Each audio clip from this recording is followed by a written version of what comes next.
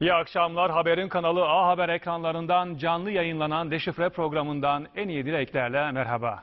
İslam coğrafyasının lider ülkelerinden Mısır yanıyor. 31 yıldır diktatör Hüsnü Mübarek'e boyun eğen Mısır ordusu, halkın oylarıyla seçilen ilk meşru Cumhurbaşkanı Muhammed Mursi'ye bir yıl ancak dayanabildi. İşin garibi demokrasi havalisi sayılan Avrupa ülkeleri ve Amerika, halkın iradesine silah gücüyle son verilmesine darbe bile diyemedi demedi. Peki bu ikiyüzlü siyaseti nasıl anlamak gerek? Batılı küresel güçler İslam coğrafyasında işlerine gelince demokrasiyi, işlerine gelince de diktatörlüğü mü savunuyor? Hasan el-Benna'nın kurucusu olduğu, Seyyid Kutup gibi önemli fikir adamlarının liderliğini yaptığı İhvan-ı Müslim hareketi şimdi ne yapacak? Mısır'daki ateş tüm Orta Doğu yakabilir mi? Taksim Gezi kalkışmasını savunan sivil darbeciler Mısır'da yaşanan faciadan bir ders almış olabilir mi? Biz soracağız. Uzman konuklar canlı yayını değerlendirecek. Ancak önce kısa bir haber veterisi gelecek ekranlarınıza.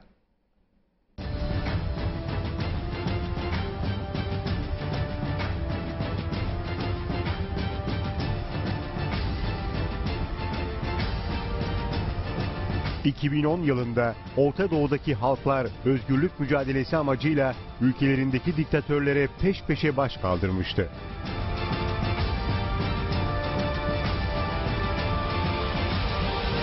Protestolar ilk olarak 18 Aralık 2010 tarihinde Tunus'ta başlamış, daha sonra Mısır, Yemen, Cezayir ve Ürdün'e sıçramış, ardından bir domino etkisiyle Orta Doğu ve Kuzey Afrika'nın tamamına yayılmıştı.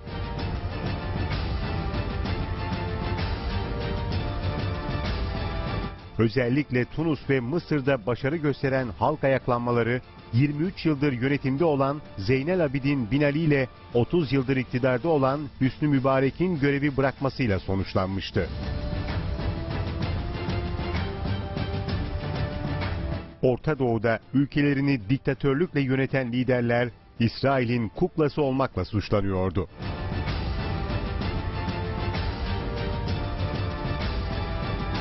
...31 yıl sonra ilk kez demokrasiye adım atan Mısır'da... ...Muhammed Mursi seçimle Cumhurbaşkanlığı koltuğuna oturmuştu.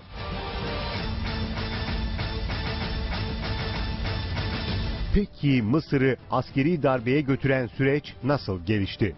Halkın desteğini arkasına alan Mursi... ...bir yılda nasıl ve neden darbenin hedefi oldu?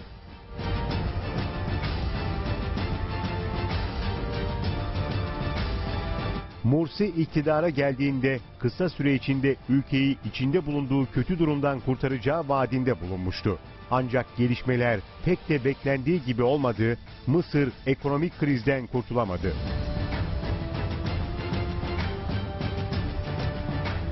Mursi ekonomik krizin yanı sıra yargı, polis ve medya ile sürekli polemik yaşıyordu.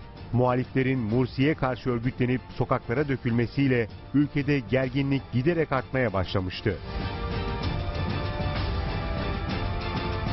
Muhammed Mursi'nin iktidardaki birinci yılı tamamlanmadan iki hafta boyunca devam eden protestoların ardından ordu devreye girdi. Yönetime 48 saat süre verdi.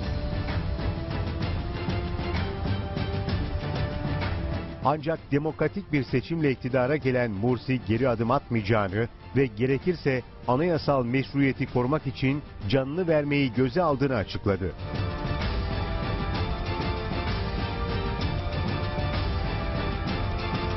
Ordunun Mursi'nin restine cevabı sert oldu. Ordu darbe yaparak yönetime el koydu. Muhammed Mursi görevden alındı, Cumhurbaşkanlığı görevi geçici olarak Anayasa Mahkemesi Başkanı'na verildi.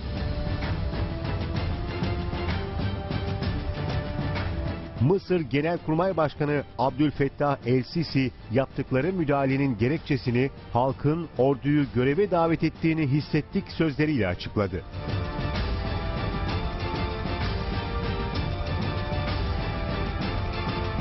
Ordunun yönetime el koymasının ardından halka seslenen Mursi, 21 dakika süren açıklamasında darbeyi kabul etmediğini belirtirken destekçilerine de şiddetsiz direniş yapmaları çağrısında bulundu.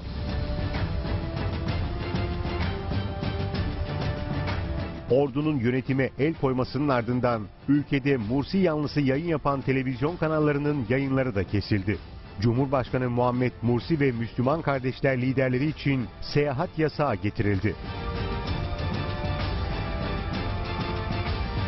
Öte yandan Mısır Temiz Mahkemesi de Başbakan Hişam Kandil'in bir yıl hapsine ve görevinden alınmasına hükmetti. Peki dünya ülkelerinin liderleri Mısır askeri darbesini neden darbe olarak nitelendirmiyor? Darbenin nedenlerini içerideki nedenlerden çok dışarıdaki dengelerde mi aramak gerekiyor? Suriye'de tam 3 yıldır diktatör Esad halkına bomba yağdırdığı halde koltuğunu korurken tarihinde ilk defa seçimle iktidara gelen Mısır yönetimi neden ancak bir yıl dayanabildi? Mısır askeri darbesinin İsrail ve Suudi Arabistan'ın kutlamasını nasıl okumak gerekiyor? Çok çarpıcı dosya şimdi.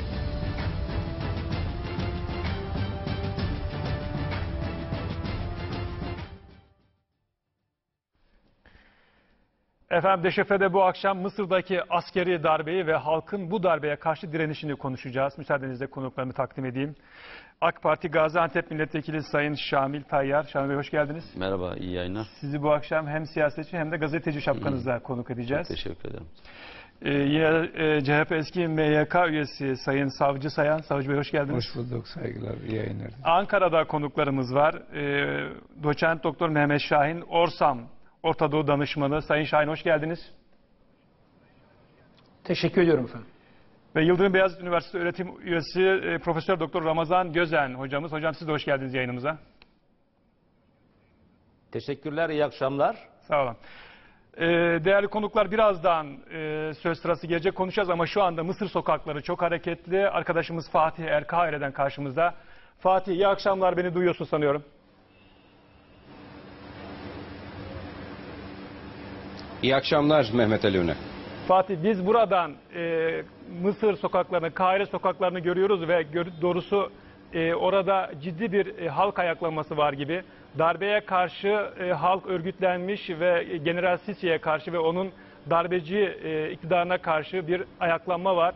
Nedir oradaki durum bize anlatabilir misin?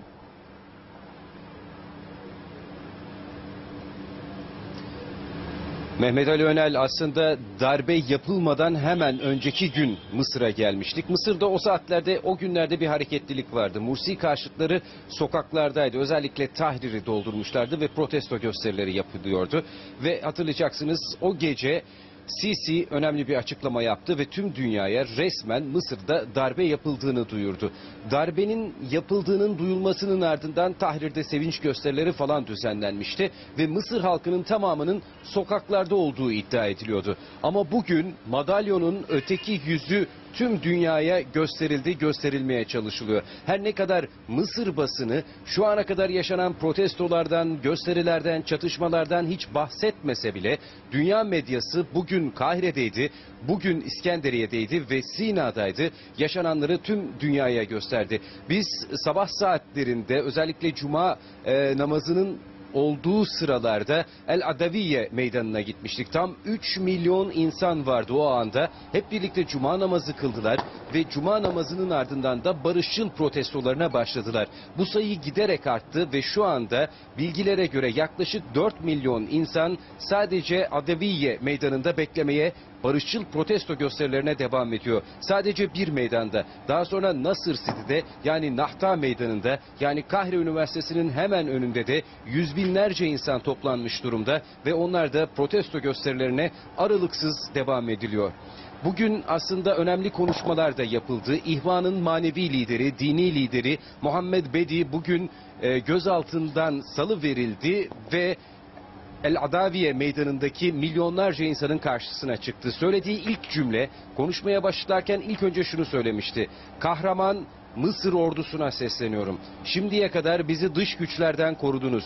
Lütfen şimdiden sonra bize silah doğrultmayın diye sözlerine başladı ve Mısır halkının ve Mursi'ye destek verenlerin ve ülkede darbeyi istemeyenlerin sonuna kadar kanlarının son damlasına kadar bu mücadeleye destek vereceklerini ve meydanları bırakmayacaklarını açıkladı. Bu da İhvan'ın bundan sonra da gösterilere devam edeceği şeklinde yorumlandı. Bu açıklamalardan hemen sonra evlerinde bekleyenler de dışarı çıkmaya başladı. Çünkü bugün Kahire'de bir gösteri grubunun üzerine askerler tarafından ateş açıldı. Dört kişi hayatını kaybetti. Bu şiddet olayının yaşanmasıyla birlikte birçok insan yine sokaklara döküldü. Şu saat itibariyle Kahire'nin birçok noktasından binlerce insan Tahrir Meydanı'na yürüyüşe geçti. Ve bu insanları durdurmak için e, özellikle Mısır'da baltacılar diye adlandırılan gruplar sokaklara döküldü ve şu saatlerde de birçok noktada çatışmalar yaşanıyor. Sadece Kahire'de de değil, İskenderiye'de ve Sina'da yani ülkenin kuzeyinde de çatışmalar devam ediyor. Ben bugünü bu şekilde özetledikten sonra aslında biraz da darbeye nasıl zemin hazırlandığı ve bugüne nasıl gelindiğini Mısır'ı çok iyi bilen bir gazeteci arkadaşımla konuşacağım. Mehmet Akif Ersoy'la. Mehmet Akif Ersoy yanımızda ve uzun süredir Mısır'da Mehmet Ali Önal e, çok iyi de takip ediyor. Akif, e, darbeye zemin hazırlandı. Yani 30 Haziran'da insanlar kalabalıkça sokağa döküldükten sonra biz darbe yapıyoruz demediler. Bunun bir geçmişi vardı bir sene içerisinde. Mursi'nin elbette yanlışları vardı. Bu yanlışları darbeciler çok iyi kullandılar ama neydi bu yanlışlar ve nasıl bir komplo hazırlandı Mursi'ye? Evet, en başına dönecek olursak Cumhurbaşkanı Muhammed Mursi seçildiğinde bir söz verdi. 100 gün bir süre istedi. O 100 günün sonunda elektrik kesintilerinin biteceğini, e, güvenlik sorununun ortadan kalkacağını, e, temizlik sorununun ortadan kalkacağını ve buna benzer e, bir takım açıklamalar yaptı. O sözünü tutamadı, ciddi tepki aldı. E, görevden aldığı e, bürokratlar oldu, e, onları göreve iade etmek durumunda kaldı. Aldığı kararları uygulamak noktasında ciddi bir takım sıkıntılar yaşandı. Mısır ekonomisi zaten dibe vurmuştu o göreve geldiğinde. Daha da sıkıntılı bir sürece girdi. Neden girdiğini de burada e, söylemek gerekiyor. Şimdi Mısır'da darbe oldu. Hani bugüne geliyorum hemen oradan. Darbe olur olmaz sen de buradaydın. Mısır borsası yüzde beş değer kazandı. Şimdi bir ülkede darbe olduğunda borsanın yükselmesi e, çok makul bir durum değildir. E, Mısır'da darbe oldu. E, Muhammed Mursi döneminde yurt dışında olan iş adamları, Mısır'ın zengin iş adamları Mısır'a döndüler. Ve yatırımlarına başlayacaklarını söylediler. Mısır'da darbeden 3-4 gün önce her yerde benzin kuyrukları vardı. Trafikte adım atamıyorduk biz. Ve bunlara tanığız, yaşadık burada. Darbe olduktan sonra o geceden itibaren Mısır'da şu anda e, 30 Haziran tarihinden bu yana 3-4 gündür bir tane benzin kuyruğu, benzin istasyonu önünde göremezsiniz. Güvenlik sorunundan bahsediyorduk. Askeri darbe oldu. Ülkede ciddi karışıklıklar var. Ama sokakta önceden Mursi döneminde şu köprüye gittiğimizde bile baltacı gruplar zaman zaman polisle çatışırlardı. Yabancılar taciz edildi. Tahrir meydanında bir sürü taciz olayı yaşandı. Bir sürü sıkıntı yaşandı. Ve bir anda bunlar kesildi. Şimdi Muhammed Mursi elbette yanlışlar yaptı. Kendisi de söyledi yanlışlar yaptığını. Defalarca muhalefeti bu konuda diyaloğa davet etti. Biz hatalar yaptık. Bunu kabul ediyoruz. Hep birlikte Mısır'a bir şeyler kazandırmalıyız. Mısır'ın geleceği her şeyden önemli. Mısır'ın bütünlüğünü korumalıyız. Bunu bir iç, iç çatışmaya dönüştürmemeliyiz mesajını verdi. İki buçuk saat halka seslendi. Uluslararası sesleniş konuşması yaptı. Ee, daha sonra 45 dakika iki gün sonra bir kez daha konuşma yaptı darbeden hemen bir gün önce. Ee, ancak bir sonuç gelmedi. Muhalefet haklı ve haksız birçok konuda bu bir yıl içerisinde Muhammed Mursi'yi eleştirdi. Ama şunu unutmamak lazım. Mısır'da bir devrim olmadı. 25 Ocak devrimi bir geçiş süreciydi. Evet insanların kafalarındaki tabular yıkıldı. Evet korku duvarı aşıldı. Evet mübarek rejimine karşı çıkıldı ve mübarek gitti. Ama mübareğin altındaki tüm mekanizmalar duruyordu. Ve bürokrasi içerisinde atmaya çalıştığınız her adım. Ben gazeteci olduğum için Mısır Devlet Televizyonu'ndan biliyorum. Televizyona girdiğimizde bakan Müslüman kardeşlere yakın bir isimdi. Ama bakanın talimatıyla biz bir iş yapmak için aşağı indiğimiz zaman bir müdürle konuştuğumuzda, bir görevliyle konuştuğumuzda her türlü sorunla karşılaşabiliyorduk. Dolayısıyla bu yapı 45 bin kişilik personeli değiştirmek mümkün değil. Bürokrasiyle böyleydi, diplomatları böyleydi. Bakanlar atanırken teknokrat bir hükümet kuruldu. Muhammed Mursi'yi ülkeyi ihvanlaştırmakla e, itham ettiler. Kendi kadrolarını oluşturmakla itham ettiler ama e, kendi kadrolarını oluşturamadığı için aslında şu anda bu noktaya geldi bu süreç diye düşünüyorum. Çünkü orada açıklama yapar yapmaz bütün istifalar ard arda gelmeye başladı. Ama burada bir hata daha var. Bir sıkıntılı bir süreç daha var. Bu halk nasıl bu kadar sokaklara toplandı? Gerçekten 30 Haziran'da milyonlarca insan e, Mursi karşıtı gösterilere katıldı. Hepsinin de tek alternatifi konuştuğumuzda yüzlerce kişiyle konuştuk o sürece kadar. Mursi gidecek ne olacak? Asker yönetime gelsin. Ordu el koysun. Siyasilere bir güven yoktu. Siyasilerin adı geçmiyordu. Ulusal Kurtuluş Cephesi biz darbeye karşıyız dedikten bir gün sonra asker sürece müdahale etmeli dedi. Muhammed Baradei çıktı dedi ki ordu halkı korumalıdır. Dedi şu anda da yeni yönetim başbakanı olmaya hazırlanıyor. Muhammed Mursi'nin bir hatası da şu oldu. Mısır bir İslam toplumu. Yani Hristiyan e, Kıpti nüfusu saymadığınız sürece e, dini değerlerine çok önem veren e, ve dini adetlerine, geleneklerine, göreneklerine, dini iyi yaşamaya çalışan bir toplum ve mütedeyyin bir toplum. Bu toplum içerisinde farklı bir takım söylemleri getirdiğiniz zaman yani şeriat gelecek, e, şeriatla yönetilen bir toplum zaten. E, anayasanın temel kaidelerinde şeriat ilkeleri esas alınıyor. Ezher Şeyhliği e, Mısır'da yine bütün ehl sünnet ulemasının, dinlerin, e, din alimlerin e, tabi olduğu, e, yetiştiği yerlerden bir tanesi Ezher Üniversitesi. E, dolayısıyla böyle bir toplum içerisinde bu söylemler, Selefi grupların söylemleri insanları tedirgin de etti. Sokaklarda toplananların büyük bir çoğunluğu ekonomik sıkıntılar, benzin kuyrukları, elektrik kesintileri nedeniyle toplandılar ve Muhammed Mursi'ye söz verip de duramadığı şeylerle ilgili e, yayılan haberlerden, e, düşündükleri şeylerden dolayı toplandılar. Ama burada medyanın etkisi çok önemli. Mısır'da Muhammed Mursi'yi destekleyen tek bir televizyon kanalı vardı. Mısır Devlet Televizyonu dahi hükümetin elinde bakanın Müslüman kardeşlerden olmasına rağmen spikerleriyle yapıyı çok iyi biliyorum orayı bildiğim için. Spikerleriyle, muhabirleriyle içerideki herkes neredeyse 40 bin kişi, 45 bin personeli var. 40 bini Muhammed Mursi'ye karşıydı ve asker bir an önce darbe yapmalı diyordu. Şimdi bu süreç içerisinde böyle bir medya ortamında e, nasıl haberlerin yayılabileceğini az çok tasavvur ediyorsunuz. Bugün Cihat Haddad'la bir görüşme yaptık. Özel bir mülakat yaptık Müslüman kardeşlerin sözcüsüyle TRT adına. Cihat Haddad şunu söyledi. Muhammed Mursi bir senedir Cumhurbaşkanıydı. Darbe olur olmaz sen de şahitsin. E, burada bütün televizyon kanalları kapatıldı, gazeteler kapatıldı. Muhalif televizyon kanalları ve gazetelerden bahsediyorum. E, aynı anda bütün ihvan üyeleri, komuta akademisi tutuklandı e, ve ciddi bir operasyon başladı. Binden fazla kişi tutuklandı. Bir anda yani 10 dakika içerisinde bütün televizyonların yayınları kesildi. Gazeteciler de tutuklandı. Muhammed Mursi bir senedir Cumhurbaşkanıydı. Mısır'da tutuklanan tek bir gazeteci var mı? Yabancı ya da yerli. Mısır'da hapiste olan tek bir siyasi lider var mıydı? Muhammed Mursi Cumhurbaşkanı iken. Mu- Mısır'da e, bu süreç içerisinde kapatılmış tek bir televizyon kanalı var mıydı diye sordu Cihat Haddad bize.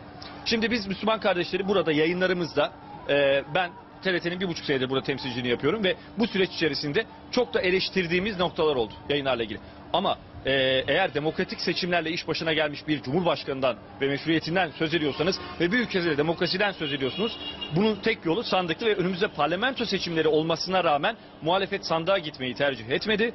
Çünkü sandıkta bugüne kadar 4 seçim yapıldı. Cumhurbaşkanlığı, Şura Meclisi, Anayasa Referandumu ve e, özür diliyorum parlamento seçimleri aynı zamanda 4 seçim yapıldı. 5 kere halk sandığa gitti. Anayasa, e, Cumhurbaşkanlığı seçimleri 2 tur olduğu için tek bir defasında muhalefet o seçimlerden herhangi birisini kazanamadı.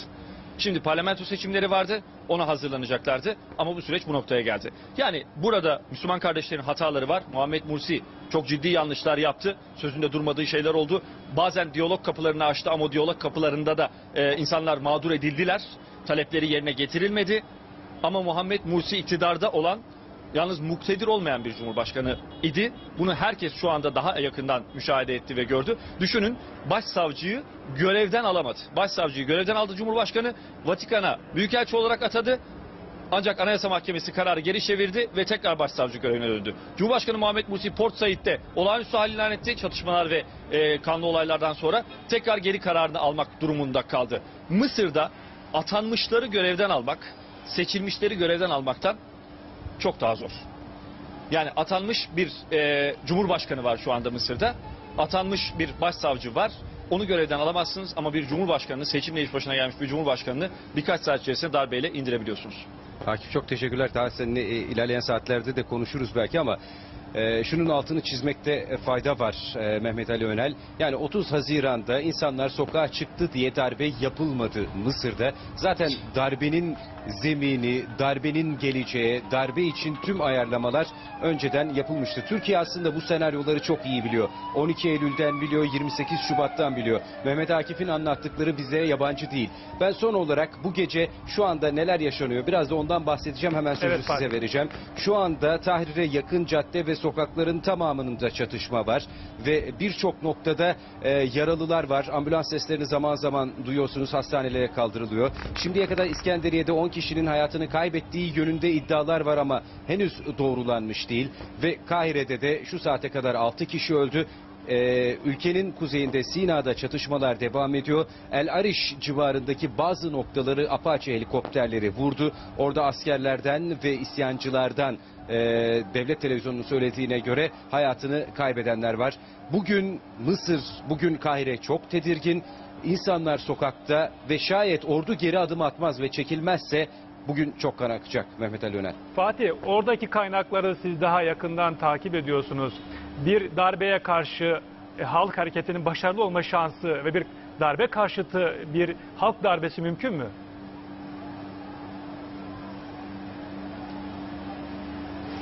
Mümkün gibi görünüyor ama e, biz bunu kendi aramızda da çok e, konuşuyoruz. Çünkü hiç kimse bu kadar insanın sokağa dökülebileceği ihtimali üzerinde bulunmamıştı. Mısır medyasını takip ettiğimizde özellikle sosyal medyada e, ve bu ülkenin ileri gelen isimleri bu kadar taraftarın sokağa dökülebileceğini biz de tahmin etmiyorduk. Bu insanların da bir isteği var. Aslında onlara bunun darbe olmadığını anlatmak gerekir gibi konuşmaya başladılar. Çünkü Mısır'da belli bir kesim bunun darbe olmadığını, bunun siyasete küçük bir müdahale ve değiştirme olduğunu düşünüyor. Ama bu düpedüz e, İhvan yani Müslüman kardeşler darbe olduğunu defaatle söyledi ve söylemede devam ediyor. Sanırım e, bu darbe değildir diyenleri diğer tarafın darbe olduğuna ikna etmesi gerekiyor. Sabaha çok şey değişebilir Mısır'dan. Çünkü gelen iddialara göre generaller Sisi'yi bir toplantıya çağırdı ve onun yanlış bir adım attı. Diğer tarafı görmezden geldiği yönünde e, bilgiler verdiği iddia ediliyor. Sisi'nin bir açıklama yapması bekleniyordu. Gerçi o açıklama geldi. Çok iç açıcı bir açıklama değil. Daha fazla kan döküleceğine e, dair bir açıklama. Çünkü biz hiçbir zaman barışçıl protesto gösterisi yapanların rahatsız edilmesine ve onlara karşı şiddet kullanılmasına izin vermeyeceğiz dedi. Bu asli, askeri bildiride. Bundan ilk başta şunu anlayabilirsiniz. Evet Mursi yandaşları sokakta ve onlara karşı herhangi bir şiddet olayı olmayacak. Hayır bu kalabalıklar Tahrir'de yürüyor. Tah- Tahrir'de 300-400 kişilik bir e, darbe yanlısı var. Asker o darbe yanlılarını kastediyor ve onlara dokundurmayacağız diyor. Yani bir manada Mursi yandaşları, darbeyi istemeyenler, Mısır halkı askerin gözünde şu anda üvey evlat muamelesi görüyor. Fatih sana ve konu Mehmet Akif Ersoy'a çok teşekkürler. Çok iyi toparladınız meseleyi. Kendinize dikkat edin orası çok tehlikeli gözüküyor. Evet, e, Şamil Bey. e, Mehmet Akif Ersoy e, ve Fatih Er aslında bir Mısır fotoğrafı çizdi Doğru. ve biz o fotoğrafa çok da yabancı değiliz. Ne dersiniz? Doğru. Ya o görüntüleri izlerken aklıma şu geldi. Dedim ki 27 Mayıs 1960 askeri darbesinden sonra kendi halkımız sokaklara dökülseydi herhalde yani merhum Menderes olmak üzere diğer iki bakan e, belki asılmayabilirdi. 27 Mayıs'ta, 12 Mart'ta, 12 Eylül'de e, hatta 28 Şubat sürecinde e, darbe girişimleri karşısında toplumsal refleksimiz körelmişti. Bunu yapamadık. Şimdi bu gelişmeler aslında bize de birçok yönle ders çıkarmamız gereken gelişmeler gibi gözüküyor. Ve İslam coğrafyası aslında tarihi yeniden inşa ediyor. Bak bu son derece önemli. Şimdi 25 Ocak'taki Mısır devrimi dış faktörlerin de etkisiyle, katkısıyla bir şekilde pişirilmiş, halkın da içine sokulduğu bir süreçti. Evet bir yönle bir devrimdi. Ama hepimiz biliyoruz ki Hüsnü Mübarek e, diktatörlüğü arkasında güçlü bir ordu vardı. Orduyla siz e, yani ona güç veren orduyla diktatör arasındaki mesafeyi açtığınız zaman zaten ister bu sonucu alıyorsunuz. Ve bu sonucu doğuracak dış gelişmeler de söz konusuydu. Şimdi belki de ilk defa belkisini kaldıralım ilk defa Mısır'da bir yerli devrim yaşanıyor. Eğer Aslında- halk başarırsa. Evet başarırsa. 25 Ocak'taki devrimin dış bağlantıları da vardı. Çünkü orada amaçlanan e, başka hedefler söz konusuydu. Ama gelinen noktada o e, gelişmelere destek veren ülkeler arzu ettikleri sonuçları elde edemediler. Ondan sonra da e, Daha yavaş açalım mı? yavaş Galiba aslında bölgede çok etkili e, olan bildiğimiz İsrail ve Amerika e, İhvan-ı Müslim gibi, Müslüman kardeşler gibi bir e, tırnak içinde dinci yapılanmanın iktidar olmasına pek hoşlanmadılar. Ya da şöyle tarif edelim. Aslında Avrupa'da ve Batı'da eee, bu İslam coğrafyasına bakış, daha da dar anlamda Mısır'a bakış, İsrail güvenliği perspektifinden eee, gerçekleşir. Bunun çok iyi görülmesi gerekir. Eğer İsrail'le ilişkiler ya da onların eee, penceresinden İsrail güvenliği bir problem yaşıyorsa e, o zaman Mısır'la ilişkilerin yeniden formatlanması gerekir. Şimdi Müslüman kardeşlerin iktidara gelmesinden sonra İsrail'in Filistin politikası çok ciddi hasar gördü. Bunu hep biz biliyoruz. E, biliyoruz ki Gazze ambargosu iki yerden denetlenebiliyor. Birisi karadan Mısır topraklarından, diğerisi de deniz yoluyla. Zaten deniz yoluyla Doğu Akdeniz'i kendisi kontrol ediyor. Burası gevşedildiği zaman İsrail'in Filistin politikasını bu kadar ceberut bir şekilde yönetebilmesi Mursi güçleşiyor. göreve geldi ama refah kapısını açtı biliyorsunuz Evet. insani yardımların Açtı. geçmesi için. Peki darbe yapıldıktan sonra ne oldu? Anında kapatıldı. Anında kapattılar. Aslında bu darbe girişimin girişimin en temel sebeplerinden birisi buydu. Zaten darbe olur olmaz da bunu gerçekleştirdiler. Fakat burada üzerinde durulması gereken birçok e, yön var. Bu yönü de aslında biraz da Türkiye'ye benziyor. Şimdi darbe olduktan sonra iş başına getirdikleri Mansur Anayasa Mahkemesi'nin başkanıydı. Peki bu şahıs ne zaman göreve geldi? Yaklaşık bir ay önce. Şimdi yani e, koordinatları öyle e, kurgulamaya başlamışlar ki önce siz e, bu işin bir altyapısını oluşturmaya başlıyorsunuz. Darbe olduğu zaman kimi göreve getireceğiniz bile belli. Önce onunla ilgili ilgili kurumlara atama yapıyorsunuz. Bu gelmiş. Arkadaşlarımız az önce aslında çok iyi özetlediler. Peki onu şöyle biraz daha renklendirmek gerekebilir. Ee, izleyicilerimizin daha iyi anlayabilmesi açısından Mısır ekonomisinin önemli bir kısmı e, askerlerin elindedir. Bu yönle aslında biraz bizim oyağa da benzer. Şimdi e, arkadaşımız yine anlattı bu son derece önemli bir ayrıntıydı. Onun gözden kaçmaması gerekiyor. 3-4 gündür Mısır'da her yerde benzin kuyrukları vardı. Darbeyle birlikte bu kalktı. Yani sözünü tutamadı dedi ama zannediyorum ki orada biraz da dili sürçtü diye düşünüyorum. Sözünü tutamamadan ziyade Mursi'nin elini kolunu bağladılar ve iş yapmasını engellediler. Şimdi 100 günlük bir program koymuş. Demiş ki ben 100 gün sonrasında bu elektrik kesintilerini büyük ölçüde önleyeceğim. Ee, gidereceğim. Ondan sonra işte benzin kuyrukları vesaire falan bunların hiçbirisi zaten olmayacak. Ayrıca güvenlik problemi var. Ben bu güvenlik ve asayiş problemini de büyük ölçüde çözmeyi vaat ediyorum. Peki bunu neyle yapacaksınız? Ve yapmayı düşündüğünüz temel enstrüman ordu. Çünkü ordunun silahı var, tankı var, topu var. Ama aynı zamanda ekonomik işletmeleri de domine eden bir birim. Şimdi e, orduya istikamet veren, yön veren dış odaklar anlıyoruz ki Mursi'yi ordu üzerinden terbiye etmeye çalışmış ve bunu da aslında büyük ölçüde başarmışlar. Burada bir söz tutamamadan ziyade Mursi'ye iş yaptırtmama iradesinin etkin bir şekilde ortaya çıktığını görüyoruz. Ve nitekim önce işte siz Mansur'u Anayasa Mahkemesi Başkanı'na atıyorsunuz. Sonra yine sokak üzerinden bir iktidar planlıyorsunuz. Bunun için de bir tarih vermişsiniz. Aslında göz göre göre darbe gelmiş ve siz buna karşı da iyi bir yerde konumlanamamışsınız. Hepimiz biliyoruz ki 15 gün önceden 30 Haziran tarihinde tarihe toplanın diye bir ciddi bir darbe çağrısı yapıldı. Ve herkes 30 Haziran'a kilitlendi. Ama bu sonuç doğduğuna göre demek ki Mursim e, ya bunu okumakta zorlandı ya da buna gücü yetmedi. Belki birkaç hamleyle bunu aslında tersine çevirebilir miydi biraz zor gözüküyor ama en azından e, hamle yapabilir diye düşünüyorum. Özür diliyorum eğer E, süresinde reklama çıkmam gerekiyor. Aslında darbe oldu dedik ama darbeye batılar, batılılar darbe demediler. Oradan devam ederiz. Diğer konuklara söz hakkı gelir. Tabii, estağfurullah. Kısa bir ara şimdi, Tabii. kısa bir reklam arası efendim.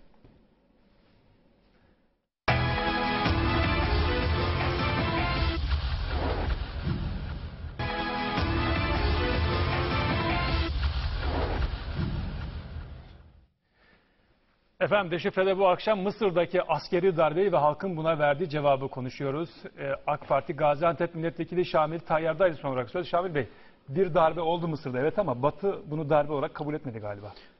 kabul etmedi çünkü arkasında kendisi var. Darbe dediği zaman kendisini sanık sandalyesine oturtması gerekir.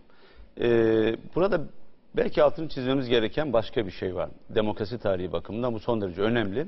Şimdi kalabalıkları meydanlara toplayarak meydanlardan bir iktidar oluşturma, dolaylı bir darbe yapma e, girişimi teşvik ediliyor. Eğer siz sandık yerine meydanları koymaya kalkarsanız meydan diktatörlüğüne yol açarsınız. Aslında dar ve küçük azınlık grupların çoğunluğa hükmedeceği bir yapıyı oluşturmuş olursunuz. Yarın eğer siz bunu bir yol ve yöntem olarak denerseniz kafasına esen 50 bin kişilik bir grubu meydanlara doldurduğu zaman yarın darbe yapar.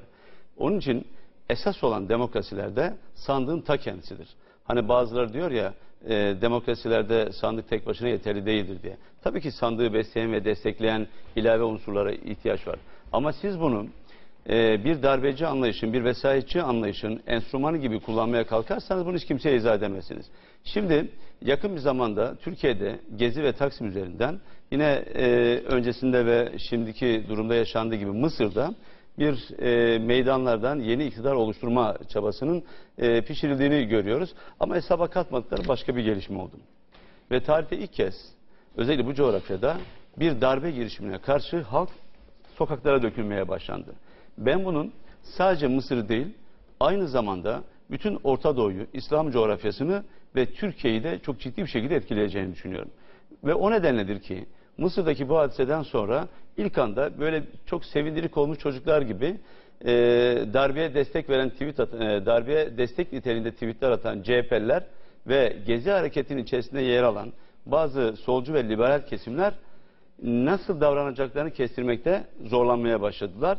Zannediyorum ki Mısır'daki bu e, karşı tutum, işte darbeye direnen halkın varlığı bir miktar aslında e, Sayın Başbakan'ın işte Mersin'de, Adana'da, Ankara'da, Kazlıçeşme'de, Kayseri'de, Türkiye'nin değişik bölgelerinde o meydanları dolduran kalabalıklarla da aslında benzeştirmek bir yönüyle mümkün.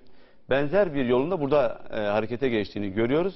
Artık darbelere direnen, bu tür e, vesayetçi e, komplolara karşı tavır koyan kitlelerin varlığı keşfedilmeye başlandı. Zannediyorum ki bundan sonra Türkiye, Mısır ve başka ülkelerde e, darbe tezgahlayan işte uluslararası güç odakları da herhalde hesaplarını kitaplarını yeniden yapacaklardır diye düşünüyorum. Eğer Mısır bu darbeye karşı aldığı tutum e, ciddi bir sonuç verirse bu sonucu hiç kimse şöyle düşünmesin. İşte e, yarın e, geçici Cumhurbaşkanı görevinden istifa eder gider. Ancak o şekilde bir sonuç al. Seçim takviminin hiç ileriye atılmadan hemen e, açıklanması ve e, herkesin rahat sandığa gidebileceği özgür bir seçim ortamının sağlanması vaadinin oluşturulması da çok ciddi bir kazanımdır diye düşünüyorum. Zannediyorum ki bu kitlesel e, mücadele bu sonucu da doğuracaktır diye düşünüyorum. Ama sonuçta ne olursa olsun ne Mısır'da ne Türkiye'de ne bu İslam coğrafyasında hiçbir şey artık eskisi gibi olmayacaktır ve millet sözünü söylemiştir. Teşekkürler Şahin Bey. Tekrar Ben döneceğim teşekkür size. Ee, CHP'nin biraz da aykırı sesi mi veya sağduyusu mu diyelim Savcı Sayan? Yok bence Ee, siz... e, CHP'nin özü. Özü mü? Peki Evet, tamam. yani özü. Ee, siz e, biliyorsunuz yakın zamanda Türkiye acı bir deneyim yaşadı. Evet. Ee, birkaç en az dört kişi hayatını kaybetti. Evet, Yaralılar çok, var. tabii, çok. Ee, Gezi Parkı olayları maalesef bir toplumsal kalkışmaya Evet. dönüştürmek istendi. Evet. Neyse ki e, başaramadılar. Ama buradan bakınca şimdi Gezi Parkı'ndan bakıp Mısır'da yaşananları değerli nasıl bir tablo görüyorsunuz siz? E, bakınız e, dünyanın neresinde olursa olsun e, halkın oylarıyla seçilmiş bir hükümeti deviren ordu milletin ordusu değildir. Önce bunun bir altını çizelim. Yani bu Mısır'daki e, darbeyi e, değerlendirirken bunu mutlaka değerlendirmemiz lazım. E, şimdi ben bir buçuk sene önce e, şöyle bir şey söylemiştim televizyonlarda. Türkiye'deki e, iktidarla ilgili. E, bu dış güçlerin en son oyunu önce e, muhalefeti dizayn edecekler, yok edecekler. Sonra iktidarı diktatör ilan edecekler. Sonra e, muhalefet olmadığı için halkı meydanlara gönderecekler. Orada da provokatörler gerçek amaçları olan Türkiye'yi bölme amaçları olan e, amaçlarını yerine getirmek için büyük bir e, alan kazanmış olacaklar. Şimdi ben çok iddialı bir laf söyleyeceğim. Mısır'daki darbenin arkasındaki güçle Gezi Parkı'nın arkasındaki güç aynı güçtür. Hiçbirbirimizi kandırmayalım. Net konuşalım Ben de ki bu sözün altına imza atıyorum. Evet, net konuşalım ki vatandaş bizi net bir şekilde anlasın. E şimdi bu nedir? Bakınız, şimdi Mısır 1 milyon kilometre karelik bir alanıyla 85 milyon nüfusuyla İslami coğrafyada önemli bir devlettir. E, geçmiş 7 bin yıllık bir geçmişi var Mısır'ın. E, Mısır'ın Türkiye ile çok benzeyen tarafları var. Aramızdaki fark Mısır bizim belki 30-40 yıl gerimizden geliyor. Şimdi bugünkü olaylara baktığımızda da bunu göreceğiz. Nasıl göreceğiz? Ben hep şunu iddia ediyorum. Diyorum ki Sayın Tayyip Erdoğan'ın en güçlü silahı şu anda bana göre e, sadece İstanbul sermayesi değil artık bir Anadolu sermayesinde olduğu, olduğudur. Bunu niye söylüyorum? Bunu birkaç televizyonda bu darbeler olmadan önce söyledim. Şimdi Ecevit'i nasıl düşürdüler? İşte yağ kuyrukları oluşturdular, fabrikaların ağızlarını kapattılar. İşte millet sokağa döküldü, gaz yok, yağ yok.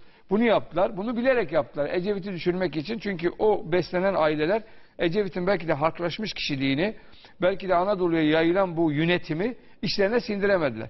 Şimdi Tayyip Erdoğan döneminde, Tayyip Erdoğan döneminde Anadolu sermayesi güçlendiği için yine bunu denediler. İşte biz yağ üretmeyeceğiz, mazot üretmeyeceğiz ya da başka bir şeyler üretmeyeceğiz. Bu sefer Kayseri'li esnaf dedi ki ben üretmeye başladım bile. Sen üretmesen ne olur? Gaziantep'teki dedi ki sen yağ üretmiyorsan ben dünden beri üretmişim. Dolayısıyla Türkiye'de bu oyun bozuldu. E Şimdi Mısır'a baktığınızda 30-40 tane aile orada mübarek döneminde zenginleşmiş 30-40 tane aile oranın büyük bir rantını %40'a yakın bir ekonomiyi kontrol altında tutuyor. Zaten Mısır'ın ekonomisi ne ki? Yoksul bir ülke. Tarımı yok. İşte Nil'den beslenen önemli şeyler var. Tabii petrolü falan Mursi var. bir açıklama yapmıştı darbeden önce. Evet. Mısır'ın kaynaklarını 30 aile yiyor demiş. Doğru işte onu söylüyor. Nasıl Onların ki? da onların da koçları var değil mi? Tabii tabii koçları var. Tosunları var. Tosunları var. Öküzleri var. Onların var yani. Ciddi söylüyorum var yani çok var. Hiç öyle sayarsak e, var var. Ondan sonra şimdi bunlar bir de şunu net bir şekilde ortaya koyalım. Batı Müslümanların kendi kendisini yönetmesine karşıdır. Yani amaçları ne demokrasidir ne de ne budur. Dem amaçları tamamen hedef olarak İslamiyettir. Yani İslamiyet'i hedeflerine koymuşlar. Kesinlikle siz yönetemeyeceksiniz. Nerede böyle halkın değerlerine yakın, halkın dini inançlarını, bunun işte Müslüman da olur, Hristiyan da olur, önemli değil. Böyle bir ayrım yapmadan bir yaşama şeklini oluşturan bir hükümet başa gelirse hemen Batılılar buna müdahale ediyor. İşte demokrasi, demokrasiyi de kullanarak şimdi Arap Baharı ile birlikte ne oldu? Bir tane kovboy çıktı, silahını çekti bu Sisi. Vurdu, o Arap Baharı'nı devirdi. Şimdi Sisi demokrasiyi pisi pisi yedi. Bence pisi pisine de gidecek Sisi. Yani bu gidişle. Ama bu çok önemli. Şimdi Şamil Bey de biraz önce söyledi. Eğer bu halk hareketi başarı olursa bundan sonra hiçbir ülkede kimse darbe yapmaya cesaret edemeyecek. Eğer Mısır gibi çok geri kalmış bugünkü şartlarda kendi o e, öz kaynaklarına rağmen e, her alan, anlamda geri kalmış bir Mısır bunu yapabiliyorsa demek ki Türkiye'de artık insanlar bunu yapamayacak. Ya da işte daha gelişmiş ülkelerde hiç hiç yapamayacaklar. E, bir oyun bozuluyor. Şöyle hedef İslamiyet. E, darbe batıların desteğiyle yapılıyor. Bir buçuk milyar para veriyor orduya. Diyor ki ben engelleyemiyorum. Şimdi Amerika o orduya parayı veriyor. Darbe yap diyor. Vatandaşını öldür diyor. Ayır diyor. Mısır'ı ikiye böl diyor. Müslümanlar iktidara gelmesin diyor. Müslüman kardeşler gelmesin diyor. Çünkü Suriye'yi de etkileyecek. Çünkü işte e, İsrail'in güvenliği de tehlikeye girecek. Ki bugünkü kapıyı kapatmalarıyla bunu anladık. Refah Mursi gelir gelmez hemen refah kapısını açmıştı. Orada bir koridor vardı. Önemliydi. Şimdi gelir gelmez bunu da kapattılar. E ne oldu bu? Kime hizmet ediyorsun? Şimdi dün ben çok güldüm. Yani çok e, tuhafıma gitti e, Cum- Cumhurbaşkanlığına seçilen e, neydi bu Mansur e, el işte yemin ediyor ne anayasa üzerine. E Sisi diyor ki ben anayasayı askıya aldım. E askıya alınan bir anayasa. Sen nasıl? Bir de namusum ve şerefim diyor. E dış güçlerle bir olup ülkesini Bir satan beni, adamın... beni halk getirdi diyor. Ha. Şimdi Amerika halkı getirmiş olabilir. Ona bir şey demem. Bir de şöyle bir şey diyor Şamil Bey. Siz tecrübelisiniz bu konularda. Eski bir gazetecisiniz. Milletvekili dışında e, onu sayıyorum. Şimdi e, diyor ki namusun ve şerefim. Ya başka güçlerle işbirliği yapıp kendi ülkesini satan adamın namusu ve şerefi olur mu Allah aşkına? Kendi ülkemdeki kardeş kanla seyirci kalacağım. Başka insanların tanklarını, manklarını o teşvik eden ya da onlarla birlikte hareket eden adamlarla birlikte ülkemi satacağım. Kardeşi kardeşe kırdıracağım. Ondan sonra da namusum ve şerefim üzerine diyeceğim. Ya inanırlar mı? Bu şey aile terbiyem el vermiyor. Birilerinin tövbesine benziyor. Böyle bir tövbe mi olur? Onun için ben bir vatandaş olarak Mısır'da yapılan bu darbeye son derece karşıyım. Bu bir darbedir. Herkes dik durmalı. Herkes diren Mursi diren demeli. E, bunu bir işte ben Müslümanım o da Müslüman da anlamda kullanmıyorum. Bir insanlık ölçüsü olarak değerlendiriyorum. Sıranın Orta Doğu'da başka ülkelere de gelebileceğini hesaplıyorum. Dolayısıyla dünyanın da bu Müslümanları hedef koyduğu bir dönemde Müslü- e, yani hedeflerinde Müslümanların olduğu bir dönemde Müslümanların da çok dikkatli olması lazım. Birlik beraberliklerini bozmamalı. Mısır'a destek olmalıyız. Mursi'ye destek olmalıyız. Darbelere karşı çıkmalıyız. Önce benim partim karşı çıkmalı. Partim solcu bir parti. İnsan haklarına daha saygılıyım, daha demokratım diye. Burada dikkatimi çeken bir şey daha oldu. Ee, Siz böyle- CHP'de nasıl kalıyorsunuz? Siz niye Ee, şimdiye kadar atmadılar merak ediyorum. doğrusu. ben kalsaydım CHP şimdi AK Parti iktidar değildi. CHP iktidar olurdu. Bakın Sizin görüşleriniz de şu anda CHP'nin kurumsal olarak da bazı milletvekilleri durduğu yer kurumsal çok olarak farklı. örtüşüyoruz. Kurumsal olarak örtüşüyoruz. Örtüşüyor musunuz? Belki Şamil Bey itiraz eder. Kurumsaldan kastım aslında genel başkan ve yönetimdeki şu ekibinden andaki, bahsediyorum. Şu andaki yönetimle e, çünkü bu yönetimle darbeyle geldiği için belki bunların da hoşuna gidiyordur. Mursi'ye yapılan darbe falan. Darbeden koltuk elde edenlere. ben birkaç hatırlatma yapayım mı? Umut Oran e, Ee, milletvekili. hemen şu lafını e, bitireyim de hemen Umut buyurun. e, şimdi e, ben bir vatandaş olarak Mısır'da darbe yapıldığı gece bakın ben bunu e, e, yani işten geldiği gibi söylüyorum.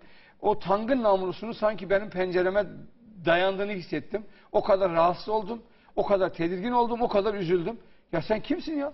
Sen geliyorsun, silah çekiyorsun, kovboy gibi vuruyorsun. Sen gideceksin, ben geleceğim. Şimdi bizim bir de moda oldu. Ee, işte seçim demo, e, şey demokrasi sandıktan ibaret değildir. Nereden ibaret? Tanktan mı ibaret? Meydanların Şimdi bence bu Onu 35. söylüyorlar. maddeyi siz kaldırıyorsunuz ya. Evet. Bu 35. maddenin yerine bunu getirecekler. 35. maddeyi kaldırıyorlar, onun yerine bu argümanı kullanacaklar. Sandık şey demokrasi sandıktan ibaret Biraz değil. şuradan- Darbeye bir şey hazırlıyorlar, bir zemin. İlçe başkanını seçiyorsun sandık. Kulüp başkanını seçiyorsun sandık. Okul başkanını seçiyorsun sandık. Meclis başkanını sandık. Bütün kurumların başkanlarını sandıkla seçiyorsun. E şimdi dönüp diyorsun da e, e, dönüp diyorsun ki seçim e, demokrasi sandıktan ibaret değil. Ama doğru. Ama ne yapalım CHP sandıktan çıkamıyor. E, ibaret değil, doğru söylüyor. Çünkü sandıktan çıkan oylar, e, e, seçimden sonra sandıktan çıkan oylara da sahip çıkmak lazım. Bunu öğrendim. Onları da iyi korumak lazım. Sadece sandıktan çıktın olmuyor. Bir de koruyacaksın. Yoksa bu birileri gelir bu. Ha CHP olayına gelince bu darbede yapılan bu Mısır'daki darbeye Şimdi bazı milletvekilleri var. Umut Oran mesela bir tweet atmış. Sonra galiba silmiş tweetini ama diyor ki Mısır'daki gelişmeler çok önemli. Demokrasi sadece sandıkla olmadığının bir göstergesi. Tüm siyaset kurumları ders çıkarmalı diyor. Yine e, Nurettin Demir yine CHP milletvekili Mısır'da Müslüman kardeşler kaybetti. Darısı buradaki kardeşlerinin başına diyor. Gerçekten çirkin bir tweet bu. Yine Profesör Doktor Gaye Usluyer seçimle geldik diye kafa tutan Mursi 3 günde gitti. Demokrasinin sandıktan ibaret olmadığını anlayabildi mi diyor. Bunlar CHP'li birkaç milletvekilinin ortak Umut- yani sandık vurgusu var hep. Yani sandık Orhan'ı- her şey değil diyorlar. Umut Orhan'ı çok yakından tanıyorum. Umut Orhan'ın kafası darbe kafası değil. Bakın samimi söylüyorum. Umut Orhan e, bu konularda daha demokratik düşünen bir arkadaşımızdı. 10-12 yıldır, 15 yıldır tanıyorum. Sürekli böyle kendisi annesi Diyarbakırlı e, böyle İş bir hayatından gelen iş genç hayatından bir gelen parlamenter değil mi? Evet. Sürekli darbelere karşı biraz daha liberal, böyle demokrasiyi daha Ama çok gece attığı için tweet'i belki özel durumundan kaynaklanıyor. Yok yok öyle bir e, e, Umut Bey'in yani Sildi ama sonra Umut Bey bu ne kastetti bilmiyorum. Modaya mı uydu işte tren kaçıyor ben de bineyim falan gibi öyle bir zayıf kişiliğin de olduğuna inanmıyorum. Fakat o profesörün yaptıkları benim çok dikkatimi çekti. Nurettin Bey'in beyanına ben ina- inanmak zorundayım bir insan olarak. Ben atmadım yeğenim attı şu oldu bu Evet, oldu falan. diyor. Ama o bayan arkadaş o Eskişehirli bayan arkadaş çok ayıp etmişti. Gaye Hanım zaten devamında bu tweetini silmedi ve savundu. Hayır, Arkasında durdu. Daha başka hayır. cevaplar da verdi. Ona, Tweet o, o konuda baktım ben. takdir ediyorum. Evet. Kendi görüş, darbe de bir Evet, görüştür. evet, durdu, Yani arkasında ben durdu darbeciyim. Gaye Hanım. Demek de çok şeydir. Yani böyle eğer savunuyorsa tamam vatandaş onu değerlendirir. Ama böyle demokrasi havarisi kesilip vatandaşlara işte aşk getireceğim, iş getireceğim, çok demokratım, biz bu ülkeyi demokratik şekilde yöneteceğiz deyip ondan sonra ben darbeciyim demesi uymuyor. Ama baştan dese ki ben darbeciyim, silahımı çekerim, gün gelirse sizi yenerim derse açık açık çarpışırsa biz eyvallah deriz. Buna bir diyeceğimiz yok. Onun da kendi görüşü odur. Fakat Gaye Hanım çok ayıp etmiştir. Cumhuriyet Halk Partisi'nde darbeye destek olan kim varsa en e, bir saat içerisinde istifa etmesi lazım. Ne bu partiyle uyuşur ne bu halkla uyuşur. Çok ayıptır, Burada- çok yazıktır. Buna ben Hatırlatalım e, Sayın Genel Başkan Kılıçdaroğlu e, darbeye, Mısır'daki darbeye karşı olduğunu yok yok açık net bir şekilde yok, söyledi. yok, Biz yok, hatırlatalım. Yok, Sayın Kılıçdaroğlu ağızla konuşuyor her zaman gibi. Yok darbeye karşıyım ama ama, Ama- diye başlayan. amalar var, ama amalar neye var. benzer işte ya şu şu şu ancak şu şu şu ama. Ama işte o da toplumun Olmaz. diğer kesimini dikkate Yok, almadığı yok. gibi Türkiye içinde söylenen argümanlar Hayır, hayır, hayır. Mısır içinde söyleniyor Hayır o şimdi. çok yanlıştır. Net bir şekilde darbe, darbe de yarım ağız olmaz. Dik duracaksınız. Açık açık diyeceksiniz ki darbeye karşıyım. Net bir şekilde. Her şekilde, her, Her halükarda, şekilde, her nasıl olursa halükarda. olsun. Kim olursa olsun. Evet. Kim yapıyorsa yapsın. Darbeye, benim darbem, senin darben, ben senin darbencin. İyidir benim darbecim kötüdür. Yani bir an önce inşallah bir an önce Sisi'de işte Marmaris'te bir nur resmi yapmak için bir villa kiralamak zorunda kalacak. ben böyle diyeceğim. Bir Teşekkürler. var, Ben şey Ankara'ya döneyim Ankara'dan bir cümle ekleyeyim. Tabii Savcı Bey böyle düşündüğü için şu anda parti yönetiminde yok. Bu düşüncenin egemen olduğu partiye de zaten CHP denmez. Evet. Eski CHP denir.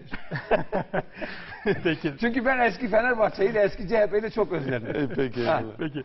Ee, Profesör Doktor Ramazan Gözen Hoca'ya dönelim. Hocam ortada bir paradoks var. Ee, Avrupa ve Amerika demokrasi havarisidir ya da en azından öyle görünür dışarıdan bakınca. Ee, ama Mısır'daki darbeyi e, adeta alkışladılar. Kınamak bir tarafa darbe bile demediler. Ee, siz bu paradoksu nasıl değerlendiriyorsunuz? Evet. Şimdi ben tabii e, bu sizin söylediğiniz görüşe tam manasıyla katılmıyorum. Evet. Yani e, Batı'nın tamamen e, demokrasiyi, e, demokrasi karşıtı olduğunu, Mısır'daki askeri darbeyi e, savunduğunu, desteklediğini söyleyemeyiz. Gerçekçi olmamız lazım. E, biz objektif olmamız lazım. Akademik bir perspektiften baktığımızda da bir akademik vicdana göre hareket etmemiz lazım. Bir kere e, şu tür söylemler Hocam ben kaçırdım mı acaba? Kınayan Yani- oldu mu darbeyi? Mesela Avrupa Birliği'nden sözcü açıklama yaptı, kınamadı. Ee, Obama kınamadı. Kınayan oldu mu ben Şimdi onu bilmiyorum. açık. Şunu şunu açıklayacağım. Yani şimdi bu tabii kınama vesaire lafları hani kınasa ne olur? Yani biz eğer e, olayın derinliğini, olayın dört boyutunu yakalayamıyorsak yani kınama laflarıyla e, bu tür meseleleri anlamak mümkün değildir. Evet hocam. E, şimdi e, dolayısıyla e, hiçbir şekilde biz e, toplumları, devletleri e, yekpare, homojen e, aktörlerden oluşan e, birimler olarak görmeyiz. Evet. Yani siz şimdi Türkiye, az önce siz konuşuyorsunuz. Siz Türkiye dediğinizde şimdi Mısır'daki gelişmelere Türkiye'de tek bir ses var mı? İşte siz kendiniz bahsediyorsunuz, tweetler okudunuz. Yani Türkiye'de de Mısır'daki darbe olayına e, gayet karşı olan ve e, Mursi'nin yanında olan ve gayet doğal olarak, haklı olarak Mursi'yi destekleyen kesimler olduğu gibi işte sizin tweetlerinizde e, e, belirttiğiniz gibi e, bu darbeye gayet e, demokrasinin gereği olarak gören ve içeriden böyle alkış tutan insanlar da var. Daha geçen e, bir televizyon programında, daha dün bir pro, televizyon programında bir üniversite hocası e, açık açık bu darbeye e, alkış tuttu. E Şimdi o zaman biz şöyle bir şey diyebilir miyiz? Türkiye darbenin yanındadır. Veya Türkiye darbenin karşısındadır diyebilir miyiz? Diyemeyiz. Batı da böyle. Biz Batı'yı da böyle analiz etmemiz lazım. Lütfen beni yanlış anlamayın. Ben ne Hocam haklısınız. e, Yani Batı'nın- homojen bir Türkiye'li yapıdan bahsetmek elbette mümkün değil. Batı'nın sözcüsü bile değilim. Akademik bir analiz yapmak durumundayız. Gerçekçi olmak durumundayız. Evet. Mısır meselesine, Mısır e, darbesine batıdan itiraz eden sesler vardır.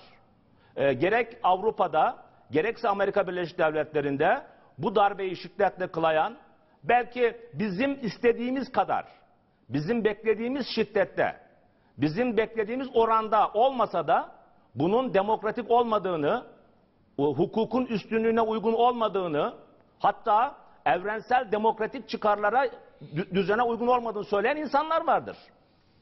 İşte isim verecek olursam e, Avrupa'da yeşiller, sosyalistler, liberallerin gerçek liberaller, bütün liberaller değil ama sivil liberaller diyeyim, demokratik liberaller diyeyim e, buna a, itiraz ettiler.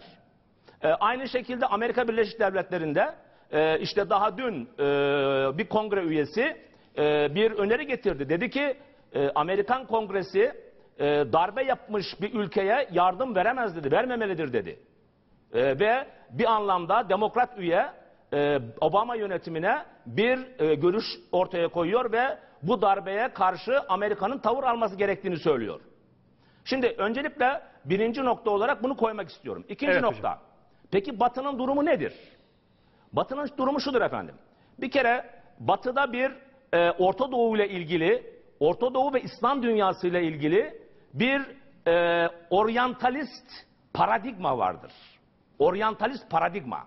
Yani bunlar 20. yüzyıldan e, boyunca özellikle Osmanlı'nın yıkılmasından sonra ve bu bölgede ulus devletlerin kurulmasından itibaren modernleşme, modernizm, pozitivizm, bilmiyorum bu kavramları aşmamız gerekir mi? Bağlamında Orta Doğu'yu değerlendiren ve bu insanlar, bu Orta Doğulular, bu Müslümanlar kendi kendilerini yönetemezler. Bunlar eğer iktidara gelirlerse e, e, zarar zarar getirirler. Ve tabii en önemlisi bizim orada çıkarlarımız var. Ne gibi çıkarlarımız var? Stratejik çıkarlarımız var. Askeri çıkarlarımız var. İsrail çıkarımız var. Petrol çıkarımız var. Şu çıkarımız var, bu çıkarımız var. Diyerek bölgedeki otoriter, e, totaliter, militer e, yönetimleri destekleyen bir batı vardır. Bir batı anlayışı, bir batı paradigması vardır. Bu Avrupa'da da vardır, Amerika Birleşik Devletleri'nde de vardır, genel olarak batı dünyasında vardır. Fakat batıda e, ve bunlar, çok özür diliyorum bunu bir tamamlayayım, ve bunlar e, bölgedeki askeri darbeleri desteklerler. Soğuk Savaş dönemince hep böyle olmuştur. Bölgedeki bütün askeri yönetimler, totaliter yönetimler, dikta yönetimleri Batılılar tarafından desteklenmiştir. Ve bunlar eee, bölgedeki İsrail çıkarlarını koruma adına kesinlikle eee, İsrail'in lehine, İsrail'in çıkarına uygun gelecek şekilde tavır almışlardır. Ve tabii biz şunu da biliyoruz. Amerikan yönet- e, e, yönetiminde, Batı yönetimlerin çoğunda olduğu gibi güçlü bir İsrail lobisi vardır. Amerika'da e, kongre ve başkan ve Amerikan devlet sistemi Yahudilerin, Yahudi lobisinin onayı olmayan hiçbir şey yapamaz. Yani e, bu e, tarihe, siyaset bilimine kalın çizgilerle yazılmış bir şeydir. Bakın yanımda bir kitap getirdim. Şu kitabı bütün dinleyicilerimiz, seyircilerimize göstermek istiyorum. Kitabın başlığı şu. They dare to speak out. Yani diyor ki konuşmaya cesaret edenler. Bu kitabın yazarı Paul Findlay. Ee, 1989 baskısı bir kitap. Bu Paul Findlay 22 yıl boyunca e, kongrede e, Cumhuriyet e, Partisi'nden e, kongre üyeliği yapmış bir kişi. Bu kitapta şunu iddia ediyor. Bu kitabı herkesin çok iyi okuması gerektiğini düşünüyorum. Bu kitapta şunu iddia ediyor. Yani bu kitap e, kenarda köşede bir insanın yazdığı e, efendim şurada burada basılmış bir yayın evi değil. Yayın evinde basılmış bir kitap değil. Amerika'da basılmış 22 yıl kongre üyeliği yapmış Paul Findlay'in anılarına, e, görüşmelerine dayalı olarak yazılan bir kitap. Bu kitabın özeti şudur. Diyor ki kitapta Kendisi Amerikan Kongresi'ndeki e, yapıyı anlatıyor ve orada kararların nasıl çıktığını, e, efendim e, süreçlerin nasıl işlediğini, özellikle Amerika dış politikasının, Amerikan yönetiminin, Orta Doğu politikasının nasıl belirlendiğini anlatıyor. Ve argümanı şudur. Diyor ki Paul Findlay, Kongrede diyor İsrail lobisinin izin vermediği hiçbir karar çıkamaz. İsrail lobesinin onay vermediği hiçbir Amerikan yardımı Orta Doğu bölgesine gönderilemez. Bu İsrail lobisi dediği e, şeyin ismi de kuruluşun ismi de AIPAC. Yani Amerikan İsrail Komisyonu.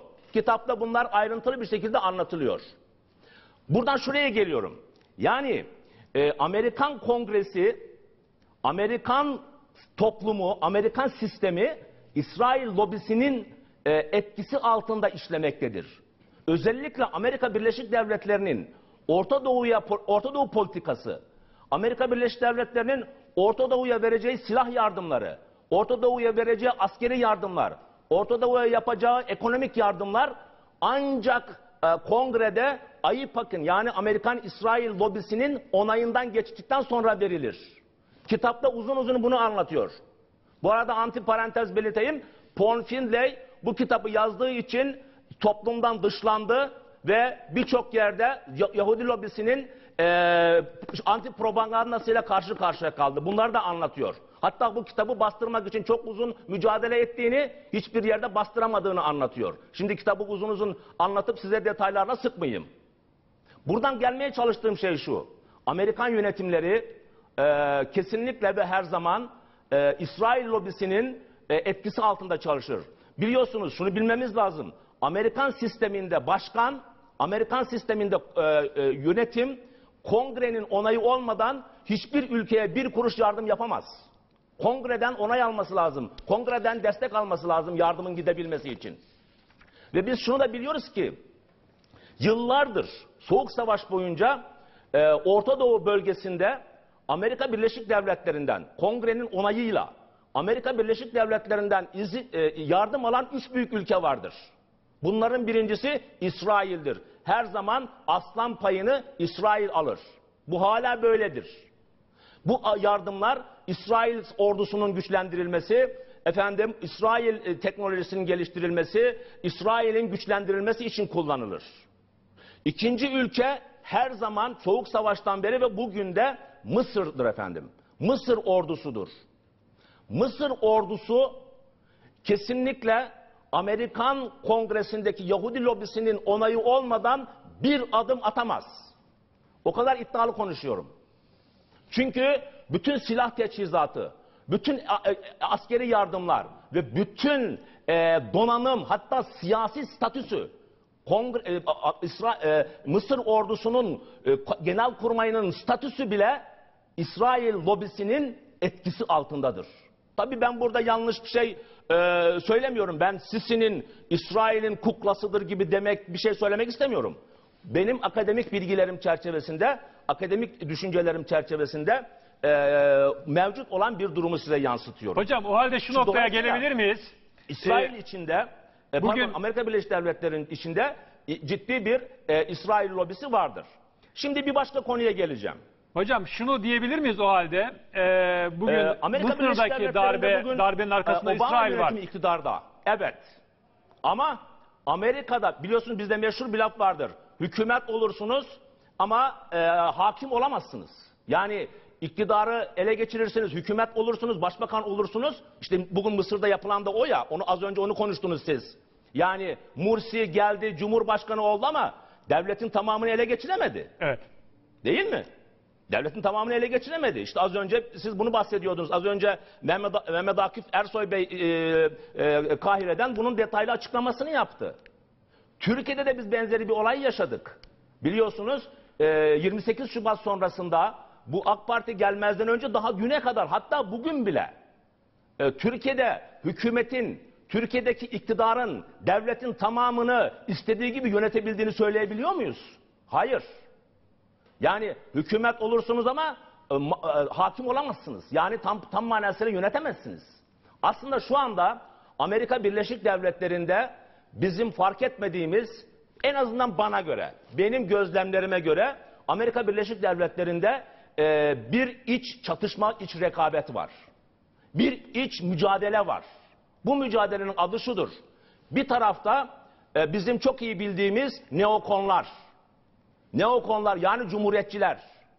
Bu cumhuriyetçiler, bu neokonlar her ne kadar şu anda muhalefette, muhalefette olsalar da kesinlikle Amerikan silah, silahlı, silahlı kuvvetleri içinde, Pentagon'da, Savunma Bakanlığı'nda, bürokraside ve daha birçok yerde, kongrede güçlü bir neokon lobi vardır. Bu neokon lobi iktidarda olmasa bile iktidarı etkileyecek kadar bir güce ve uluslararası dağılıma sahiptir. Şimdi benim bir takım tecrübelerim var. Bunları anlatmak e, isterim ama zamanımız yok.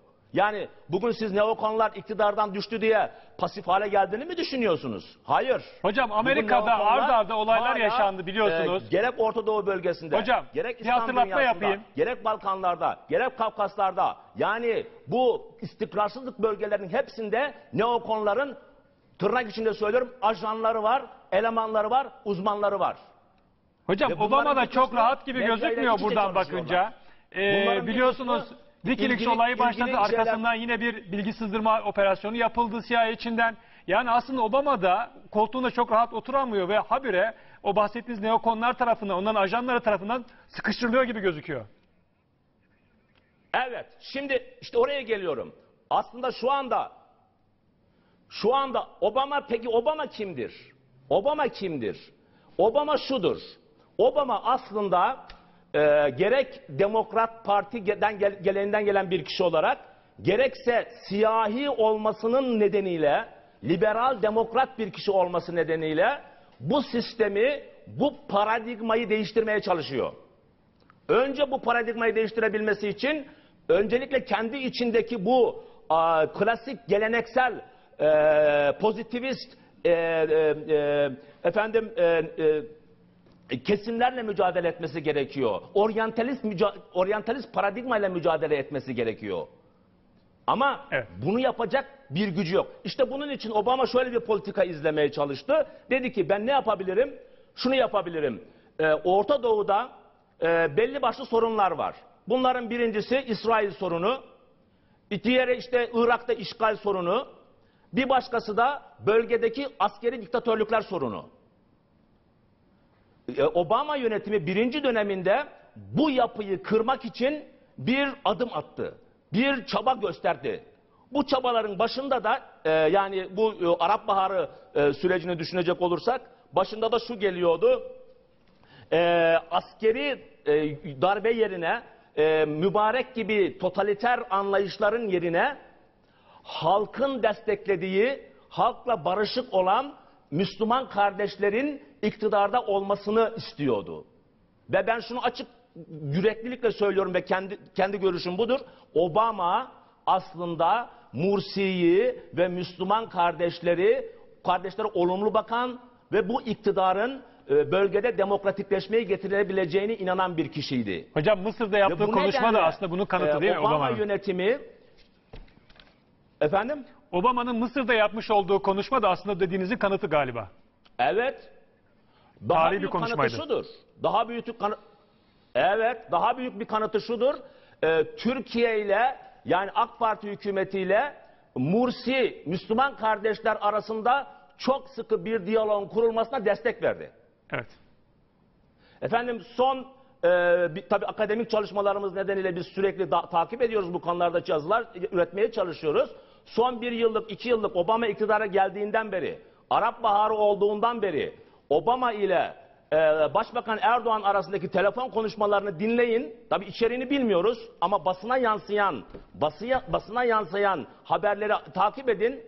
İki başkan arasında, iki kişi arasında yani e, Başkan Obama ile Başbakan Erdoğan arasında hep genel gündem şudur. Bu model ortaklık kavramını biliyorsunuz. Model ortaklık kavramı çerçevesinde iki e, ülke yani Amerika Birleşik Devletleri ve Türkiye şunu yapmaya çalışıyorlar. Ana e, ana hatları olarak söylüyorum. Bir, İsrail'de e, iki devletli çözümün bulunması.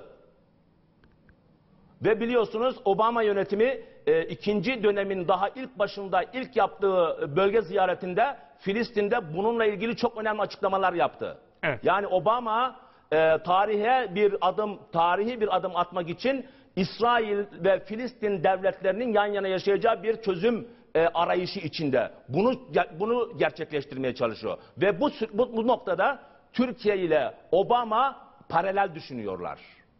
Hocam bu yüzden olsa gerek İkinci galiba. Obama'nın İsrail'le de galiba arası çok açık durumda. Ee, kısa bir ara vermek zor- zorundayım. Evet. Kısa bir ara bir şey rica ama bir ediyorum. şey söylemeden- Aradan sonra bir şey doçent söylemeden Mehmet, Doktor bitirmeyelim. Mehmet Şahin'le devam edeceğiz. Evet buyurun hocam. Son cümle lütfen. Bir, bir şey söylemeden bir şey söylemeden bitirmeyeyim. Lütfen, Buyurun, lütfen bir şey daha söyleyeceğim. Ee, şimdi iki ülkenin Türkiye'nin ve e, AK Parti'nin ve e, Obama'nın üzerinde a- anlaştığı bir başka mesele de Orta Doğu'daki demokratik yönetimlerin desteklenmesi meselesi. Evet. Özellikle İslam ve demokrasinin İslam ve demokrasinin yan yana yaşayabileceği rejimlerin kurulması yönünde işbirliği içindeler. Bir, bir ortak düşünüyorlar. Biliyorsunuz Türkiye'deki tecrübe bunun önemli bir göstergesidir. Evet, yani evet şu anda hocam. Türkiye'de demokrasi ve İslam'ın çok güzel bir uygulaması yapılıyor. Türkiye'de o hani Soğuk Savaş dönemindeki askeri müdahale e, geleneği ortadan kaldırıldı. Ve aslında iki ülkenin, Türkiye'nin ve Obama'nın hedefi Türkiye'deki gibi bir modelin Mısır'da da işlemesini tercih ediyorlardı. Ve Türkiye tabii sadece Mısır'da değil, Tunus'ta, Libya'da Hocam, hatta kısa bir- eğer başarılı olabilseydik Suriye konusunda benim biraz farklı düşüncelerim var. Suriye konusunda ben biraz hükümeti eleştirelim. Mesela Suriye konusunda da eğer Hocam, Suriye'ye girersek çıkamayız. Ara vermem yan gerekiyor. yönetimler yönetimler gerilebilirse aslında Orta Doğu temelden değişecektir. Hocam çok teşekkürler. Çok değerli bilgiler verdiniz. Ee, kısa bir ara vereceğim. Aradan sonra doçent doktor Mehmet Şahin'le devam edeceğiz. Şimdi reklam arası.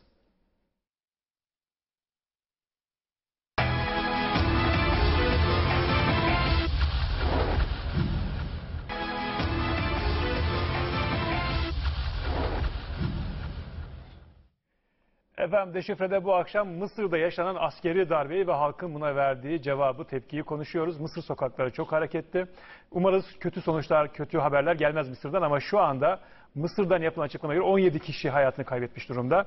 İstanbul'da da eylemler var. Karşımda A Haber Merkezi'nden Göktuğhan Argın var. Göktuğ merhaba. Ee, sanıyorum konuklarım da olacak. Ee, İstanbul Mısır Konsolosluğu'nda e, protesto eylemleri var. Senden dinleyeceğiz. Buyur. Evet yaklaşık yarım saat önce şu anda 200 kişiye ulaştı diyebiliriz. Hala gelenler var şu anda buraya. Protestolar başladı, sesler yükselmeye başladı.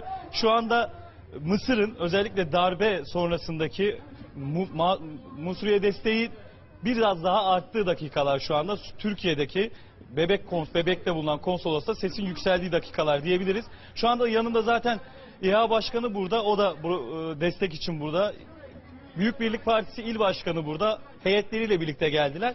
Onlara da tabii ki mikrofon uzatacağız. Konuklarımız onlar. Onlara soracağız. Mısır hakkındaki, darbe hakkındaki düşüncelerini onlardan dinleyeceğiz.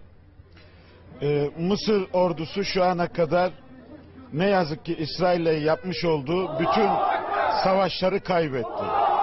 Ve e, darbeci bir ordu Mısır tarihi boyunca hep darbe yapmıştır. Kendi düşmanlarına karşı yenilen bu ordu halkın üzerine silah doğrulttu ve şu anda İskenderiye'de çok büyük bir çatışma var. İnsanlar camileri e, hastane haline getirdiler, sağlık ocakları haline getirdiler. E, silahsız insanlara karşı e, ateş ediyorlar, alınlarından vurup öldürüyorlar. Fakat Mısır halkı bu darbeye karşı çıktı. Şu anda dünyanın her tarafında kendilerine destek var. Bütün meydanları doldurdu. Bu arada şunu da söylemek istiyorum. Tahrir meydanında e, Mursi'nin devrilmesini isteyen kalabalık en fazla 300-400 bindi. Bunun yarısından fazlası zaten sivil asker ve polisti. Fakat insanlar şu anda Mursi yanlıları Tahrir meydanına e, gittiler. Bir kısım bir, da gitmek istiyor. Üzerlerine ateş açılıyor. Ama e, insanlar Mursi'nin yanında yer alıyorlar ve kefenlerimizi giydik diyorlar. Ne olursa olsun biz bu darbeyi kabul etmiyoruz diyorlar. Ben burada Mısır ordusuna sesleniyorum. Yanlış yere silah sıkıyorsunuz. Bu halk sizin halkınız. Bu halk e, bu mücadeleden vazgeçmeyeceğini açıkladı. Zaten darbeci bir ordusunuz. Amerika'dan her yıl 1 milyar 400 milyon dolar para alıyorsunuz, onunla yaşıyorsunuz. Bu orduyu menfaat çetesi haline getirenlere yani Sisi'ye ve yandaşlarına karşı çıkın. Kendi halkınız eğer silah sıkmaya devam ederseniz yargılanırsınız, hapislere atılırsınız, katil olursunuz. Şu anda İstanbul'da Bebek Konsolosluğu'nun önünde, Ankara'da da Mısır e, Büyükelçiliği'nin önünde eylemler var. Sayımız gittikçe de artacak. 12'ye 1'e doğru daha da fazlalaşacak. Hepimizin gözü şu anda Mısır'da. Bu gece çok önemli, kritik. Çünkü Mısır ordusu güç kullanarak bu insanları caydırmaya çalışıyor. Ama kim adına? Bütün halk e, Mursi'nin yanında. Şu anda inanın tekrar seçim olsa Mursi oyların yüzde altmış, yüzde yetmişini alır. Evet teşekkür ediyoruz. Bir de e, Büyük Birlik Partisi il başkanı şu anda yanımızda. Ona da mikrofon uzatmak istiyorum. Onun da görüşlerini alalım. Mısır'da son günlerde yaşanan olayları esefle takip ediyoruz. Ee, demokrasiyi askıya alanlar, postmodern sivil ve askeri darbe yapanların hepsini kınıyoruz. Mursi ve Müslüman kardeşlere Büyük Birlik Partisi olarak sonuna kadar bu haklı davalarında yanlarında olduğumuzu bildiriyoruz. Ve e, şunu çok iyi bilmeliler ki demokrasi herkese lazım. Sandıktan çıkan sonuçlara herkes saygı göstermeli ve demokrasi herkes tarafından yaşanmalı. Bu nedenle biz e, darbelerin her türlüsüne karşıyız. Bu nedenle Mısır'da bulunan Müslüman kardeşlerimize de e, ve Mursi'ye de sonsuz desteklerimizi biliyor. Allah yar ve yardımcılar olsun. Evet şu anda Bebek'teki Mısır konsolosluğunda son durum böyle. Sayı gitgide sayı gitgide de artıyor. Şu anda Mursi'ye destek darbe sonrasındaki Mısır'daki o darbe sonrası Mursi'ye destek Türkiye'de İstanbul'da çığ gibi büyüyor diyebiliriz.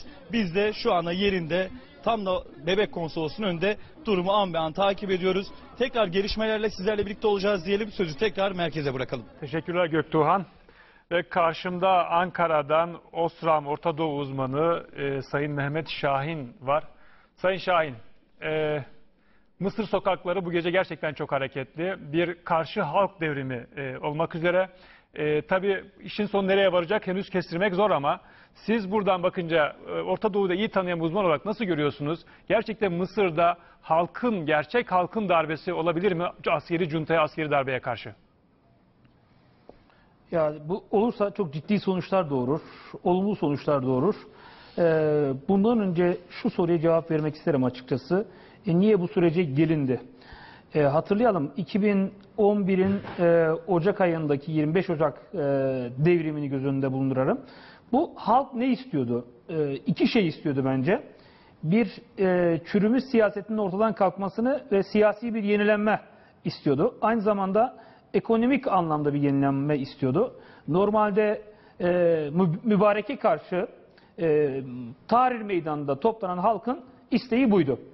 Fakat aradan yaklaşık iki küsür yıl geçti Ee, ve Mursi Cumhurbaşkanı olalı tam bir yıl oldu birkaç gün geçse de Ee, ve e, son Arap Baharı ile birlikte Tunus olsun, Mısır olsun ve diğer ülkelerde olsun e, ben bunu şu şekilde tanımlıyorum. Bir Müslüman kardeşler kabarması ortaya çıktı. Yani e, siyasal İslamcıların e, 1920'lerden bu yana siyasal alanın dışına itilmişlerdi bunlar.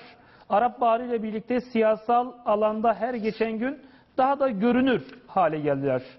İşte siyasal alanın alanda görülmek istemeyen grupların, kimselerin ve e, işte bu bunu da, e, bunu da en bariz bir şekilde Müslüman kardeşlerini temsil ediyor.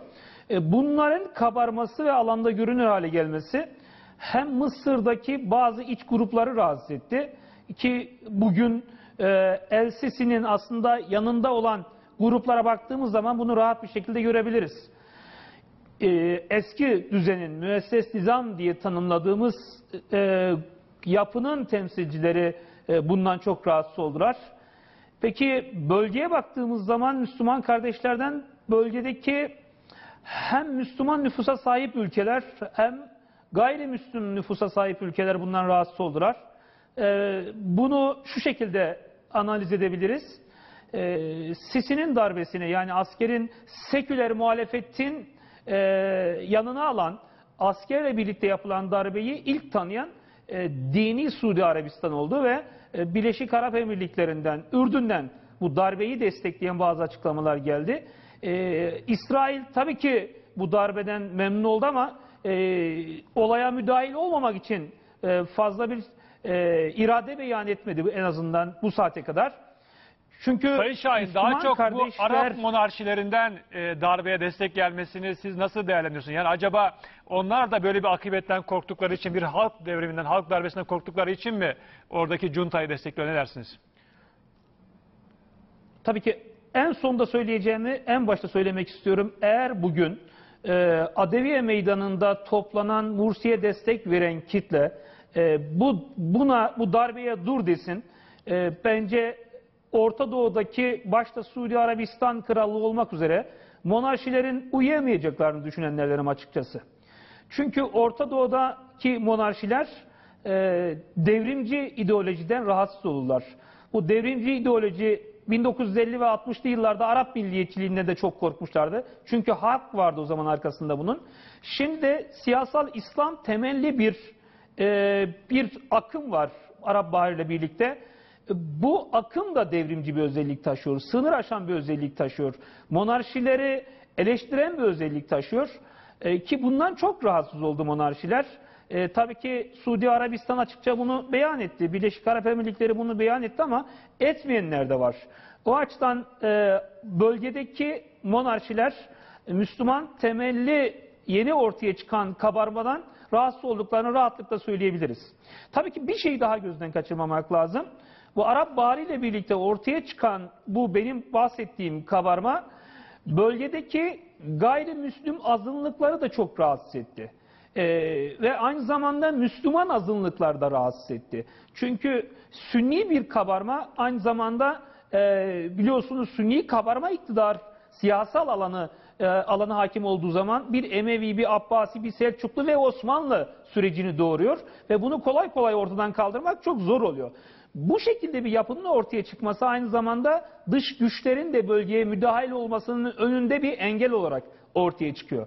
O açıdan bence 25 Ocak'taki Mısır'daki devrimden sonra Batılılar şöyle bir baktılar. Ne oluyor? Dur bakayım bizimle çalışabilecekler mi? Bence bir yıl içinde Mursi'yi denediler. Ee, desteklediler demiyorum. Çünkü bir kısmı diyor ki desteklediler. Hayır desteklemediler. Desteklemiş olsalardı bu darbe olmazdı. Çünkü adım adım adım adım gelen bir darbe sürecinin olduğunu net bir şekilde görüyoruz. Bu Sünni ve Müslüman e, kardeşler kabarmasından e, Avrupa Birliği'nin ve Amerika Birleşik Devletleri'nin de aslında e, çok memnun olmadığı anlaşıldı açıkçası. En azından tepkilerine baktığımız zaman bunu rahat bir şekilde e, anlayabiliyoruz. Sayın Şahin lütfen süreç son cümlenizi söyleyin. Yani- Reklam için ara vermem gerekiyor. Toparlayın lütfen. Tabii ki süreç nereye gider? Ee, sürecin ne şekilde evrileceği e, bugünkü bugün yaşanacak gece gece yaşanacak olayların seyri belirleyecektir diye düşünüyorum açıkçası. Çok teşekkürler katıldığınız için sağ olun. Efendim kısa bir ara vereceğiz. Aradan sonra yine stüdyomuza devam edeceğiz yayınımıza.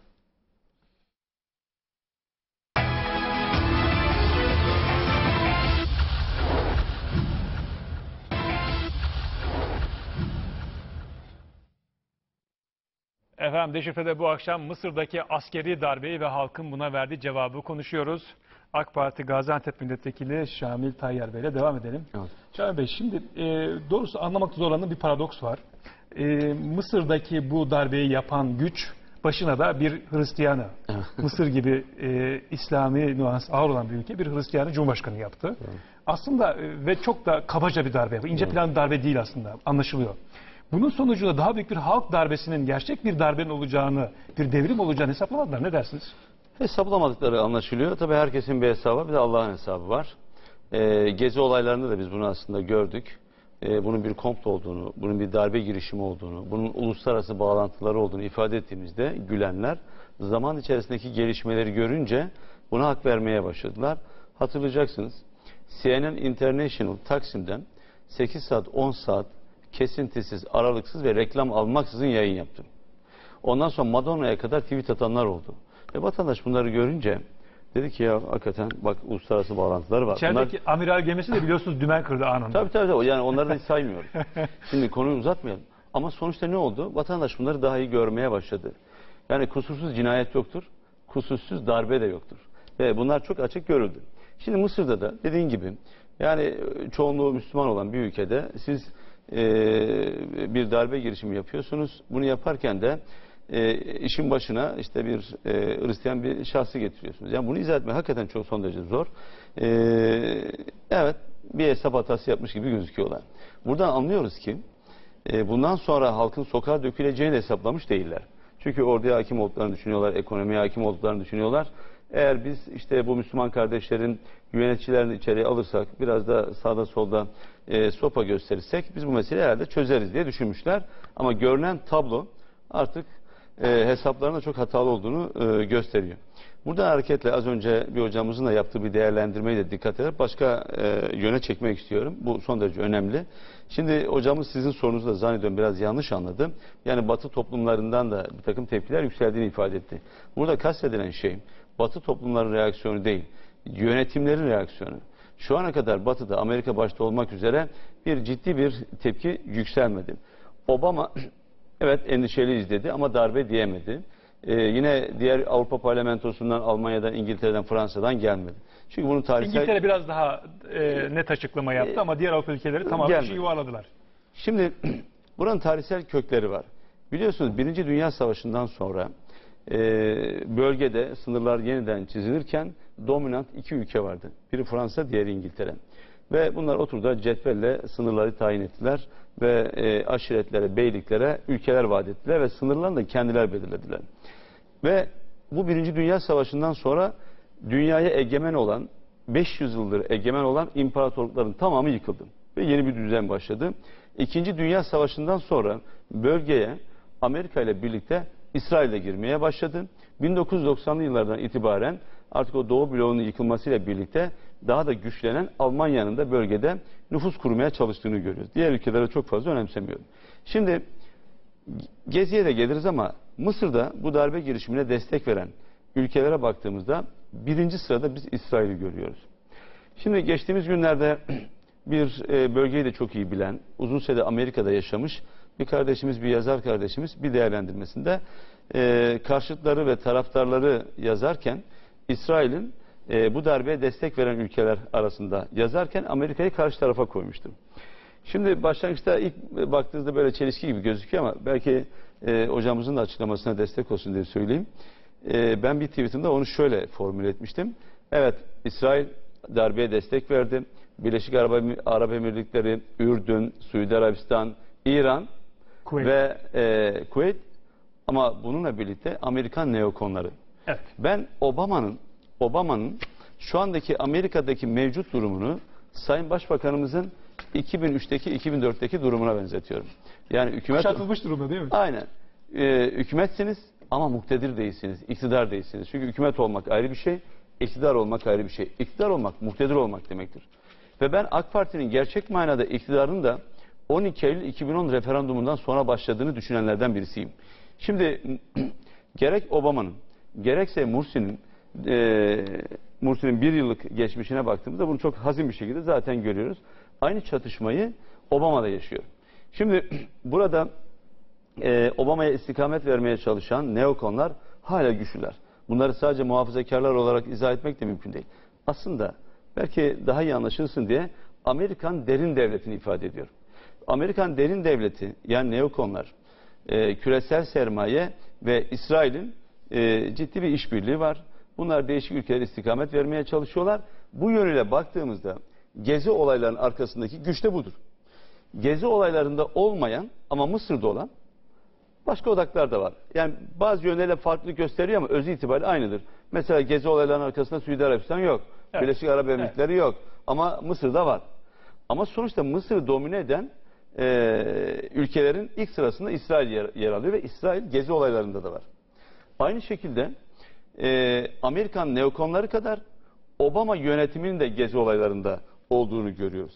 Ancak ikisi arasında bir temel farklılık var. Biri Türkiye'nin bir kaosa sürüklenmesinin ama diğeri e, Sayın Başbakan'a ve onun üzerinden Türkiye'ye bir balans ayarı çekmeyi düşünüyor. Yani bir hiçbir zaman Yani hem Dışişleri Sözcüsü hem Başkanlık tabii. Sözcüsü ard Yani arda açıklamalar yaptı kesinlikle, gezi sürecinde. Yani bunu bunu sadece neokonlarla Demokrasi açıklayamayız. hatırlatması yaptı daha Tabii. çok Türkiye'ye. Bunu sadece neokonların tutumuyla açıklamamız mümkün değil. Aynı zamanda o süreç içerisinde ben Obama yönetiminde olduğunu düşünüyorum. Yani 19 günde 19 defa açıklama yapmayı biz başka türlü izah edemeyiz. Ancak ikisinin bir araya gelme gerekçeleri farklıydı. Biri Türkiye'nin Madem kaos- demokrasi savundunuz işte Mısır savunun değil mi? e, tabii bunu, bunu yapamadılar. Ya bırakın en azından Türkiye'de hani bir açıklama yaptınız size soru sordular.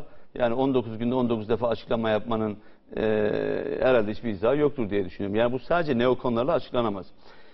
Şimdi Peki yeni onu bir nasıl izah ediyorsunuz? Yani Obama aslında bir taraftan Türkiye'deki AK Parti iktidarıyla daha yakın gibi duruyor ama bir taraftan da acaba iktidarın bölgedeki e, Sayın Başbakan'ın şahsında hatta Tamam. daha çok bir lider olarak, figür olarak öne çıkması acaba onları da biraz rahatsız edip biraz hizaya mı çekmeye çalışıyorlar? Ya e, Obama'nın Sayın Başbakan'la e, ilişkileri fena değil. Yani iyi düzeyde gözüküyor. Ancak Tayyip Bey onların arzu ettikleri bir lider değil her şeye rağmen. Yani ensesine vurulduğu zaman ağzından lokması alınan ve gündemi belirlenen bir lider değil. Kendi karakteri olan, kişiliği olan, duruşu olan bir lider. Böyle bir lideri bırakın Amerika hiçbir ülke istemez. Şimdi e, zaman zaman belli konularda uzlaşma olsa da kendi politikalarını doğrudan dayatamadıkları için e, ihtiyaç duyduklarında bir balans ayarı çekmek istiyorlar. Ve gezi olaylarında Obama yönetiminin ben Sayın Başbakan'a bir balans ayarı çekmek istediğini düşünüyorum. Ancak neokonların hedefi ise e, İsrail'le birlikte değerlendirmek gerektiğinde ben doğrudan Sayın Başbakanımızın Cumhurbaşkanlığı adaylığına yönelik olduğunu düşünüyorum. Çünkü önümüzdeki dönem 2014 çok kritik bir dönem ve Cumhuriyet tarihinde ilk kez bir Cumhurbaşkanlığı halk seçecek. Halkın seçimi demek vesayetçi rejime tarih boyunca indirilebilecek en büyük darbelerden birisidir. Ee, içeride bizim e, aslında bir miktar uyuduğunu düşündüğümüz ama varlığını büyük ölçüde koruyan derin devletin karşı olduğunu biliyoruz. Aynı zamanda bölgede ciddi bir figür olan, bir güç olan ve önümüzdeki süreçte bir küresel oyuncu olmayı hedeflemiş bir Türkiye'nin Recep Tayyip Erdoğan'la birlikte hiç kimsenin arzu etmediğini de biliyoruz. E, çünkü e, son 10 yıldaki gelişmelere baktığımızda diyor ki e, AK Parti iktidarı ben 2023'te dünyanın en gelişmiş ikon ekonomisi arasına girmek istiyorum. Ben 500 milyar dolar ihracat yapmak istiyorum ve kendi vatandaşımın kişi başına düşen milli gelirini 25 bin doların üzerine çıkarmak istiyorum diyor. Bir gelecek projeksiyonu var. Ve Cumhuriyet tarihinde hiçbir siyasi parti 3 dönem sonrasına ilişkin hedef koymamıştır. Az önce konuştuk. Mursi iktidara geldikten sonra 100 günlük program yaptı. Biz 10 yıllık program yaptık. Ve siz 10 yıl sonrasına ilişkin bir hedef koyuyorsunuz. Bu hedefi koyarken de diyorsunuz ki benim bu güçlü hedefe ulaşabilmem için Türkiye'ye başkanlık sistemini getirmem gerekir. Ve başkanlık sistemini getirdiğim zaman da bu başkan adayım Recep Tayyip Erdoğan diyorsunuz. Şimdi siz Türkiye'nin gelecek 10 yılına ilişkin büyük projeleri açıklarken ve bu projeleri Recep Tayyip Erdoğan'la birlikte yapmayı hedeflediğinizi ortaya koyduğunuz zaman bir yıl şer cephesinin de karşınıza dikileceğinizi bilmeniz gerekir. Zaten Gezi kalkışması iktidar AK Parti hükümetine de e, meclis çoğunluğuna karşı değildi. Daha çok başbakanın doğrudan şahsına yönelikti. Ya tabii çünkü Bütün söylemler yani e, herkes iyi, tüm kurumlar iyi ama burada problemli olan sadece bir kişi var. O da Recep Tayyip Erdoğan. Algısı yaratmaya çalıştılar ama maalesef hiç arzu etmediğimiz şekilde birileri de bu algıyı güçlendirecek bir takım açıklamalar yaptı. Bu doğru bir yaklaşım değildi. Çünkü herkes şunu bilsin ki Recep Tayyip Erdoğan Adalet ve Kalkınma Partisi'nin başından gittiğinde, siz onu tasfiye ettiğinizde zaten AK Parti'ye asıl kalıcı darbeyi indirmiş olursunuz. Ee, orada böyle çok sinsi bir tuzak vardı ve bu tuzağın iyi görülüyor olması lazım. Benim burada üzerinde durmam ve dikkat onu da çek- galiba başbakan bozdu tuzağda. Çok Kesinlikle, net kesinlikle. açıklamalar yaparak. Ee, zaten o mitinglerle beraber meydanlardaki o sert ve dik duruşu birçok oyunu bozdu. Kimileri ya efendim işte sokaklar yeniden hareketlenir, işte kan gövdeye götürür, sokak çatışmaları olur vesaire falan dendi. Bunların hepsi hikaye. Hikaye olduğunda biz burada gördük. Ben hayatım hep şunu söyledim. Siyasi konularda askerle istişare olmaz. Ya emir verirsin ya emir alırsın. Şimdi burada bu sözü bir başka şekilde değiştirdiğimizde darbecilerle demokrasi müzakeresi olmaz. Ya tasfiye edersin ya tasfiye olursun. Burada Sayın Başbakan'ın izlediği strateji çok doğru, haklı ve yerinde bir stratejiydi. Ama burada benim dikkat çekmek istediğim başka bir şey var. Şimdi bu gezi eylemleri başlamadan önce bir takım ipuçları gelmiş, işaretleri görüyoruz. 420 bin Twitter hesabı açılıyor. Borsadan 3,5 milyar TL para çekiliyor. Ve bu arada bazı haber ajanslarıyla da irtibat kuran CNN International canlı yayın araçlarını tutuyor. Şimdi bu hareketliliğin belli ki devletin ilgili kurumları tarafından iyi tespit edilemediğini, iyi okunamadığını, iyi kurgulanamadığını, iyi analiz edilemediğini ve buna ilişkin Sayın Başbakan'ın iyi bilgilendirilemediğini düşünüyorum. Ve Sayın Başbakan da bunun farkında. Ben inanıyorum ki Acaba sadece bir ihmalkarlık ya da olayı okuyamama mı var yoksa ben kasıt olduğunu düşünüyorum. Aynı zamanda Çünkü kas- geçen hafta Hasan Celal Güzel bizim yayınımızdaydı. Evet. Hasan Celal Güzel devleti yıllarca yönetmiş, devletin içinde yer almış Doğru. bir isim. E, iki ay önce ben bu konuda özel kanallardan bilgiler aldım. Bunları ilgili yerlerle paylaştım ben dedi. E, sadece Hasan Celal Güzel değil, aslında bunu söyleyen başka isimler de oldu. Yani Türkiye'de artık e, polisin, emniyetin, askeri istihbaratın olacakları, olanları, ya bu hareketlemeleri anlamaması, bilmemesi bu zamanın teknolojisi Ya çok mümkün, mümkün değil, değil. mümkün değil. Yani çok özür diliyorum. Eylemler başlamadan önce 5. darbe ismiyle kitap çıkarmışım. Evet. Ve Türkiye'nin nereye sürükleneceği konusunda bir senaryo üretmişim. Bir eee, tavır koymuşum ortaya ve kitabın adını da 5. darbe koymuşum. Ve bu olaylar henüz de ortada yok. Ben sınırlı bilgimle, bir gazetecilik refleksiyle aslında elde ettiğim sınırlı bilgiyi kurgulayarak bir analiz yapıyorum. Peki devletin aklı nerede? Demek ki ortada bir ciddi bir devlet aklı yok diyeceğim ama ben olduğunu düşünüyorum ve kasıtlı bir şekilde siyasi iktidarın bilgilendirilmediği kanaatini taşıyorum. Çünkü gelişmelere baktığımızda bu dış odakların Türkiye'de böylesine derin ve bir büyük operasyonu içeriden işbirlikçiler olmadan bunu gerçekleştirebilmelerine asla ama asla ihtimal vermiyorum. Sayın Başbakanımız da bunun hepsinin farkında. Tek tek, isim isim, kurum kurum, şahıs şahıs. Ve bu işler durulduktan sonra Allah'a şükürler olsun ki büyük ölçüde duruldu gözüküyor. Ondan sonra da bu hesaplaşma olacak. Ben sözü uzattım ama vermeden önce Savcı Bey bir şey daha ekleyeyim. İnanın bu hadiseler aynı zamanda bir turnusol kağıdı gibi bazı gerçekleri de bizlere gösterdi. Çünkü başından beri şunu söyledik. Dedik ki son 10 yılda Adalet ve Kalkınma Partisi bu derin odaklarla çok ciddi bir mücadele verdi. Ancak bu mücadelenin sonucunda e, yani mücadeleyi bir kurumsal bütünlüğe dönüştüremedik. Bizim yapmamız gereken daha çok şeyler var. Çünkü bugün Ergenekon dediğimiz, derin devlet dediğimiz yapının omurgası ve gövdesi Türk Silahlı Kuvvetleri'nin içerisinde. Biz Türk Silahlı Kuvvetleri'ni sisteme entegre etmeden e, bu çalışmaları tümden e, tamamlamış olmayız. Ayrıca Ama- silahsız kuvvetler de var henüz. ayrı, Ee, ayrı. Bunu, ama bugün Ergenekon'da yargılananların önemli bir kısmı aslında bu derin yapının büyük ölçüde sivil ayağını oluşturuyor. Biz bu entegrasyonu henüz daha tamamlayamadık ve maalesef bizde şöyle bir yanılgı oluştu. Ya özellikle 2010 referandumundan sonra kendimizi devletin sahibi gibi görmeye ve devlete ait tüm kurumların yanlışlarını siyaseten üstlenmeye başladık. Bunun böyle olmadığını göstermesi bakımından gezi olaylarının da hayrımıza olduğunu düşünüyorum. Şu anda biz çok sağlıklı, daha farklı bir takım e, analizler yapmaya başladık. Mısır tecrübesi de bize bir başka perspektif açtı.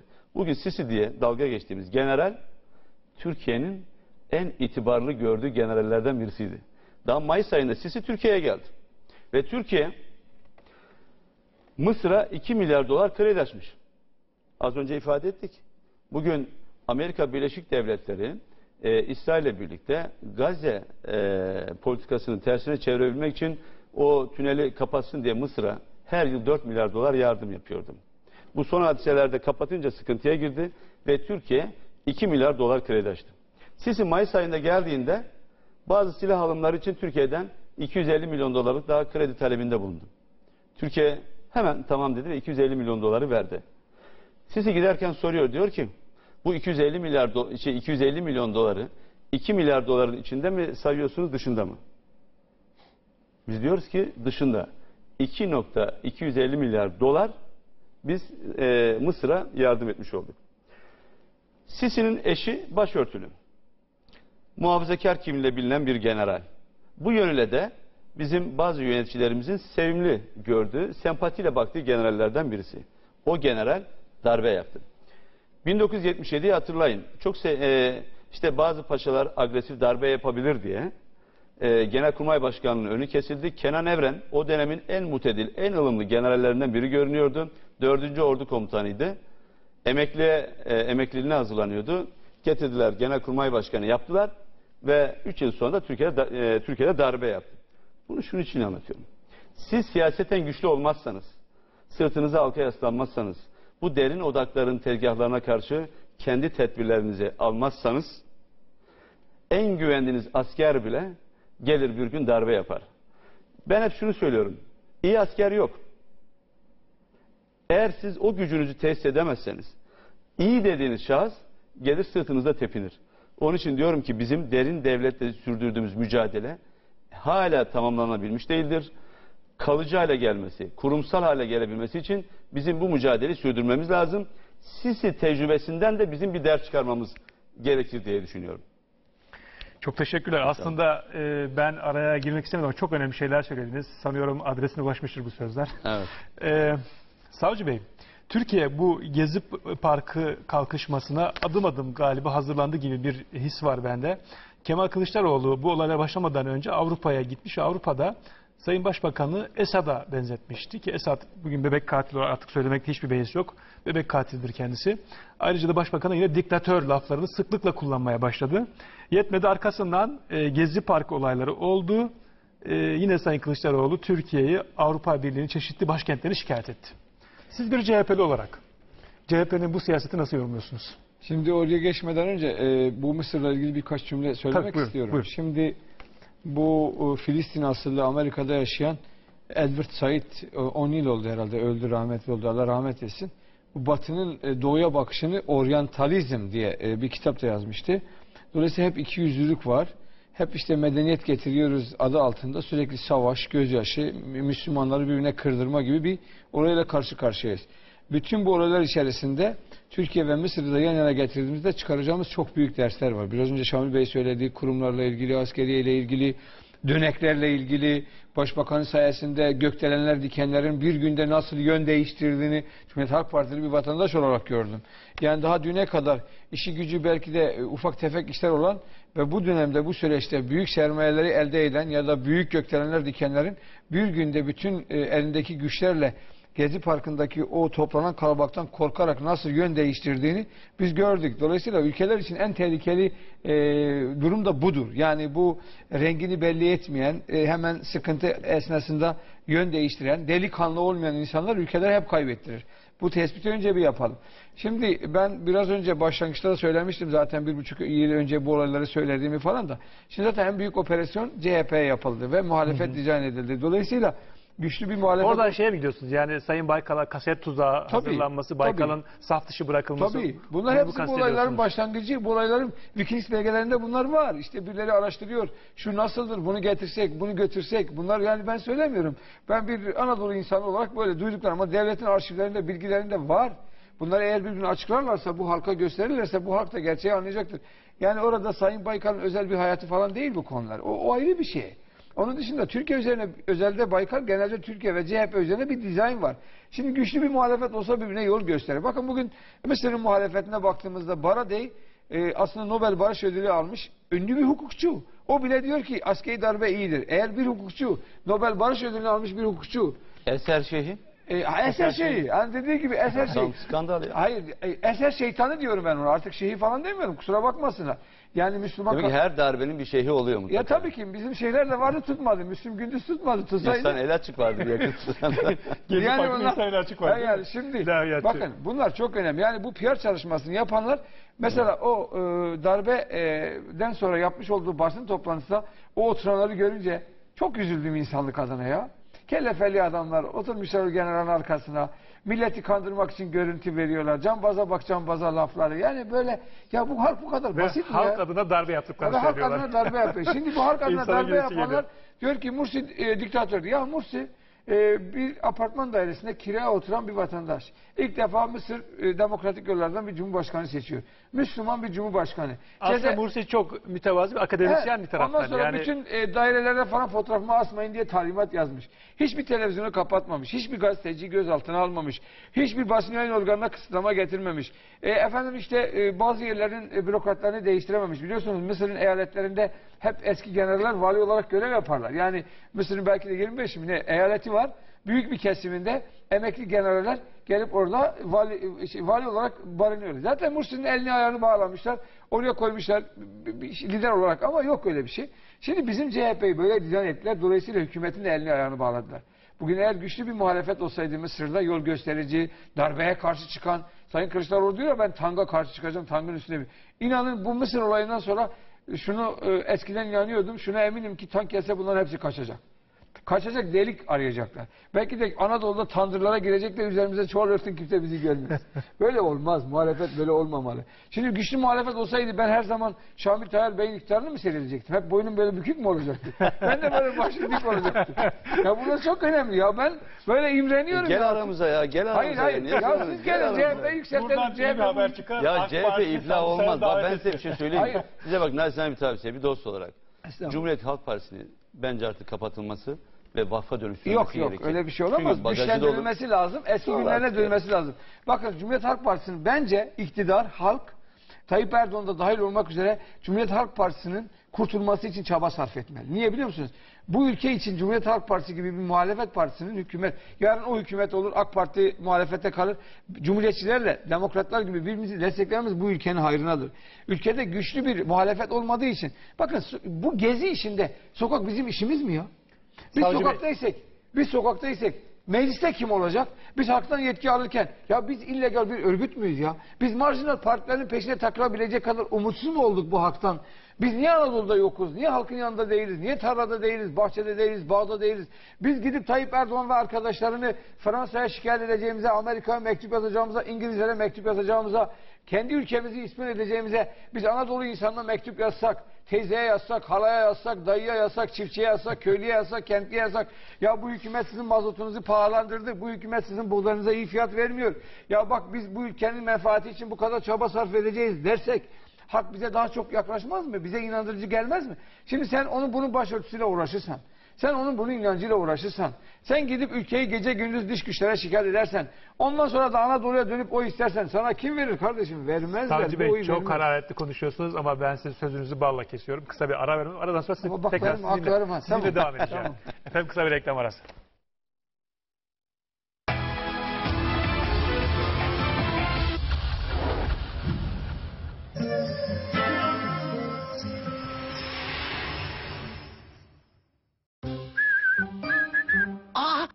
Mama kabı. Adamlar yapıyor Hoş ya. geldiniz. Yardımcı olabilir miyim?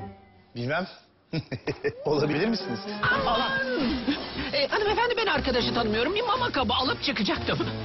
Ay, ay, ay. Utandım. Bize acil nakit lazım şef. Göbeğimde akses var ya. Hadi hızlı Şey, şey, paraya dur. Nuri. Aksesle ihtiyacınız olan nakit parayı Akbank ATM'lerinden anında çekin. Uygun faiz oranları ve 36 aya varan taksitlerle geri ödeyin. Geri dönüşüm petrol tasarrufudur. Geri dönüşüm enerji tasarrufudur. Geri dönüşüm küresel ısınmayı yavaşlatır. Geri dönüşüm ham madde kaynağıdır. Geri dönüşümle doğal kaynaklarımız korunur. Geri dönüşüm gelecek için yatırımdır. Ambalaj atıkları çöp değildir. Ambalaj atıklarını atmayın, ayırın. Dönüşüm iyi gelecek. Hepimize.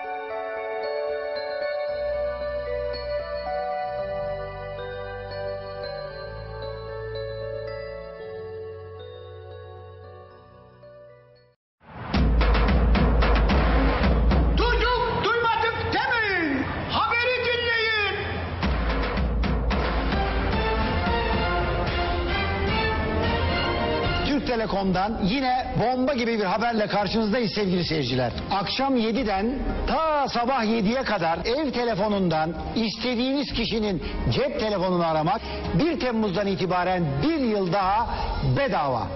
Bakın bu noktaya çok dikkat edin. Ev telefonlarından diğer ev telefonlarını aramak demedim. O zaten hep devam ediyor.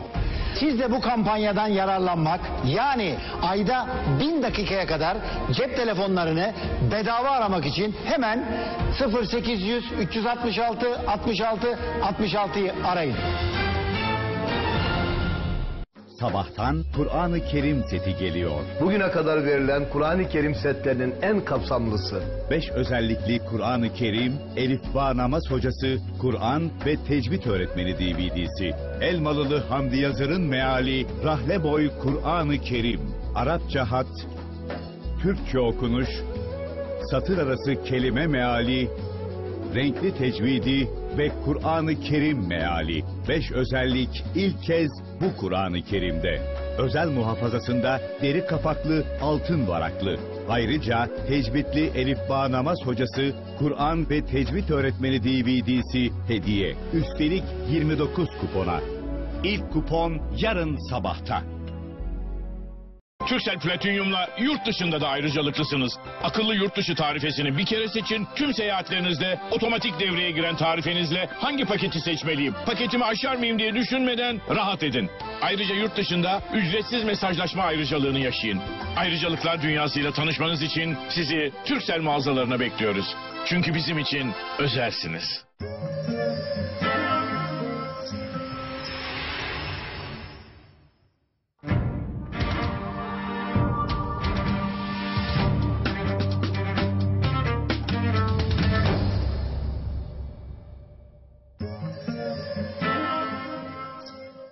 Bu ben değil miyim? Martıcım bu bir Acer tablet. Ay çekiştirip durma oramı buramı. TTNet'te 6 GB kotalı internet paketi ve Acer tablet birlikte ayda 34 lira. Kurcalama belki benim bir özelim var orada. Üstelik TTNet müzikten 100 şarkı hediye. Dilerseniz TV bu cep 12 ay %50 indirimli. Fırsat içinde kaldım iyi mi? TTNet. İletişimde özgürlük, eğlencede özgürlük.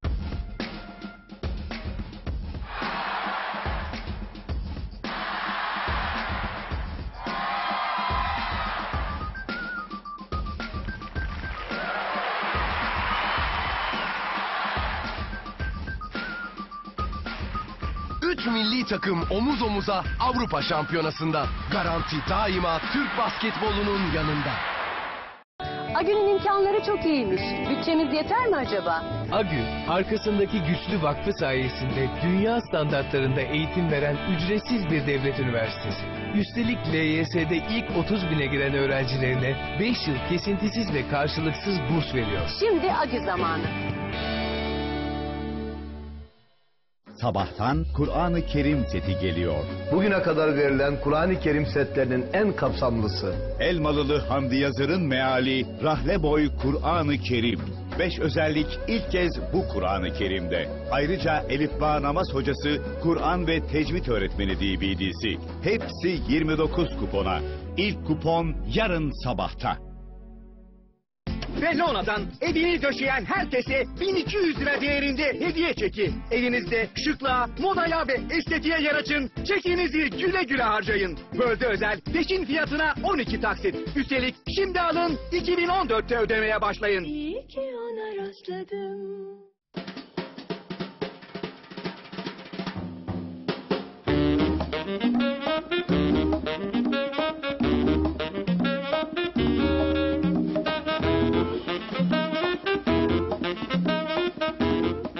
...20. İstanbul Caz Festivali.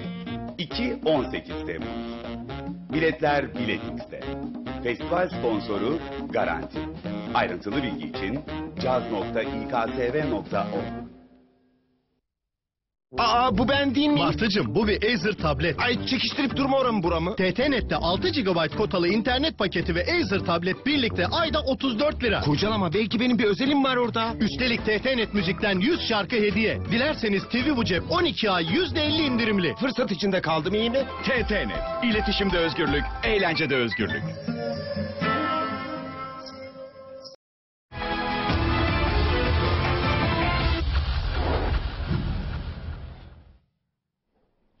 Efendim Deşifre'de bu akşam Mısır'da yaşanan askeri darbeyi ve Türkiye'de yaşanan Gezi kalkışmasını konuşuyoruz. Söz savcı sayandaydı. Savcı Bey. Şimdi Şamil Bey iktidar milletvekili diye çok söz hakkı veriyorsun. Yok, olur mu? Ne Ama kadar siz de çok- konuşacaksınız rahat Aslında rahat. muhalefete söz hakkı vermek lazım. Söz Çünkü sizde. Muhalefet konuşsa iyi olur da ama muhalefet bir türlü iyi konuşmuyor. Bu Yok yok güzel konuşuyorsunuz. Buyurun. Yok, yok, Şimdi- bakın o kadar çok uzun konuştunuz ki ama ben size bir şey söyleyeyim. Yani sözünü kes, kesmek istedim. Çok özür diliyorum. Alnınız açık, başınız dik. Bu stüdyoda olmak istiyorsanız e, gelin aramıza. İnan hiçbir problem olmaz. ama şunu söyleyeyim. Bir AK Parti davet Yaşınız kaç alıyorsunuz. bilmiyorum ama herhalde bir 40 falan var. 40'ı geçtik. Evet, 40'ı geçtiniz. Şükürler olsun. Şimdi e, kafanızda bir gelecek CHP tasavvuru var. Bunu da son derece önemsiyorum. Fakat 63 yıldır CHP tek başına iktidara gelemedi. Yaşınız da genç. Bu gidişle bir 63 yıl daha gelecek gibi gözükmüyor. Onun için bence geleceğinizi heba etmeyin. Gelin beraber siyaset yapalım. Bakın siz Türkiye'nin iyi yetişmiş bir insanısınız. Yani böyle e, haklıya hakkını, haksıza haksızlığını bildiren bir gazeteci razı arkadaşımızsınız. Eğer siz ve sizin gibiler CHP'ye katılırsa, muhalefet güçlenirse bu ülkenin çok yararına olacak. Ama Onun o için- parti CHP olmaz artık. Ya olur olur. Eski CHP olur. Onun için siz, Siyaset bu. Davete siz- karşı siz- davet aldınız. Siz CHP gelin güçlendirin ki muhalefet güçlü olsun. Hani- Bey CHP'de tutarlar mı? Ne diyorsunuz? Niye tutmasınlar canım? Şamil Bey hak çocuğudur. Niye tutmasınlar? Şimdi bakın. Peki. Şamil Bey derin devletten bahsediyor. Derin devlet sadece Şamil Bey'in değil. Şamil Bey gibi düşünen bütün Anadolu çocuklarının baş belasıdır. Yani bu ülkede bazı insanlar artık... CHP'nin de bir derin yapısı var ama. CHP'nin de var, AK Parti'nin de var. Yani herkesin bir derin yapısı vardı. Biz bu olaylarda gördük. AK Parti'deki bazı şeyleri de gördük. Yani böyle çok şey yapmayın. Şimdi Başbakan Özellikle Gezi'nin ilk birkaç günde değil İlk mi? birkaç günde gördük Gerçekten yani. çok ben dikkat çok çekiciydi iyi, bazı bir, iyi, bir, iyi bir takip ettim. AK Parti'yi analiz ettim. Ben eski siyasetçiyim. Bir de örgütten gelen. Yani öyle tepeden uçakla falan gelmedik. Bütün kademelerde il ilçe başkanından, gençlik kollarından falan bütün bunları biliyorum. Sahayı da çok iyi biliyorum yani. Tabiri caizse 5 yıldızlı oteli de bilirim. Çölün üzerinde yatmayı da bilirim. Onun için e, çok iyi analiz ettim. Yani Allah Başbakan'a yardım etsin. Eğer Başbakan havaalanında ve Ankara'daki bu e, karşılamaları falan olmasaydı Başbakan işi çok zordu. Bakın biraz önce Mursi'ye bu destek falan çok kişinin moralini düzeltti ve kişiler akmaya başladı. Sayı fazlalaştı. Ee, dikkat ederseniz eğer bizim dedelerimiz Menderes'i yedirmemiş olsaydı bugün torunları bu kadar acı çekmeyecekti. Eğer bizim e, babalarımız Özal'ı yedirmemiş olsaydı çocukları bugün bu kadar acı çekmeyecekti. Ve bunu düşünenler Tayyip Erdoğan'a sahip çıktı. Biz yedirmeyiz dediler. Mısır daha bu konuya gelmedi. Mısır belki bunu başaracak. Mısır bunu başarırsa Türkiye'den artık hiç darbe olmamayı başaracaktır. Bunlar çok önemli nüanslardır. Bunlara dikkat etmemiz lazım. Şimdi Gezi Yani Parkı'na bak. Türkiye'ye de etkisi çok fazla olur. Tabii ki ben zaten Türkiye açısından çok önemsiyorum.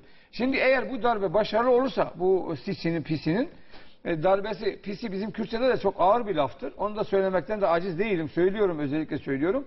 Şimdi bu Sisi ve pisi bu Sisi pisi eğer başarılı olsaydı Türkiye'deki darbe yanlılarının da iştahlarını kabartacaktı. Ama bu süreçte Tayyip Erdoğan döneminde de gördüm, bu süreçte de gördüm. Namlusunu halka doğrultmuş tanklardan sonra kalemini halka doğrultmuş sözde aydınları da gördüm. Benim en çok zoruma giden de bu oldu. namlusunu halka doğrultmuş tanklardan sonra kalemini halka doğrultmuş, halkın gözüne sokmaya çalışan sözde aydınları da gördüm. Bence ülke için en tehlikeli durum budur. Bunu önce o bir... aydınlar ilginç olan aslında e, yani karşı muhalefetin de değildi. Hayır, bu, hayır. Bu daha da önemli. Ya önce ben hiç daha da karşı- dikkat çekiciydi. aslında onlara da aydın dememek lazım. Bilgili Sözde insanlar. diyorum, tırnak içerisinde Tabii yani diyorum. bilgili ve aydın e, aynı şey demek Aynı şey değildi tabii ki. Şimdi bakınız muhalefet bu gezi olaylarında e, köydeki Sağır Sultan bile bu gezi olaylarının 3-5 ağaç işi olmadığını biliyordu. Sonradan da anladı. Hatta dün bir CHP'li kız arkadaşımız bana geldi dedi ki ben CHP'liyim. Çok da iyi bir CHP'liyim. E, çok da CHP'nin yükselmesini isteyen bir kardeşinizim. Bana da görev verin ben CHP içinde çalışayım. Fakat dedi gezinin birinci ikinci gününde dedi ben çocuklarımın işte geleceği için bir endişeyle gittim. Üçüncü günü dedi bira festivaline döndü. Dördüncü günü baktım ki her tarafı kırıyorlar, döküyorlar. Ondan sonra dedi ben bu işin altında bir bit yeninin onu olduğunu anladım ve geri çekildim. Arkadaşlarıma da dedim ki geri çekilin. Geçen biz bankanın genel müdür yardımcısı ismini vermiyorum. Benim elimde görüntüler var. Ben bu görüntüleri bankamla ilgili çünkü biz ana merkezden görüntüleri takip ediyoruz. Ben bunları verirsem dedi e, uğraşmak istemiyoruz dedi. Bankanın içine giriyorlar, kasaları parçalıyorlar, paraları alıyorlar, ana kasayı zorluyorlar. Ana kasa için büyük bir araç, gereç tedarik ediyorlar. Peki sizin amacınız Ya- ağaçla... yağma, açık yağma yapıyorlar. Yağma yağma yani bu zaten yağmalama işidir. Bunların hepsi bu yağmalamadan yargılanmalı. Ağaç için gidenlere ben de beraber gideyim. Ağaç için, çevre için. Ben bir öneri getirdim. Şamil Bey de buradayken bu önlerimi tekrar atmak istiyorum. Belki Sayın Başbakan'a iletmesi daha kolay olur. Bence Sayın Başbakan Divan Oteli'ni, Harbi Ordu Evi'ni, oradaki Hilton'u ve birkaç binayı yıkmalı. Oraya büyük bir vadi yapmalı. Yeşil bir vadi. Anadolu'dakiler burayı seyretmeli. Buradakiler de oturup Anadolu'yu seyretmeli. Çaylarını yudumlamalıdırlar. Sen benim projeyi almışsın ya. Hayır gerçekten bunu ben ilk televizyonlarda söyledim. Ta e, ilk başlangıçta. İkinci bir projemde ben daha önce de söyledim. Da hiyat mıdır, hiyat mıdır, hayat mıdır? Yani ne olursa olsun bakınız e, ben şunu da söyledim. Dedim ki Türkiye'de bir Alevi Sünni çatışması yaratmak istiyorlar. Hepimiz bu konuda e, bir, birbirimize destek olalım. Kardeşçe birbirimize yaklaşalım. Bir e, dedelerle e, imamların toplantısı yapılsın. Bütün e, başbakanın gözetiminde bu kardeşlik e, Türkiye'ye bir yayılsın. Herkes gitsin anlatsın. Çünkü bunların amacı bu. Dikkat ederseniz bazı Alevi kardeşlerimiz 1514'ün hesabını bana soruyorlar. 1514'ün hesabını bana soruyorlar. Sen diyor işte Yavuz diyor 40 bin tane Alevi'yi öldürdü. Öldürdü mü öldürmedi mi? İd- İdrisi Bitlisi'nin e, e, torunu kendi hatıralarında yazıyor. Herkes de buna inanıyor. Biz bilmiyoruz. Yapmışsa biz elbette ki karşıyız. Ama aynı bu konuyu savunan bu arkadaşlar yanı başımızda 100 bin tane Sünni kardeşimizi öldüren Esad'a karşı çıkmamızı engelliyorlar. Bravo. Bu çok önemli. Yani şimdi sen 1514'e karşı çıkıyorsun. Seninle birlikte karşıyım. Ama yanı başında senin 100 bin tane kardeşini öldüren Esad'la da fotoğraf çekmeye, tweetler atmaya, desteklemeye, mecliste Esad Kurtuluş Savaşı mücadelesi veriyor demek. O zaman Sünniler de dönüp Yavuz Sultan Selim de Kurtuluş Savaşı mücadelesi veriyordu deseler hoşunuza gider mi? Böyle bir şey olur mu? Eğer empati Yakında bir CHP eti Mısır'a gider mi? Ya- Ad- Adli Mansur'la fotoğraf çektirmeye. Yani ben tahmin etmiyorum. Öyle bir şeyle yaparlarsa zaten batarlar. Halk bu sefer bizi tokat atar bize. Hatta ben ilk günde dedim dikkatli olun. Bazı arkadaşlarımız gidip işte bu e, Sisi ile falan fotoğraf çekme mekme şeyine hevesine kapılırlarsa vallahi bu işin altına kalkamayız. Bir Esad'la çektik. Ya düşünebiliyor musunuz? Biz bir ara Esad'ın e, e, e, şey, Enformasyon Bakanlığı gibi olduk. Esad dünya bir bizim parti bir de İran üzerinden Mesaj kendi mesaj mesaj vermeye çalışıyor. Ya CHP ya CHP bu insanların bu ülkenin insanların kardeş olabilmesi için mücadele etmiş bir partidir. Böyle yapması lazım. Ama ne yazık ki bugün muhalefet yapamıyor, yönetemiyor. Daha dün darbe oldu Mısır'da. İlk karşı çıkacak kimdir biliyor musunuz? CHP Genel Başkanı, Genel Merkezi, MYK'sı, Parti Meclisi şiddetli bir şekilde yarım ağızla değil ama işte Amalı değil, amalı doğrudan, değil, net. doğrudan net. Tang'a karşıyız. Tang'ın namusuna karşıyız. Oraya doğrultmuş Tang namusu bana doğrultmuştur, doğrulmuştur. Ben bunu reddediyorum. E, Vatandaşlar Mısır'ı destekleyin. Siz altı ağacı korumak için o kadar mücadele ediyorsunuz da binlerce Mısır'da insan ölüyor. Bak şimdi 20 tane öldü. Hiçbiriniz müdahale ediyor mu? Yok etmiyor.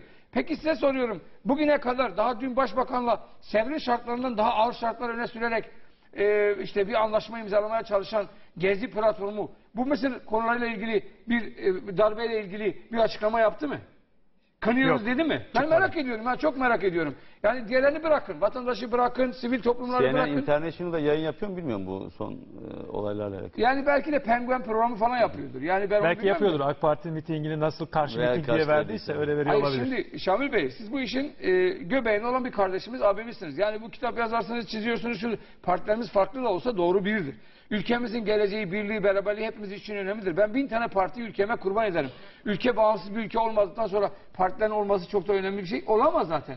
Ben bugün işte cuma namazında geçen gün de söyledim bugün. Bugün cuma namazından sonra dedim ki ya Rabbi çok şükür bir vatanımız var ki üzerinde bir cami kurulmuş namaz kılıyoruz. Çadırlarda da olabilirdik.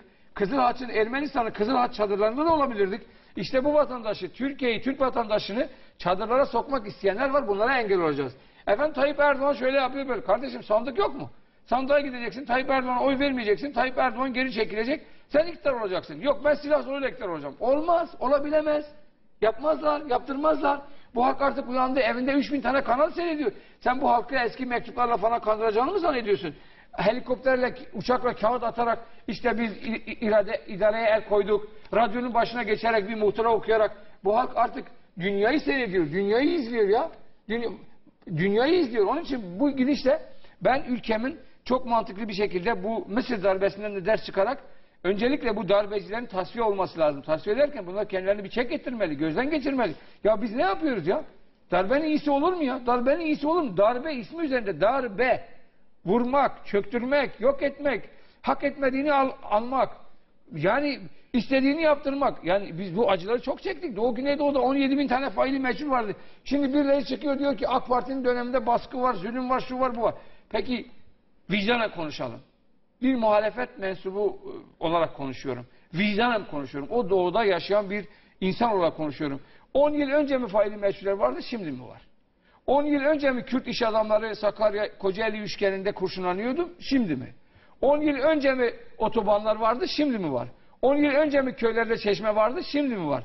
10 yıl önce mi eğitim böyle böyle e, daha mı iyiydi, şimdi mi daha iyi? 10 yıl önce Anadolu'daki kızlar kadınlar uçağa binebiliyor muydu, şimdi binebiliyorlar mı? Bütün bu, ha yetmiyor.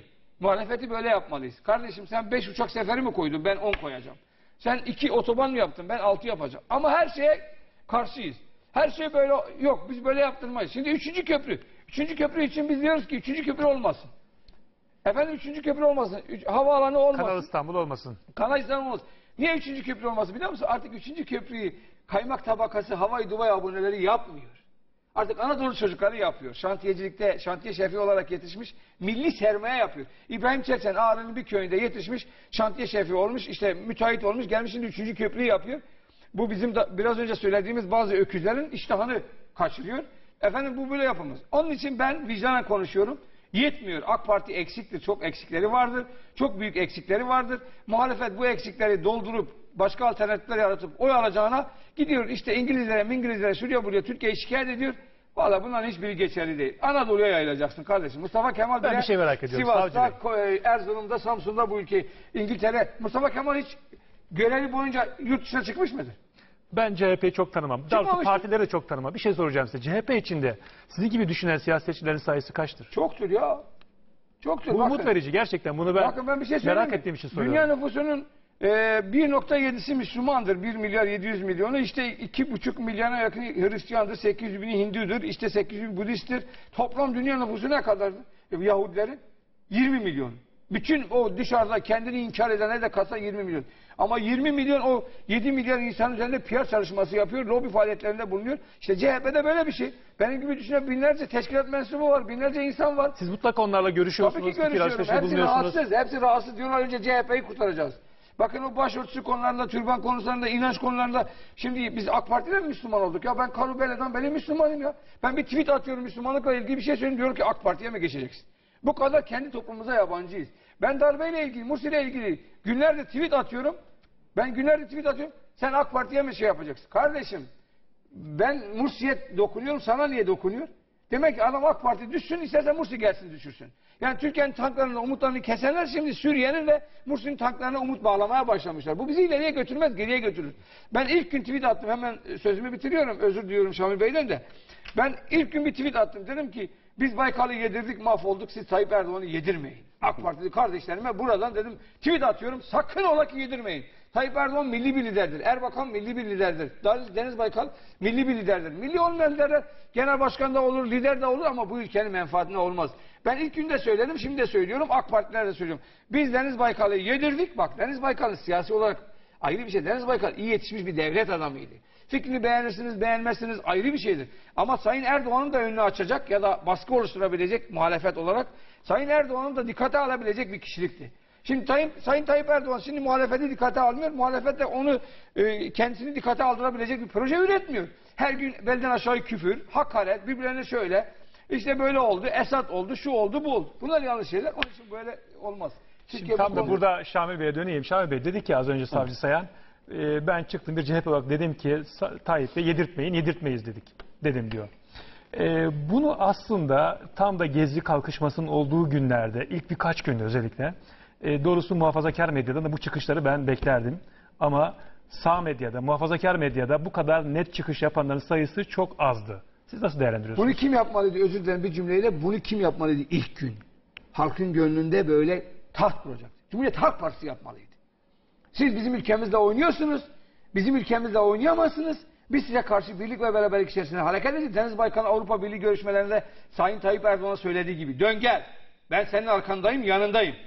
Sen benim ülkemin çıkarlarını koruduğun müddetçe ben de senin yanındayım. Böyle diyecekti. Herhalde CHP bunu deseydi 5 puan alırdı değil mi? 5 puan alırdı tabii. Niye Ya almasın güzel, kardeşim? güzel bir temenni. Yani ben de katılmak isterim ama CHP'nin böyle bir refleksi yok. Yani çok e, hayalci bir yaklaşım olur. Yani iyi niyetle konuşuyor Savcı Bey ama CHP'den bizim zaten böyle bir beklentimiz olmaz. Kendisi, kendisi gibi düşünenlerin çok olduğunu düşündü. Söyledi Savcı Bey. Keşke öyle olsa. Öyle olsa inanın Türk demokrasisi çok başka bir yerde olur. E, ben çok az sayıda olduğunu hatta e, korumak gerektiğini düşünüyorum yani Savcı Bey CHP'de sayıları çok fazla falan değil. İnşallah Tabii sayıları... Parti yönetiminde alınmamış e, olması da aslında Savcı Sayan'ın yani biraz kanıtlıyor galiba. Egemen egemen düşünce bu değil. Ama şu temennisine katılıyorum. Ee, daha önce de ifade etmiştim ama tekrar edeyim. Yani hakikaten e, bizim beceremediğimiz, başarılı olamadığımız e, iki konu var. Yani biz bir cari açığı önleyemedik, bir de muhalefet açığını önleyemedik. Cari açık hükümet var bizim işimiz. Muhalefet açığı bizim işimiz değil. Yani bunu oturup muhalefet kendisi karar verecek ve kendisini toparlayacak. Ancak gelinen noktada artık muhalefet açığı da bizim işimiz haline geldi. Çünkü muhalefetin yetersizliği bir rejim problemi haline geldi. Bugün siyasi elpazenin göbeğine ve merkezine oturmuş iri kıyım bir siyasal yapı var. Adalet ve Kalkınma Partisi. Ve bunun da başında bir bölgesel hatta bir dünya ölçeğinde bir lider var. Şimdi bununla mücadele şartları çok zor. Aslında çok da zor değil. Daha çok koşacaksınız, daha çok çalışacaksınız. Şifreler belli ama maalesef Türkiye henüz de bu e, siyasetçi profilini üretmedi. Ve o nedenle de AK Parti'yi şu şartlarda devirebilecek, sandıkta devirebilecek bir siyasal alternatif yok. Ancak bu şu ya da bu sebeple iktidar partisinden rahatsızlığı olanlar umutsuzluğa kapıldıklarında CHP, MHP ya da bir başka siyasal partiyi bir umut kapısı olarak görmüyor. Görmedikleri için de bu kadrolar yer altına inmeye çalışıyorlar ve yer altına indiklerinde, sokaklara döküldüğünde bu marjinal gruplarla, radikal örgü- örgütlerle, derin yapılarla karşılaşıyorlar ve onlarla da ittifak yapıyorlar. Şimdi bu küskün, kırılgan yapı aynı zamanda derin ve merkezi yapının da birer e, kadro transferine dönüşmeye başladı. Biz bunu gezi eylemlerinde, Taksim eylemlerinde gördük. Eğer bu bir rejim problemi haline geldiyse, e kardeşim ne yapayım yani ben sandıkta oyumu CHP ile paylaşamam. Millet bana e, oyunu emanet etmiş ve ben de o ema- emanete sonuna kadar sahip çıkmak zorundayım. Peki ne yapabiliriz? Bizim yapabileceğimiz bazı hamleler olduğunu düşünüyorum. Mesela seçim barajını düşünebiliriz. Seçim barajını misal yüzde beşe düşürürsek 6 olur 7 olur bilemem hani bu konuşulabilir. Ee, örnek olsun diye söylüyorum. O zaman muhalefet partilerinden umutsuzluğa kapılmış bütün gruplar bir araya gelebilirler. Birlikte yer alabilir. Mesela Taksim platformu partiye dönüşebilir. Ee, ya da bir partinin çatısı altında yeniden e, e, ne bileyim bir arayışa girebilirler. Bu yeni bir umut ve yeni bir heyecan getirir. Ve muhalefetteki hareketliliği artırır ve muhalefetin dinamizmini artırır. Bizimle ilgili zaten bir problem yok. Ve ben bunun bizim demokrasimize de ciddi bir katkı sağlayacağını düşünüyorum. O nedenle de kaygılarını büyük ölçüde paylaşıyorum. Ayrıca Deniz Baykal'la ilgili bir iki şey söyleyeyim. Deniz Baykal'a yönelik operasyon gündeme geldiğinde ben e, ondan öncesine kadar çok ağır yazılar yazmıştım Deniz Bey'le alakalı. O operasyon olduğunda dedim ki bu bir komplodur. Ve buna karşı direnin ve asla istifa etmeyin dedim Deniz Baykal'a. Ve benim bu yazım arşivlerde var. Stargazete.com'a giren benim bu yazım budur. Ve gece saat yarım gibi meclisteydik bu internet sitelerine düştüğünde e, Sayın Başbakanımızın talimatıyla da Ulaştırma Bakanımız birkaç dakika içerisinde o görüntülerin yayılmasını da engelledi. Ve çok kişi göremedi o görüntüyü. Erte, e, ayrıca Star Gazetesi Yeni Şafak başta olmak üzere muhafazakar medya ise e, bu görüntüleri yayınlamadı ve kasetle alakalı da haber yapmadı. Fakat ertesi gün Vatan ve Milliyet Gazetesi başta olmak üzere büyük manşetlerle çıktılar. Güngör Mengi gibi birçok yazar da ertesi günde Deniz Baykal istifa diye yazılar yazdılar. Şimdi e, belli ki bu komplonun belli ayakları da var. Ama size şunu söyleyeyim buradan.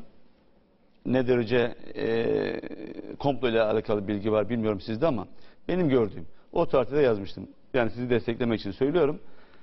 Bu operasyonun nihai hedefi Başbakan Tayyip Erdoğan'dır dedim. Muhalefeti formatlamaya başladılar. Evet. Bunda başarılı olursa başbakana kadar uzakla, e, uzayacaklar. Yani teyit etmek için söylüyorum. Evet. Ve Kemal Kılıçdaroğlu'nu CHP'nin başına getiren büyük oyunun gerisinde birkaç el var. Ama en önemli ulus, e, uluslararası iradenin Alman derin devleti olduğunu düşünüyorum. Kesinlikle bakın Arman a- Kemal Bey e, e, iyi niyetle içine O ayrı. Ben O Kemal. Bey'le alakalı Ke- söylemiyorum. Kemal Bey hakkında bir şey söyleyeyim. Alman derin devletinin işte çok büyük bir parmağı vardır. Bu gezi olaylarının içinde de Alman derin devletinin önemli bir yeri vardır. Aynen. Bu vakıfların oradaki vakıfların çalışmaları vardır. O Gezi Parkı'na yakın vakıfların çalışmaları. Orada 3-4 tane vakıf var Almanların. Almanlar 33 askerin şehit edilme olayında Uğur Mumcu yazdı öldürüldü. Türkiye'deki o barış sürecini o gün sabote ettiren de Alman derin devleti Şemsi Sakık'a Sivas, Sivas. Şe- tanıştı, şey, da- e, anlaştılar. Bunlar çok önemli şeyler. Bakın o çarşaf olayında MYK'da biz tartışma yaptık. Sayın bir tane MYK üyesi kalktı dedi ki bu yanlış olmuştur, vitrin bozulmuştur falan. Sayın Baykal dedi ki bu ülkenin vitrini bütün süsleriyle güzeldir. Hepsi bizim insanımızdır. Geldiği zaman ben rozetini takarım. Ben kalktım söz hakkı istedim. Dedim ki ya benim annemi özgürleştirin ya dedim. Siz niye benim annemi özgürleştirmiyorsunuz? Benim annem AK Parti'ye oy vermek istemiyor. CHP'ye vermek istiyor. Fakat diyor ki ben CHP'ye gitsem acaba benim başörtümü mü elimden alacaklar? Dinim gideceğine ekmeğim gitsin. Siz, belki bazı tereddütleri vardır. Bazı insanlar AK Parti'nin ekonomik işlerinden e, rahatsız olmuşlar. Fakat diyorlar ki biz CHP'ye gidersek o zaman bizim örtümüzü alırlar. Dolayısıyla biz gitmiyoruz. Evet ekmeğimiz gitsin ama bizim dinimiz, inancımız gitmez. Bunları özgürleştirin dedim ya. Ben Buca'ya gittim, rozet taktım türbanı. Bir o günkü gazeteler beni manşet yaptı. Ben Bursa'ya gittim, binlerce türbanlı insana rozet taktım. Hepsi böyle gönülle geldiler. Biz CHP'ye oy vereceğiz dediler. Baykal'a beni gittiler şikayet ettiler. Ya bu savcı gidiyor bu cemaatçi midir? Ki ben de hayatımda cemaata yani uzaktan yakından bir ilgisi olmayan bir adamım. Bu cemaatçi midir? Bu CHP'nin geleceğini bozuyor. Ya ne geleceğini bozuyor? Ne yapmıyor? CHP rakı mı demek? Viski mi demek ya? CHP hak demek ya. Bir açılın ya. Siz sadece böyle tatil yapanların, Gezi Parkı'nda tatil yapanlar gibi ertesi gün Bodrum'da, yatlarda, katlarda bu Havai Dubai aboneleri. Ya bu hak değil ki ya. Ya şimdi Ramazan geliyor. Allah aşkına şimdi 4-5 gün sonra Ramazan geliyor. Muhalefetin gündeminde e, Anadolu'daki insanların iftarda ne yiyeceği düşünen var mı? Ne yapacaklarını e, tasarlayan var mı? Bununla ilgili projeleri var mı? Bu vatandaşların derdi nedir? Tasası nedir? Kederi nedir? Altı tane ağaç mıdır? Gezideki altı tane olay mıdır? Ya sen divan otelinin sahibi, sen açıyorsun. Sen hiç bugüne kadar bir şehit annesine ya da dağda ölen bir Kürt annesine kendi otelini açtın mı? Bunları burada karşılaştırıp yan yana getirip bunlarla ilgili bir program yaptın mı? Bu ülke hepimizin. Bak bu otelle sizin gelin burada oturun konuşun anlaşın. Bu ülke kan gölüne dönmesin dediniz mi? Yok. Oradan hemen ne oldu? Tıbbi me- malzemeler hazır, sular hazır, kolalar hazır, viskiler hazır, biralar hazır. Ne ya bu? Karnaval mıdır bu? Meksika'daki karnaval mıdır bu? Nedir ya? Böyle bir şey olamaz. Olabilemez.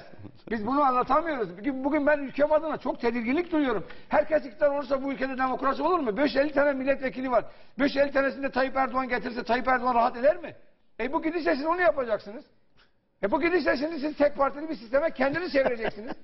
Ya böyle bir şey olabilir mi? Yani ya bu kadar kör olmamak ya, lazım. bakın Savcı Bey şunu söyleyeyim. Haklısınız da ya Allah rızası için bak güzel şeyler de anlatıyorsunuz. Ya muhalefete oy mu verelim? Ne yapalım yani? Ya Şami Bey niye vermeyelim? Hadi ben AK Parti... Bak bir şey söyleyeyim mi? Neredeyse AK Parti mecbur kalacak içinden bir grup ayıracak. Gel kardeşim bana muhalefet yap diyecek ya. Ya yok böyle bir şey. Biz kendimiz de muhalefet yapamıyoruz. Tamam Mecliste peki yani artık bundan sonra Muhalefeti de biz yapacağız. Ne yapalım artık? Ya vallahi yapın bu ülkenin çıkarı için, geleceği için ya. ya samimi söylüyorum muhalefetin olmadığı yerde iktidar rahat edemez ya. Yo, doğru canım ona. Ya ona maraton doğru. koşusu koştuğu zaman arkasında sıkıştıran birisi olmazsa derecesi kırık olur ya. O 42 Şimdi- kilometreyi kırık bir dereceyle bitirir ya. Şimdi muhalef, ya muha- muhalefetin muhalefetin yo orantısız bir e, güç kullandığımız doğru. Yani muhalefete karşı orantısız bir güç kullandığımız doğru. Ya halk vermiş Bunu- o gücü bunu- size kardeşim. Siz kullanmıyorsunuz. Daha, Ya eyvallah ama siz yani sonuçta halk- eyvallah. Hayır Yani- siz yine insaflı davranıyorsunuz. Şimdi 350 tane milletvekili size vermişler. Kaldır indir. Tamam bu işler bitti. Kabul edenler etmeyenler.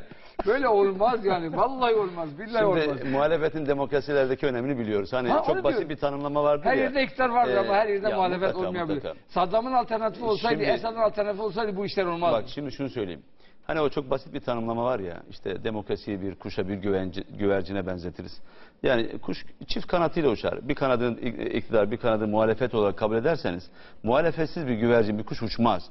Biz bunun varlığını biliyoruz. Ee, ama yani bir yere kadar yapabileceklerimiz de sınırlı. Biz işte iktidar olarak sorumluluklarımızın farkındayız ve iş yapıyoruz. Ve bu millete, bu memlekete hizmet etmeye çalışıyoruz. Ama görüyoruz ki biz hizmet ettikçe karşımızdaki o cılız muhalefet daha da çok eriyor. Bir şeyi dengelemek gerekiyor. Onun için az önce bir şey söyledim. Yani o muhalefet açığını da bizim, muhalefet kendi içinde bu problemini çözemiyorsa iktidar olarak ülkenin ayrına bizim çözmemiz gerekiyor. O konudaki temenninize katılıyorum. Onun için de bizim kanaatimi söyleyeyim. Belki bunun başka bir çözüm yolu da vardır. Çözüm yolu da vardır. Onu bilemem ama benim en azından şu aşamada aklıma gelen çözüm yollarından birisi bu. Bizim seçim barajının mutlaka düşürmemiz gerekiyor. Çünkü aksi halde bu CHP ile ve bu MHP ile bizim bir muhalefet üretmemiz, bizim bu yarışta bir kıyasya bir rekabete girmemiz çok mümkün gibi gözükmüyor. Ama ne yapalım? Yani Allah verirse bir Tayyip Erdoğan var ve güçlü bir kadro var. Yani e, Kardeşim Allah size vermiş. Allah verdi mi elde veriyor, yel de veriyor, sel de veriyor. Allah aldı mı elde alıyor, yel de alıyor, sel de alıyor. Bakın bir şey söyleyeyim? Allah hakikaten size vermiş. Allah razı yani olsun. ciddi söylüyorum ya ben de isterdim ki bugün iktidar milletvekili olayım. Ben de isterdim ki ülkenin yönetiminde benim de bir sözüm geçsin. Yeter artık bıktık ya bizim CHP'ler falan. Vallahi bıktık ya. Ya yeter bir şey üretelim. Bu halk bakın bu halk 89'da 67 vilayetin 59'a 60 tanesini CHP'ye verdi. Bu halk CHP'ye düşman değil oy veriyor. Ne oldu? Bizim belediye başkanları ne yaptı? Nazım Hikmet'e şiir dinletisini yaptırdılar ki arka mahallede makarnasızlıktan, gıdasızlıktan ölenlerini görmediler. Ondan sonra 91'de seçim oldu. CHP ne oldu? Üçüncü parti oldu. Halbuki bütün belediyeler bizim elimizdeydi. Biz Urfa'dan bir adam getirmiştik Nurettin Sözen döneminde. Urfa'dan bir adam eline bir çatal ağaç tutmuşlar suyu arıyor. Adam bir yeteneği varmış. Su nerede varsa orada kaldırıyorum. O videoyu bulabilsek Ur, dün, Dündar'ın videosu siz belki bilirsiniz. Urfa'dan bir ama bir vatandaş getirdiler İstanbul'a. Evet, evet, evet. Böyle elinde bir çubuk. Su, Su- olan su yerlerde şey a- e, çubuk kalkıyor. Sö- Sözleri kurtaracaktı. Yani Sözen ya da başka ya da İstanbul'u mesele Sözen değil. Bir- bakın e, bugün e, Mısır'da toplanan bu insanlar bu Mursi'ye destek olan insanlar ebabil kuşlarıdırlar. O Sisi'nin kafasına taşları fırlatacaklar. Ben bunu gönülden söylüyorum. O adliye meydanında toplanan hepsi ebabil kuşlarıdırlar. Bu zulüme, bu şeytana, bu Sisi'ye, pisiye o taşları yağdıracaklar. Gözleri kör olacaktır. Kahrolsun darbeciler diyorum. Yaşasın halkların kardeşleri, ülkenin kardeşliği. Kısa bir ara daha vereceğiz. Aradan sonra tekrar yayınımız devam ediyor. Öyle mi? reklam arası. bitti diye...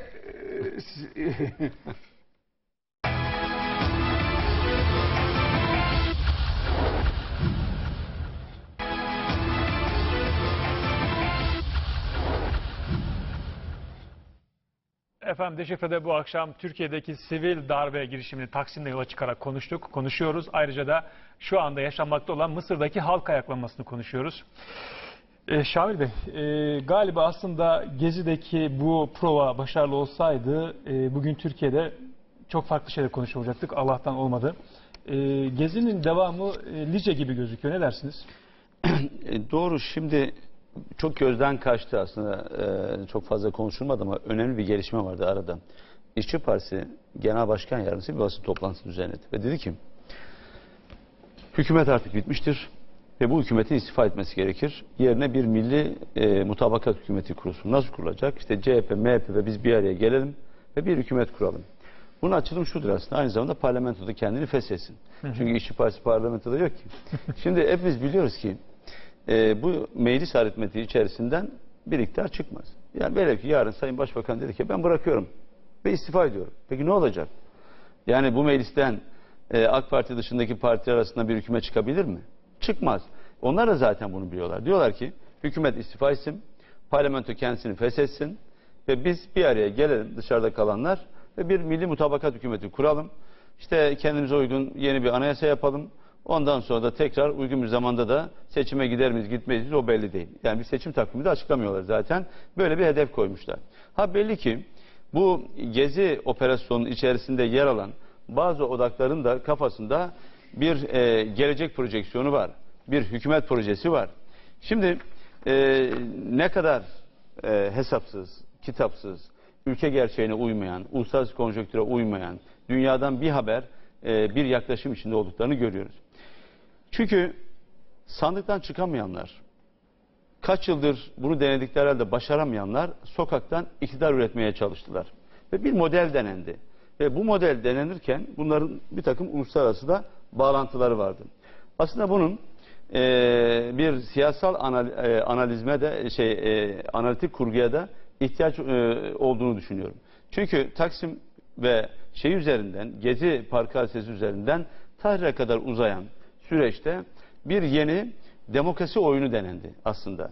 Yani e, çok memnun olmadıkları, sandık yoluyla da de, e, değiştirmeyi çok mümkün görmedikleri iktidarları biz kalabalıkları toplayalım, arkasına işte silahlı güçlere mümkünse dayayalım ve sokaktan yeni iktidar üretelim. Bakın Adalet ve Kalkınma Partisi 2002'de kurulmuş ve günümüze kadar girdiği her seçimde kazanmış. E az önce arkadaşımız Mısır'dan anlattı. Mursi bir yıllık süre içerisinde değişik sahiplerle yapılmış 5 ayrı seçimden zaferle çıkmış. Oradan da anlaşıldı ki Mursi'yi sandık yoluyla devirmek ve değiştirmek çok mümkün gözükmüyor. Ee, ama bu doğru bir yol değil. Bu aslında demokrasi tarihinin sona gelmesi demektir. Eğer biz 50 bin insanı sokağa e, döküp o sokaklardan, o meydanlardan iktidar üretmeye kalkarsak... Bir virgül koyalım, bir duyuru yapacağım. Arkadaşlarım şimdi kulağıma söyledi, haber metninde geldi önüme. Mısır'da bir görüntü var. Ee, arkadaşlarım görüntüyü şu anda hazırlıyorlar. Namaz kılan insanların üzerine, evet Oo. şu an görüntü geldi ekrana. Namaz kılan insanların üzerine Mısır ordusuna bağlı askerler ateş ediyor. Ve bu sırada iki kişinin, namaz kılmakta olan iki kişinin öldüğü e, söyleniyor. Bu görüntüleri e, İhvan örgütü, İhvanı Müslim örgütünün servis ettiği söyleniyor. Evet, şu anda açık alanda Mısır'ın sahil kenti Ariş burası. Açık alanda insanlar namaz kılıyorlar. Birazdan Kaçmaya evet şimdi bir ateş edildi. İnsanlar kaçışıyor, namazlarını bozdular. Evet. Silah sesleri geliyor arka fonda. Çok sayıda otomatik silah ateşleniyor.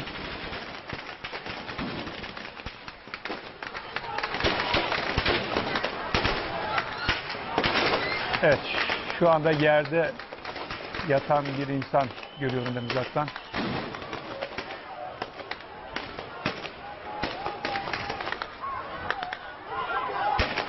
Eyvah.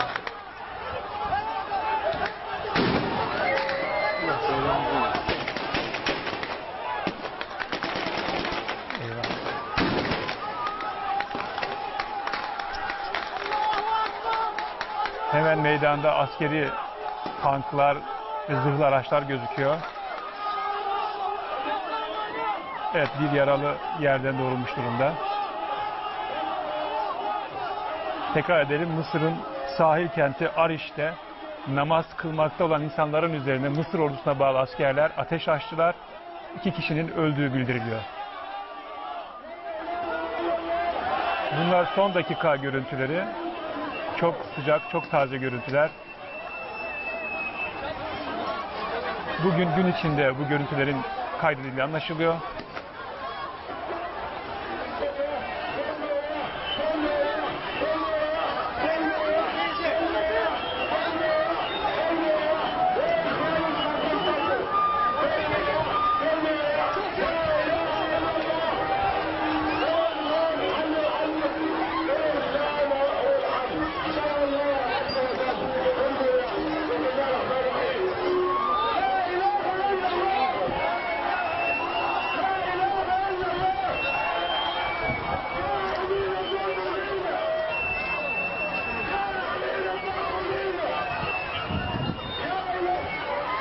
Mısır'dan gelen çok üzücü görüntüler. Namaz kılmakta olan insanların üzerine ateş açılması gerçekten çok üzücü. Mısır Mısır'da Şamil Bey bu görüntülerin yaşanıyor olması özür dilerim daha kötü de görüntülerin habercisi gibi. Umarız tabii daha kötü, daha acı haberler almayız ama e, öyle görülüyor ki e, Mısır ordusu e, halk ayaklanmasını çok sert bir şekilde bastırmaya çalışıyor. Bunu görüntüyü izleyince bir anekdot aklıma geldi onu aktarayım. Yani bu benim de öğrendiğim ama yani basına da yansımış bir konu değil. Suudi Arabistan biliyorsunuz e, Birleşik Arap Emirlikleri vesaire. Görüntü tekrar geliyor. İnsanlar şu an bakın namazlarını hemen ateş sesiyle birlikte namazı bozdular ve meydandan kaçışıyorlar. Yani insanlar sakin kendi hallerinde ibadet ederken ateş açılması nasıl bir mantıktır?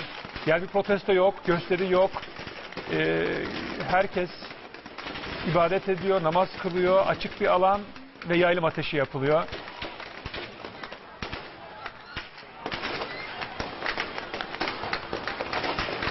Gerçekten dehşetli görüntüler. Ya burada bir ciddi bir provokasyon var. Yani e, en katı bir devlette bile böyle bir akıl olmaz. Şahane Bey görüyor musunuz? Bak, Orada zırhlı araçlar var. Bakın Zırhlı orada araçlar, askerin doğru. kontrolünde bir alandan Bak, bahsediyoruz. aynen. Yani Şunu söyleyeceğim. Şimdi e, yani sonuçta bu da çok homojen bir yapıya sahip değil. E, ordu içerisinde bunun bir iç savaşa sürüklenmesini isteyen odaklar, özellikle dış bağlantılar olan bir takım odaklar da bunu tetikliyor olabilir. Tabii ki orada askerin olması, tankın olması, e, yani neyin ne olduğunu aslında çok iyi anlatıyor ama bu yukarıdaki iradenin yansıması olmayabilir. Yani çok karmaşık. Tabii yani şunu söyleyeceğim bak. Mısır çok, Devlet Başkanı bu emri verdiğini söylemiyoruz ama Ha, sonuçta ama- bu yaşanıyor. Ama bak şunu söyleyeyim. Ben az önce yarım kaldı. Bir anekdotu size hemen aktarayım. Buyurun. Cumhurbaşkanı seçimlerinde Mursi ile beraber birkaç isim daha yarıştı. Bunlardan birisi El Şefik'ti ve El Şefik Suudi Arabistan desteklediği isimdi. Suudi Arabistan bir bakanı bir Türkiye ziyareti sırasında diyor ki işte e, muhatabı Türkiye'deki muhatabı e, seçimleri diyor Mursi kazanacak gibi gözüküyor. O da diyor ki hayır e, El Şefik kazanacak diyor. El Şefik kazanacak. Mursi yandaşları sokağa dökülecekler. Seçim sonuçlarını kabul etmeyecekler. Ve yönetim diyor bunlara karşı sert bir şekilde cevap verecek ve bunları yok edecek diyor. Bakın bunu Suudi Arabistan'ın bir bakanı söylüyor Türkiye ziyareti sırasında. Yani yok edecek derken karşınızda bir kitle var, halk yığını Tabii var. tabii fark yok etmiyor. edeceksiniz? Tabii, Kaçın. Aynen. İşte bunu şunun için anlattım. Nasıl bu, mantıklı bu bu? görüntüyle de örtüşüyor. Yani e, şu andaki darbeyi destekleyen işte Suudi Arabistan'dan, İsrail'den bilmem işte e, Amerika'da daha yapalım. Karşımda Fatih var Kahire'den. Hazırlık yapıyor. Birazdan yayın alacağız onu. Bize Kahire'deki son durum bildirecek. Devam edelim lütfen. Tabii. Yani böyle bir iç çatışmayı e, destekleyen ve körüklemek isteyen bazı ülkeler ordu içerisindeki bazı birlikleri e, tahrik ederek, satın alarak, kullanarak bu tür provokasyonlara zemin hazırlamış olabilirler. Yani bunu e, tepe yönetiminin bir doğrudan işte e, talimatı gibi düşünmeyin. Öyle olsaydı muhtemeldir ki herhalde şu ana kadarki eylemlere çok sayıda insan ölmüş olması gerekirdi. Ee, yani şurada namaz kılan vatandaşlara herhangi bir eylem olmaksızın doğrudan ateş ediyor ola- olabilmelerinin herhalde hiçbir izahı olmaz. Yani bu kabul edilebilir bir şey değil. Tabii Fatih Bey, e, özür Tamam. diliyorum Şami Bey ama yani siz halkın iradesine silah gücüyle darbe vurursanız arkasından ordu içinde de istemediğiniz, kontrol Tabii, tabii, edemediğiniz bir tabii, takım tabii, aynen, aynen, kesinlikle, halka kesinlikle. karşı silahlı Kesinlikle. doğrultabilir. Bunlar yaşanabilir. Kesinlikle. Bu darbeyi yapanların bunu düşünmesi gerekirdi. Kesinlikle. Yani siz e, tankları, topları sokağa dökerek kendi halkınıza karşı namları çevirdiğinizde ve o tanklar üzerinden bir yeni bir iktidar üretmeye kalktığınızda yani her türlü provokasyona da ucu açık hale gelirsiniz. Tekrar Kahire'ye dönelim. Karşımda Fatih Er var. Fatih biz az önce çok üzücü görüntüler yayınladık. Ee, Mısır'dan gelen, Mısır'ın sahil kasabası Ariş'ten gelen görüntüler bunlar. Namaz kılmakta olan insanların üzerine yaylım ateşi açılıyor ve insanlar bir anda çil yavrusu gibi dağılıyorlar. Aralarında iki kişinin öldüğü söyleniyor. Nedir son bilgiler senden alalım.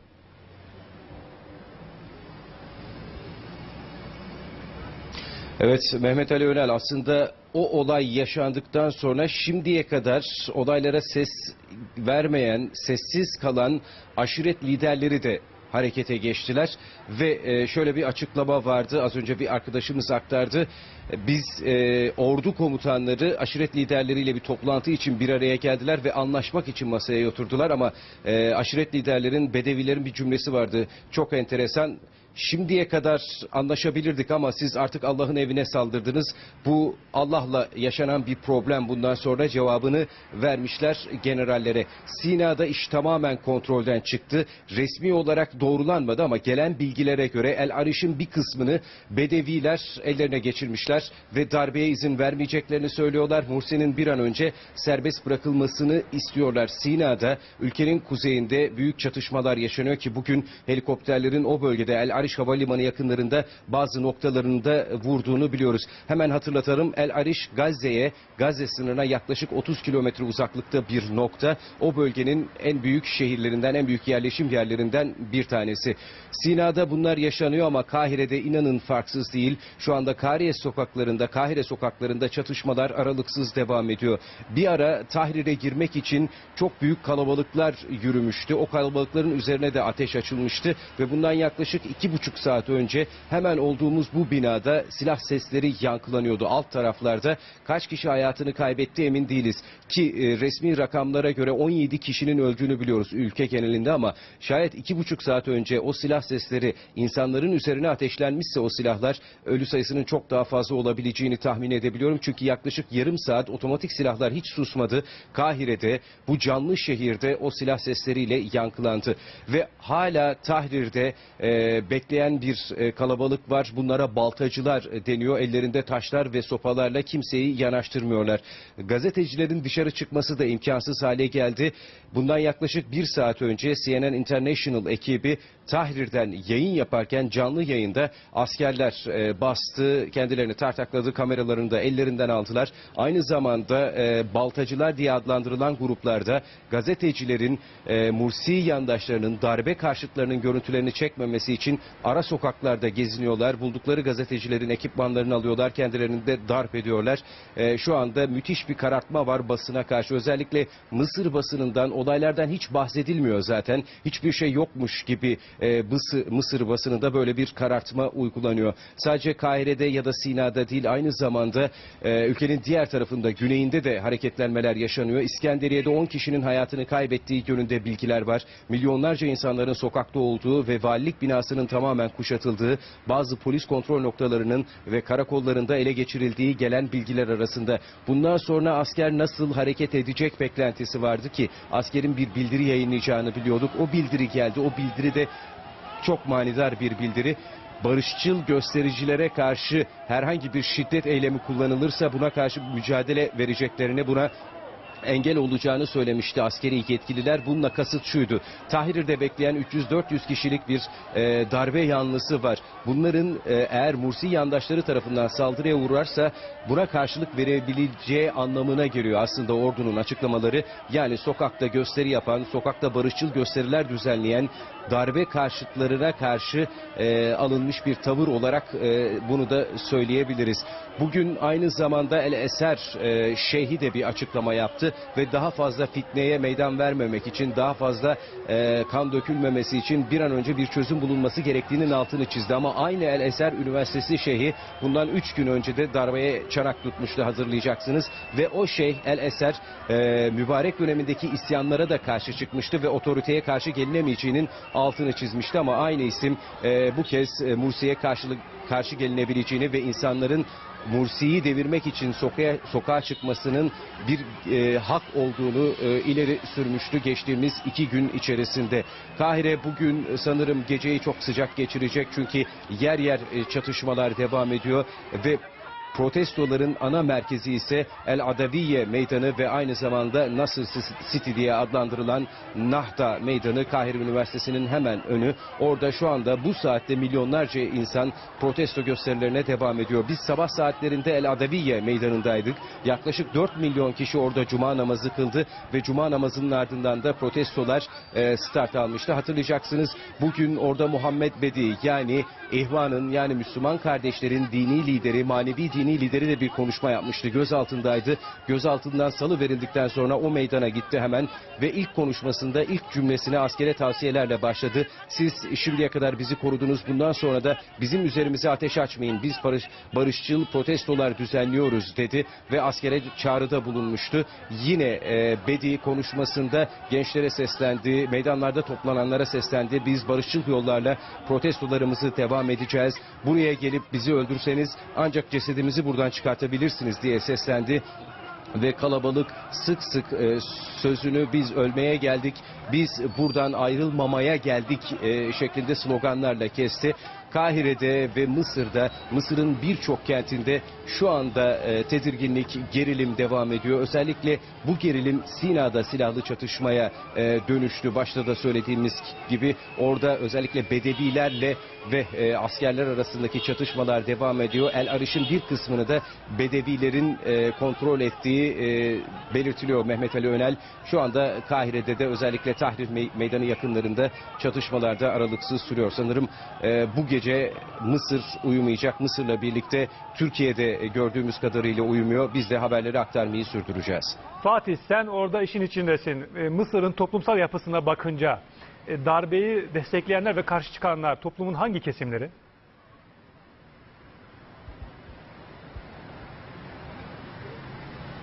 Aslında hani Türkiye gibi bir e, ayrılmış ayrışmaya gitmesi burada çok daha zor. Türkiye'de e, belli bir yapı özellikle Gezi Parkı sürecinde gördük. E, darbe destekleyicileriydi ama buradaki darbe destekleyicileri genelde eski rejimin kalıntıları olarak biliniyor. Eski rejimden e, menfaatlenen, e, eski rejimden şimdiye kadar nemalanmış insanlar olarak görülüyor. Ki hatırlayacaksın bir önceki yayınımızda gazeteci arkadaşı Mehmet Akif Ersoy bu olaylar başladıktan ve darbe gerçekleştirildikten sonra ülkeyi e, Mursi iş başına geldikten sonra terk eden birçok iş adamının geri döndüğünü söylemişti. İşte darbeyi destekleyenler onlar. İşte darbeyi destekleyenler de ona yakın kesimler. Bu sayı az değil ki e, 30 Haziran'da milyonlarca insan yine Tahrir'de bir araya gelmişti. Tahrir'de gösteri e, yapmıştı ama e, tüm dünya daha doğrusu dünya ile birlikte Mısır ordusu da Mısır halkının o insanlarla birlikte olduğunu düşündü. Sayıları her ne olursa olsun diğer tarafı e, önemsemedi ama işte o sessiz azınlık bugün uluslararası basının yazdıklarına bakacak olursak ülke genelinde 30 milyon insan e, sokağa dökülmüş ve protesto gösterisi yapmış. Hala hazırda Kahire'de hem e, Nahta Meydanı'nda hem El Adaviye Meydanı'nda milyonlarca insan beklemeye devam ediyor. Ve binlerce insan da hemen Tahrir yakınlarında polisle çatışma halinde. Daha doğrusu polis ve baltacılarla ve askerlerle çatışma halinde. Son bir bilgi aktarmıştı, e, aktarmıştık. E, Sosyal medyada da çok söylendi. Asker ve polis yakaladığı darbe karşıtlarını baltacılara teslim ediyor. Ki baltacıların da ne yaptığını daha önceki yıllardan çok net bir şekilde hatırlıyoruz Mehmet Ali Öner. Fatih çok teşekkürler. Aman kendine dikkat et. Önce senin can güvenliğin. e, seni burada bütün olarak, sağlıklı olarak görmek istiyoruz. Teşekkürler. Evet, e, anlaşılıyor ki aslında Türkiye'deki darbenin de arkasında bazı e, finansörler vardı. Evet, doğru. E, ve o ayağı galiba e, darbe süreçlerinde akamete uğrayan, yarım kalan darbeler de dahil olmak üzere çok ortaya çıkarılmadı. Doğru. E, bu yapıya çok dokunulmadı. Ne diyorsunuz?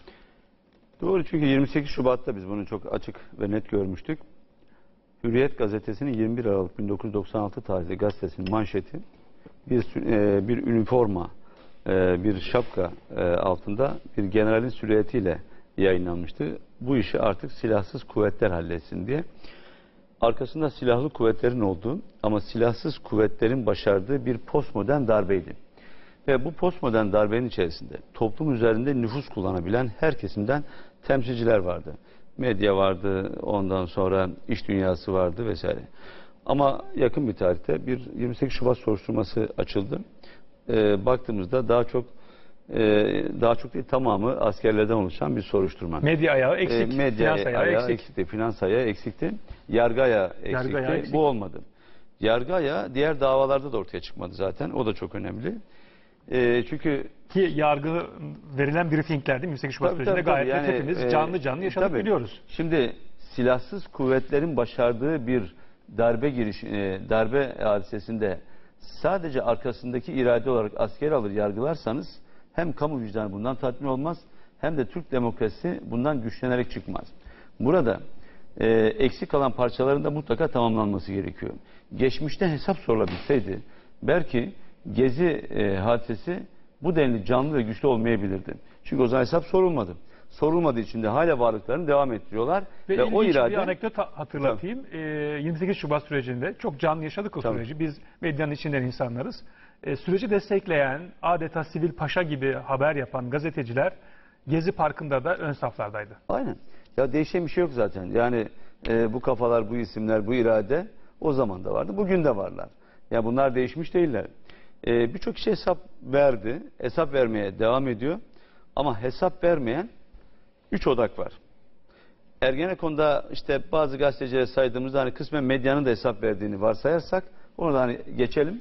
İki odak diyelim o zaman. Biri yargı, biri finans. İki kesim hesap vermedi. Bunu zannediyorum ki birkaç sebebi var ama e, öne çıkan sebepleri eğer altını çizmek gerekirse birincisi soruşturmayı yürüten sonuçta yargı mensupları. Her ne kadar bir darbe soruşturması olsa da her kurumda olduğu gibi maalesef yargıda da bir meslek taassubu var. Kendi mensupları üzerine gitme iradesini şu ya da bu sebeple gösteremiyorlar ve hiçbir hadisede yargının üzerine gidilmedi ve gidilemedi. Finansta buradan anlıyoruz ki silahtan çok daha etkili bir güç olarak para bizim karşımıza çıkıyor. Sermaye. Her şeyi satın alabiliyorlar. Ya da her şeyi örtebiliyorlar. Her türlü ayıbı kapatabiliyorlar. Bunu test etmiş olduk. Bunu gördük. Ve geçmişte hesap sorulmadığı için bugün de pervasız bir şekilde ortaya çıkabiliyorlar.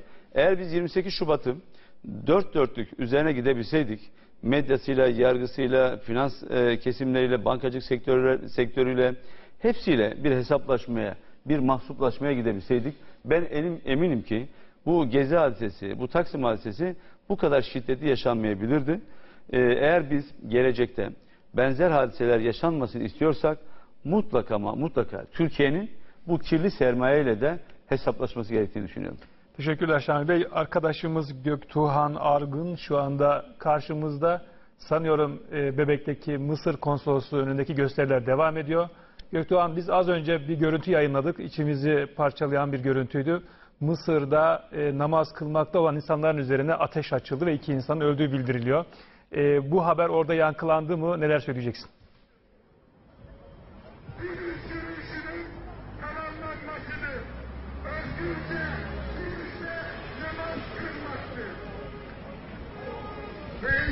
Sanıyorum arkadaşım beni duyamadı.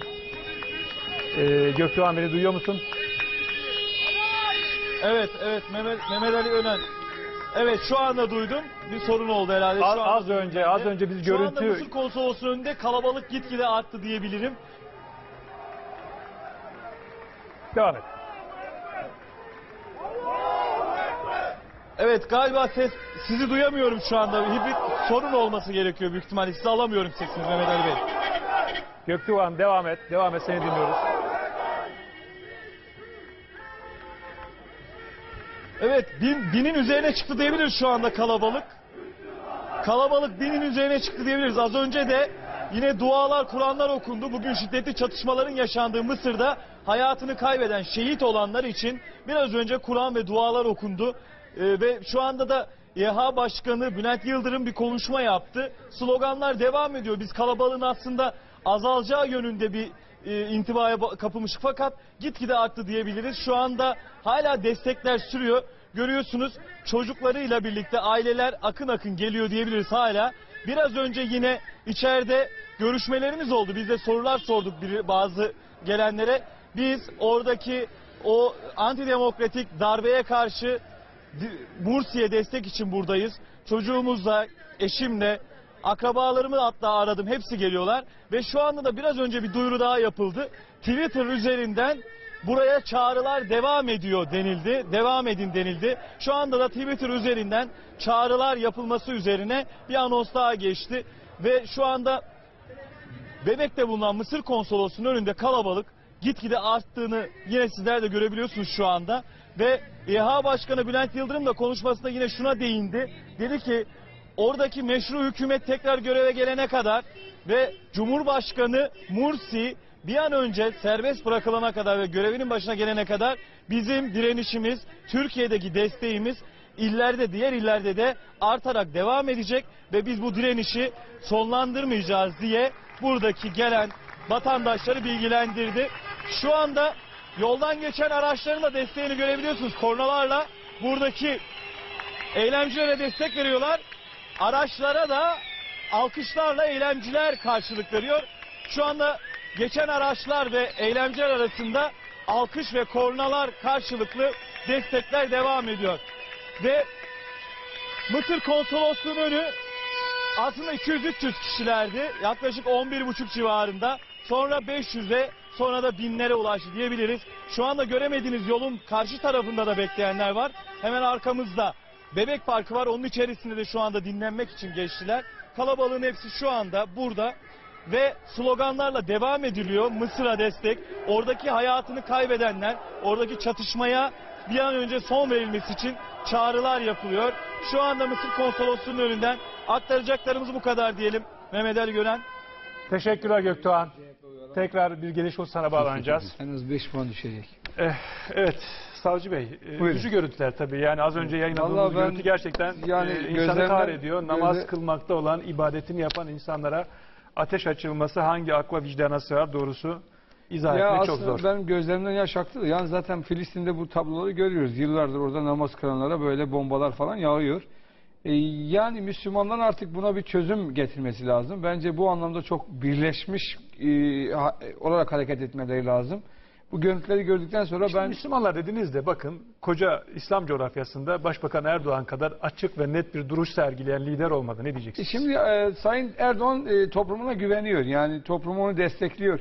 Fakat Suudi Arabistan kralı diyor ki ben diyor eğer çok e, şey yaparsam bu devrim benim buraya sıçrarsa hak devrimi benim çocuklarım İngiltere'de şurada burada sabahlara kadar carda barda eğlenemeyecekler. O da kendi koltuğunu korumak adına İslamiyet'e büyük hakaret ederek, insanlara büyük hakaret ederek işte bu Eser Şeyhi gibi korkudan ya da işte menfaatten dolayı destek veriyor. Bunlar beni ilgilendirmez de yani şey anlamda ilgilendirmez. Çok da önemli değil. Benim Mısır'ı destekleyip desteklememem için. Herkes kendi evinin önünü süpürürse, herkes kendi avlusunu süpürürse, Hazreti İbrahim'in çadırına ateş verilirken o kara Fatma'nın ağzıyla su taşıması, sen mi söndüreceksin ateşi? Herkes safını netleştirirse, benden bu kadar derse, elindeki yetkiyle, elindeki güçle hareket ederse ben bu görüntülerin yaşanamayacağına inananlardanım. Yani bu sadece Müslüman olduğu için değil. Bir Yahudiye de yapılsa bu zulüm, ben bir Müslüman olarak karşı çıkarım. Yani zulüm zulümdür. Zulüme her zaman karşı yani, çıkmak lazım. Zulüm zulümdür. Kimden geldiği, nereden geldiği çok önemli geldiği değil. hiç önemli değildir. Şimdi bu gezi olaylarıyla ilgili siz konuşurken e, Şamil Bey'le Ona ben... bir şey ekleyeyim mi ben? Buyurun. Ee, hani konu dağılmadan. Evet. İslam coğrafyası çok tarihi bir demokrasi sınavı veriyor aslında. Bence de. Yani demokratik tahammülleri olmayan, demokrasi tecrübesi olmayan, demokrasi kavramıyla aslında son yıllarda yeni yeni tanışmaya başlayan İslam coğrafyası çok ciddi bir sınav veriyor. Bu sınav başarılı olduğu zaman Mısır ve Türkiye'den başlayarak zaten Türkiye'nin çok e, daha köklü bir tecrübesi var. Ama Mısır'la beraber İslam coğrafyasına işte Afrika'ya, Orta Doğu'ya yayılan çok ciddi bir süreç olacaktır diye düşünüyorum. Evet. Evet, Şimdi Savcı. bu gezi olaylarını değerlendirirken ben orada bazı şeyler dikkatimi çekti. Sizinle de paylaşmak istiyorum. Genellikle böyle bu meydanlarda demokratik e, ve e, demokrasi ve özgürlük isteyen toplumlara baktığımızda, dünyada örneklerine baktığımızda alttaki halk tabakası hareketlenir. Çiftçi, işçi, köylü, sendikalar falan. Üstteki iş adamları sermayem gidecek, e, kaybolacak diye bastırmaya çalışır. Hükümete destek olurlar. Fakat Türkiye'de bunun tersini gördük. E, bu halk çocuklar ya bize dokunmayın ya çarkımız dönüyor biz ekmeğimizi yiyoruz. Ne olursunuz bize dokunmayın. Araba aldık, kredili ev aldık. işte bir şeyler yapmaya çalışıyoruz. Kendi yağımızda kavruluyoruz. Artık kuyruklar görmek istemiyoruz. Yaza kasarların fırlatıldığı dönemleri hatırlamak istemiyoruz. Bu sefer iş adamları rahat durmuyor. Zaten ben o günü anladım. Dedim ki burada bir şey vardı. Yani kendi sermayesini riske ediyorsa demek ki başka yerlerden sermayesinin garantisini almıştır. Yani Türkiye'deki bir sermayedar kendi sermayesini Gezi Parkı'nda riske ediyorsa sermayenin 3 katı kadar bir e, sigorta almıştır. Yani oradan garanti almıştır ki bunları yapıyor. Diğer bir boyutuysa Kürtler boyutu. Kürtler çok önemli bu konuda. Kürtlerde çok az siyasetçi yetişir. Silahşör çoktur ama siyasetçi çok azdır. Onun için buna dikkat etmek lazım. Biz bir coin için birbirimizi öldürürüz, 500 coin verir barışırız. Halbuki o bir coin'i verirsek 490'ı bize kalır. Aslında Türkiye'de 30 yıldır devam eden bu kardeş kavgasının bitme noktasında e, bu alçaklar tabutların gelmemesine ancak 6 ay dayanabildiler. Anlatabiliyor muyum? Dolayısıyla direkt toplumda yani bu benim oğlum askerde ölmüş diyen Yozgatlı annemiz e, şehit olmuş diyen Yozgatlı annemiz o acısını içine attı. Dedi ki yeter ki bundan sonra diğer çocukların annesi ağlamaz. Onun eli öpülür. Kürt annesi de öyle. Tamam bu olay bitsin ikisi kavuşuyor. Şimdi buna direkt karşı çıkamayanlar yani bu süreci sabote etmek isteyenler direkt karşı çıkamadılar. Biz karşı çıkarsa toplum bizi rencide eder. Toplum bize karşı... Gezi Parkı üzerinden hükümete vurmak istediler. Bu barış sürecini sabote etmek istediler. Derin Kürtlerle derin Türkler harekete geçti. Derin Kürtlerle derin Türkler Lice'de de harekete geçti. Yani Lice'deki 3-5 tane köylünün, tedarikçi köylünün işine bu e, yani boyunu atarsak biz fotoğrafın büyüğünü kaçırmış oluruz. Biz Hollanda'ya gideceğiz, Almanya'ya gideceğiz. Biz böyle ilişkiler var, baronlar var, para kazananlar var, uyuşturucudan büyük paralar elde edenler var. O gariban köylere yüklemenin bir anlamı yok. Ha, orada o asker efendim ne yapmış? Asker ateş etmiş. O askeri araştırmamız lazım. Taksim'de 77'de kim ateş etmişse asker de onun gibi birisidir. Yani e, efendim Gezi Parkı'nda polis gaz sıktı. Polisin içinde ajanların olmadığını garanti edebilir misiniz? MIT'in içinde Türkiye'nin aleyhine çalışanların olmadığını garanti edebilir misiniz? Şamil Bey bu konularda uzmandır. E şimdi Lice'deki tamam daha ileri bir şey söyleyeyim. Bugüne kadar en azından son... Lice konusunu bir hatırlatalım. E, kamuoyu biliyor aslında ama Evet, karakol baskını falan. Polis e, Şey, asker. e, kısa süre önce, olaylar başlamadan önce orada çok büyük bir operasyon yaptı Evet. ve e, uyuşturucu tarlaları yakıldı. Evet. Arkasından bu olay meydana geldi. Evet şimdi o olay, o yakalanan olay oradaki Lice'deki köylerin olayı değildir. Yani bu e, dünyanın e, şey e, bu işin büyük fotoğrafına bakmak Belli lazım. ki köylüleri oraya sevk eden birileri oldu. Tabii yani canım, uyuşturucu köyler operasyonuna köy- canı yananlar. Ya şimdi bu ağ maraba ilişkisi gibi bir şeyler. Siz ağlara bakmıyorsunuz, marabalar ne yapmış diyorsunuz. Ama kim emir vermiş ona bakmak lazım. Şimdi bir de oradaki askerlerin 15-20 yıldır orada görev yapan, o, o karakolda görev yapanların mal varlıklarını araştırmak lazım.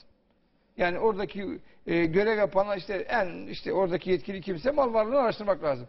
Buraya dokunmamız lazım. Eğer temizleyeceksek hepsini temizlememiz lazım. Şey anlamında yani yargı anlamında.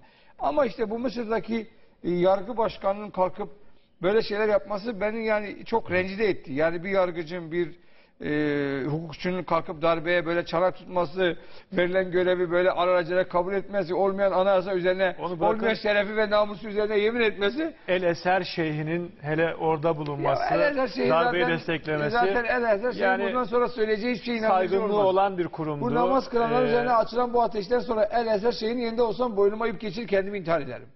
Bak bu namaz kılanların üzerine bu ateşten sonra El Ezer Şeyhi'nin yerinde olsam gideceğim ya apartman dairesinden kendimi at- atıp intihar edeceğim ya da boynuma ip geçireceğim. Diyeceğim ben kendi sonumu kendim hazırlayacağım.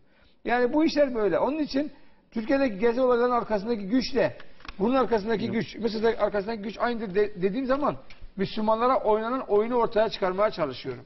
Müslüman coğrafyasında Müslümanları yok etmeye çalışan bir gücün olduğunu, burada İsrail'in güveninin çok önemli olduğunu, Tayyip Erdoğan'ın etrafının kuşatılmasından bundan kaynaklan bak ben Tayyip Erdoğan'a oy vermedim. Ve- Yani bugüne kadar Tayyip ben e, böyle söyleyince bazıları acaba niye?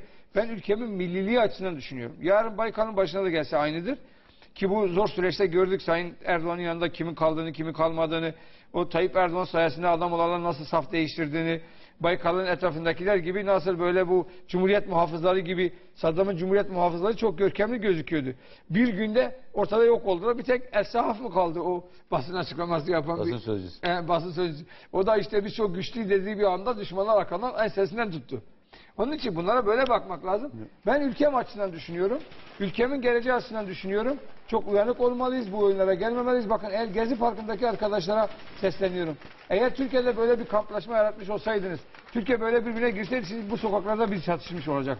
Doğrusu Gezi Parkı'nda benim en büyük korkum Evet. bu gibi sahnelerin yaşanmasıydı. Bu Bunu yapmaya provokatörlerin halka çalışıyorlar. ateş Aynen, etmesiydi. aynen. Allah'tan yaşanmadı. İnşallah Ama bunu olmaz da. yapmaya Şamil Bey bunu yapmaya Ama, çalışıyorlar. ama o tabii, meydanların tabii. o kadar kontrolsüz bir şekilde serseriler elinde olması aslında buna zemin hazırlamıştı. Allah'tan böyle bir Bir de kazası şunu yaşanmadı. hatırlatayım. Şimdi bu e, Lice ile alakalı az önceki E, konuşmada bu ben şu giremedim notu konuya. ekleyeyim de Şamil abi. Şimdi e, mesela bir polis bir kıza işte e, kötü bir laf kullanmış diye milletvekilleri bunu meclise kadar götürdüler, taşıdılar yani. Dediler Evet. ki Süleyman adında bir polis işte bir kıza karanlık bir yerde kötü laflar kullanmış. Ama aynı milletvekilleri, aynı e, kişilerin, benim partimdekiler de dahil Osman Develioğlu'nun genliği içinde aynı hassasiyeti göstermeleri gerekiyordu. Bunu yapmadılar. Bakın polisin orada da görüntü yok. Osman Develioğlu'nun gelinin görüntüleri de yok. Ama Osman Develioğlu'nun geline gidip gelini gidip görüp morluklarını falan gören gazeteci arkadaşlar var. Fakat ne yazık ki bizim bu Gezi Parkı'nın özellikle o o işi organize edenler içinde bulunan gazeteci arkadaşlar Osman Develioğlu işte görüntü yok inanmıyoruz. Hani beyan esastır falan diyorlar. Söyleyelim Ayşe Arman doğrusu Hayır bununla ilgili. başka birileri de söyledi. e, Ama aynı yazılar arkadaşlar yazdı. bir kadın olarak aslında o hassasiyeti göstermesi gerekirken Ya inanmadığını, kadın erkek ama kuşkulu aynı bulduğunu arkadaşlar söyledi. aynı bizim Türkçede bir söz vardı diyor şer şere çizine çemire. Diyor ki aslan aslandır erkek de olsa aslandır dişi de olsa aslandır. Bu bir kadın adına bakmaz. İkisinin arası orada Yok, mertebe bu durumda bekler. bir bizi kadın hassasiyeti de beklenir Ha, yani bir yazardan. Başka bir şey söyleyeyim. O görüntüleri Ertuğrul Özkök de bunun içine girdi. Bu görüntüleri istiyoruz yoksa biz beyanı bile esas kabul etmiyoruz diyenler e, polis mutlaka bulunacak. Bu kıza bu lafı söyleyen polis mutlaka bulunacak. Kardeşim ikisi de bulunacak. İkisi de alçaklık yapmıştır.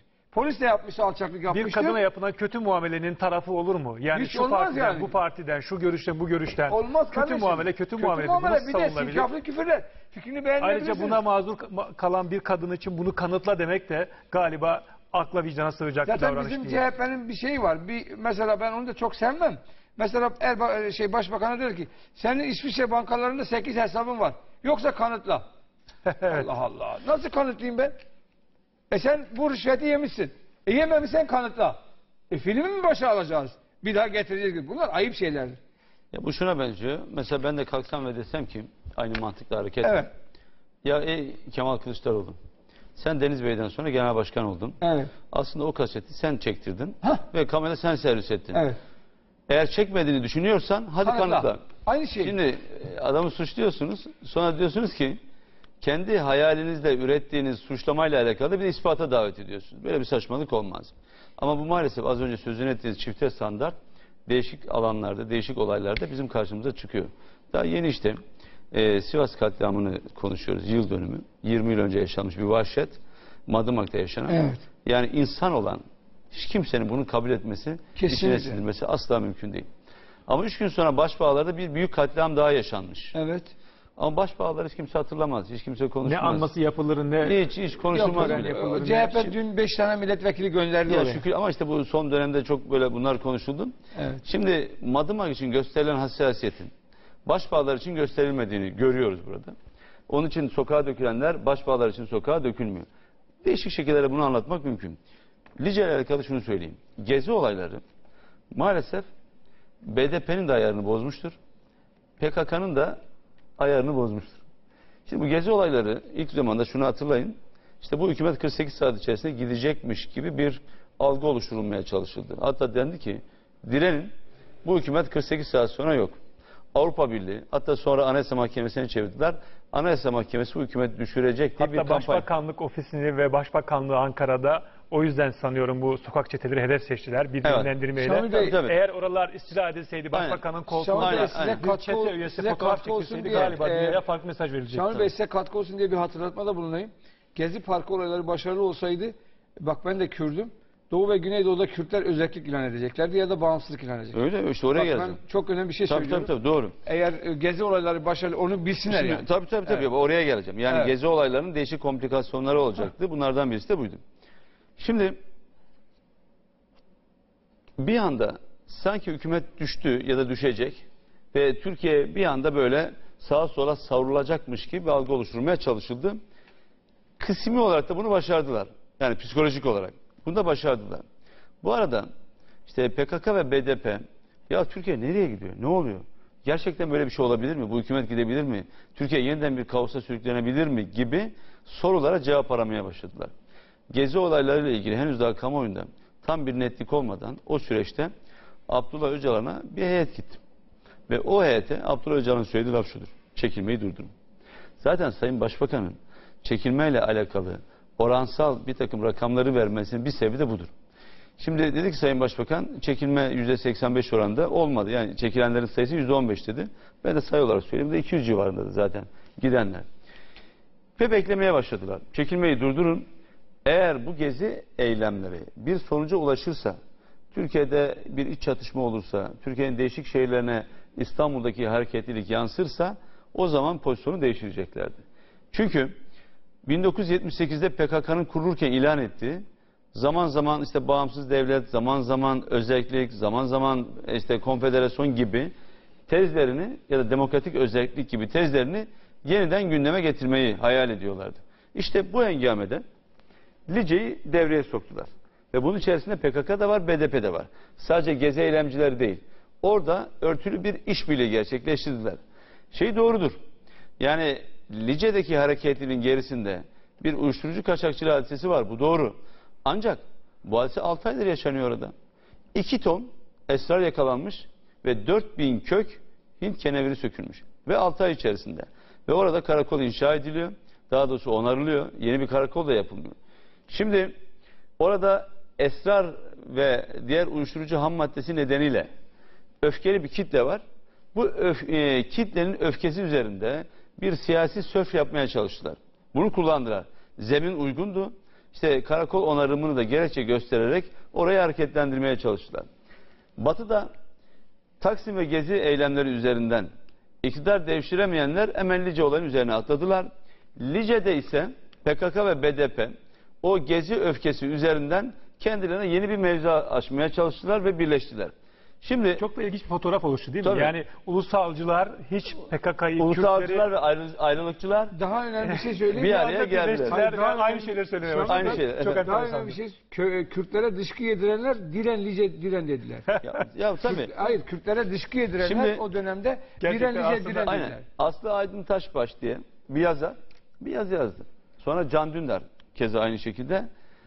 Özetle şunu dediler. Dediler ki ya bizi eleştiriyorsunuz ama biz aslında gezi eylemleriyle birbirimizi sevmeyi öğrendik.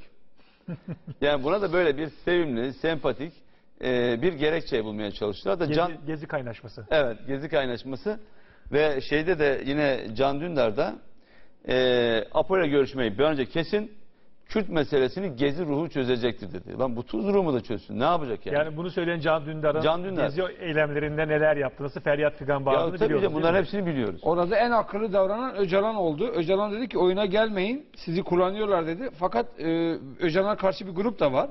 O grup da e, Öcalan'ı boğmak için bu süreçte Öcalan'ı yok etmek için böyle bir şeye gönüllü oldular. Tabii şimdi burada bu çözüm sürecinin birden fazla odağı var. İşte İmralı var, Kandil var ve Avrupa var. Avrupa'nın merkezinde Almanya var. Şimdi eee, aslında çözüm sürecine İmralı dışındaki tüm odaklar tepkili ve istemiyorlar. Ancak Abdullah Öcalan'ın diğerlerinden farklı olarak Doğu ve Güneydoğu'da bulduğu bir karşılık var. Bunu beğenin ya da beğenmeyin, sevin ya da sevmeyin. Doğru. İstediğiniz kadar nefret edebilirsiniz, Doğru, doğru. istediğiniz kadar küfür de edebilirsiniz. Ama sonuçta bir e, kitlesel bir tabanı var. Bundan dolayı da ne Kandil ne Avrupa Abdullah Öcalan'a rağmen farklı bir model öneremiyor ve üretemiyor.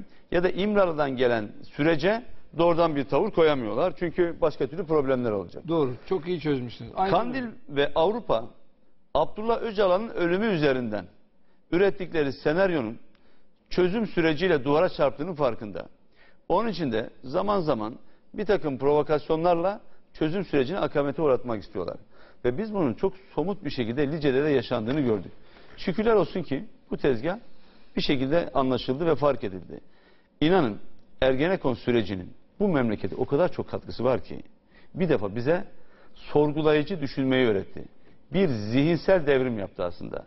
Eskiden sağcı bir öldüğünde solcu, solcu bir öldüğünde sağcıya fatura kestiğimiz bir dönemden bir eylem meydana geldiğinde ya durun arkadaş ne oluyor? Bunun arkasında ne olabilir? Bunun arkasında gizli el nedir diye sorgulamaya başladık. Ergenekon davasında ne çıkar ne çıkmaz bilmiyorum. İstiyorsa hepsi de serbest kalsın. Ama bir şey söyleyeyim. İnanın e, en büyük zihinsel devrim biz bu süreçte yaşadık. Artık insanlar hadiselerin perde arkasını takip ediyor. Rahmetli Uğur Mumcu gazeteci olarak katledildi. edildi. Cenaze töreninde atılan birkaç slogan var. Türkiye layıktır, layık kalacak ve Türkiye İran olmayacaktır diye e, sloganlar attılar. Sonra işin içine girdiğinizde hadisenin çok daha farklı olduğunu gördünüz. Birçok eylemde de keza aynı şekilde var. İşte 2 Temmuz'da Sivas katliamı yaşanıyor. 5 Temmuz'da Başbağlar katliamı yaşanıyor. Bir yerde Alevileri katlediyorsunuz, diğer yerde Sünnileri katlediyorsunuz. Bunlar hani evrenin diyor ya baktık bir sağdan astık bir soldan astık diye. Aynı onlar gibi bir sağdan öldürdük bir soldan öldürdük diyerek bir terör sarkacı oluşturdular. Ve Türkiye'de maalesef bu tezgaha yıllarca düştü. maalesef bir imparatorluk vakiyesinden bir ulus devlet yaratmaya çalıştık. Ve o toplumun kırılgan dokusunu bir türlü onaramadık. Ve her zaman da bizim birleşme yerlerimize jilet attılar. Ve buraya kadar da geldik. Ama şükürler olsun aşılı olduğumuz için geçmişten birçok tecrübemiz olduğu için artık biz çok daha sağlıklı okumalar yapabiliyoruz. Aslında e, bu son gezi hadisesi Cumhuriyet tarihinde siyasi iktidarların ka- e, karşılaştığı en büyük kalkışmalardan birisidir. Gezi Ama- olayların perde arkası ortaya çıkmasaydı süreç aslında e, tabii başbakanın çok net dik duruşunu da e, hesaba katarak söylüyorum. Bunlar olmasaydı e, galiba Türkiye bugün çok farklı noktada olacaktı. Yani Kesinlikle. aslında siz dediniz ki hani e, Ergenekon gibi darbe girişimlerinin örgütlerinin önemli kazanımı oldu bu davaların ama Ya aslında anlaşılıyor ki e, e, çok da büyük kazanımlar olmamış. Yani Türkiye aslında e, kolayca savrulabilecek e, Gezi Parkı olayında olduğu gibi bir anda darbe satına girebilecek durumda gibi de gözüküyor bir taraftan. Ama savrulmadık da. Yani böyle bir risk var. Bu risk ortadan Yani kalkmadı. ama bunu, Misal bunu, bunu başbakan doğrudan şahıs olarak, kişi olarak ben e, özel olarak partiye ayırıyorum partinin duruşunu. Başbakanın özel duruşuyla bunun engellendiğini düşünüyorum. Şimdi Tabii ki burada bizim- bazı bizim- gazeteci arkadaşlarımızın mütevazi katkılarını da yatsımamak lazım. Burada deşifre programının da aslında ortaya çıkarmış olduğu sahte müftünün karısının da bu sürecin kırılmasında Ya herkes- etki yarattığını düşünüyorum. Doğrudur. Yani demokratlar herkes kendi ölçeğinde bir katkı sundu. Sayın Başbakanımızın tavrı son derece önemlidir. Olmasaydı bazı hadiseler farklı gelişebilirdi. Ancak şunu, E, şunu demek istiyorum Şamil Tayyar. AK Parti içinde aslında bu süreçte daha keskin, daha net duruş olması gerekmez miydi? Muhafazakar güçlü- medyadaki kalemlerin Doğru buna katılıyorum. Buna daha katılıyorum. keskin bir duruş sergilemesi gerekmez Bakın buna miydi? katılıyorum ama kadroları da çok hafife almamak gerekir diye düşünüyorum. Tayyip Erdoğan'ı güçlü kılan şey nedir? Boyu posu değil herhalde. Kaşı gözü de değil. Sonuçta ona destek veren bu millettir. Gücünü milletten alıyor. Arkasında bu millet dimdik durmasa Recep Tayyip Erdoğan Kazlı Çeşme'de konuşamaz. Konuşturmazlar. Evet, Ama evet, evet. milletin emanetini de namus borcu gibi gören bir lider figürü var. Bu da önemli. Ama o çok önemli yani. Bakın O çok ama önemli. iki taraflı önemli. Süremiz bitiyor, Ben lütfen toparlayalım. Şunu söyleyeceğim. Bakın. Tabii ki dünyanın en büyük tepesi Everest tepesidir. Ama Everest tepesini büyük kılan dayandığı Himalaya dağlarıdır. Evet. Bunu da yaban atmamak lazım. Şimdi ben de birkaç kelime söylemek istiyorum. Şimdi Amerika dünyada bir e, e, dolar dini, dolar ırkı yani yeşil ırk, yeşil din yaratmak istiyor. Bu oyuna biz düşmeyeceğiz. E, bunu mutlaka bertaraf etmemiz lazım. Bununla çok Müslümanların da çok dikkat etmesi lazım. Şamil Bey'in de dediği gibi halkın gücü çok önemli. Bugün Mursi'nin arkasında bu güç olmasaydı bunların hiçbiri o, e, kesinlikle olmayacaktı. E, bence biz, bize bir asa mucizesi daha lazım. Ben Allah'a e, Allah'tan onu istiyoruz. Onun için dua edeceğiz. Yeni bir asa ve Musa'nın asası okyanusları aşacaktır diye düşünüyorum bu Mısır olayında. E, Mursi'nin de bu olayları bertaraf edeceği kadar güçlü bir e, desteğinin olduğuna inanıyorum. İnananlardan. Meydanlar onu gösteriyor Evet, doğrusu. e, bu Mısır'da. eğer tersine dönerse bu darbe olayı bu e, bence bugüne kadar e, uğraşıp da yapamadığımız her ülkeye demokrasi gelsin. Belki de bu devrimle bu daha hayırlı olacak. Belki de bununla başaracağız. Tabii demokrasi tepeden aslında inme gelmiyor. Gelmiyor. Halkın Evet. isteğiyle Yani oluyor. Fransızlara 1789'a baktığımızda, bir de 1923'e bize baktığımızda, 1922'ye e, Mursi'ye baktığımızda İngilizlerden bağımsız yani Mursi, e, Mısır'a baktığımızda e, yani tepeden gelen demokrasilerin çok başarılı olmadığını ama tabandan gelenlerin çok başarılı olduğunu bence bu tepeden gelip şimdi tabana yayılan demokrasiyle Mısır'ın kurtulmasıyla birlikte Mısır gibi bizim gibi ülkelerin de kurtulacağına inananlardanım. Dileriz öyle olur. Efendim Deşifre'de bu akşam e, Taksim Gezi Parkı'ndan yola çıktık. Mısır'daki darbeyi ve halkın buna karşı duruşunu konuştuk. Ebu Dileriz Mısır'dan acı haberler gelmez. Kötü daha fazla kötü haberler gelmez. E, Deşifre'den bu akşamlık bu kadar.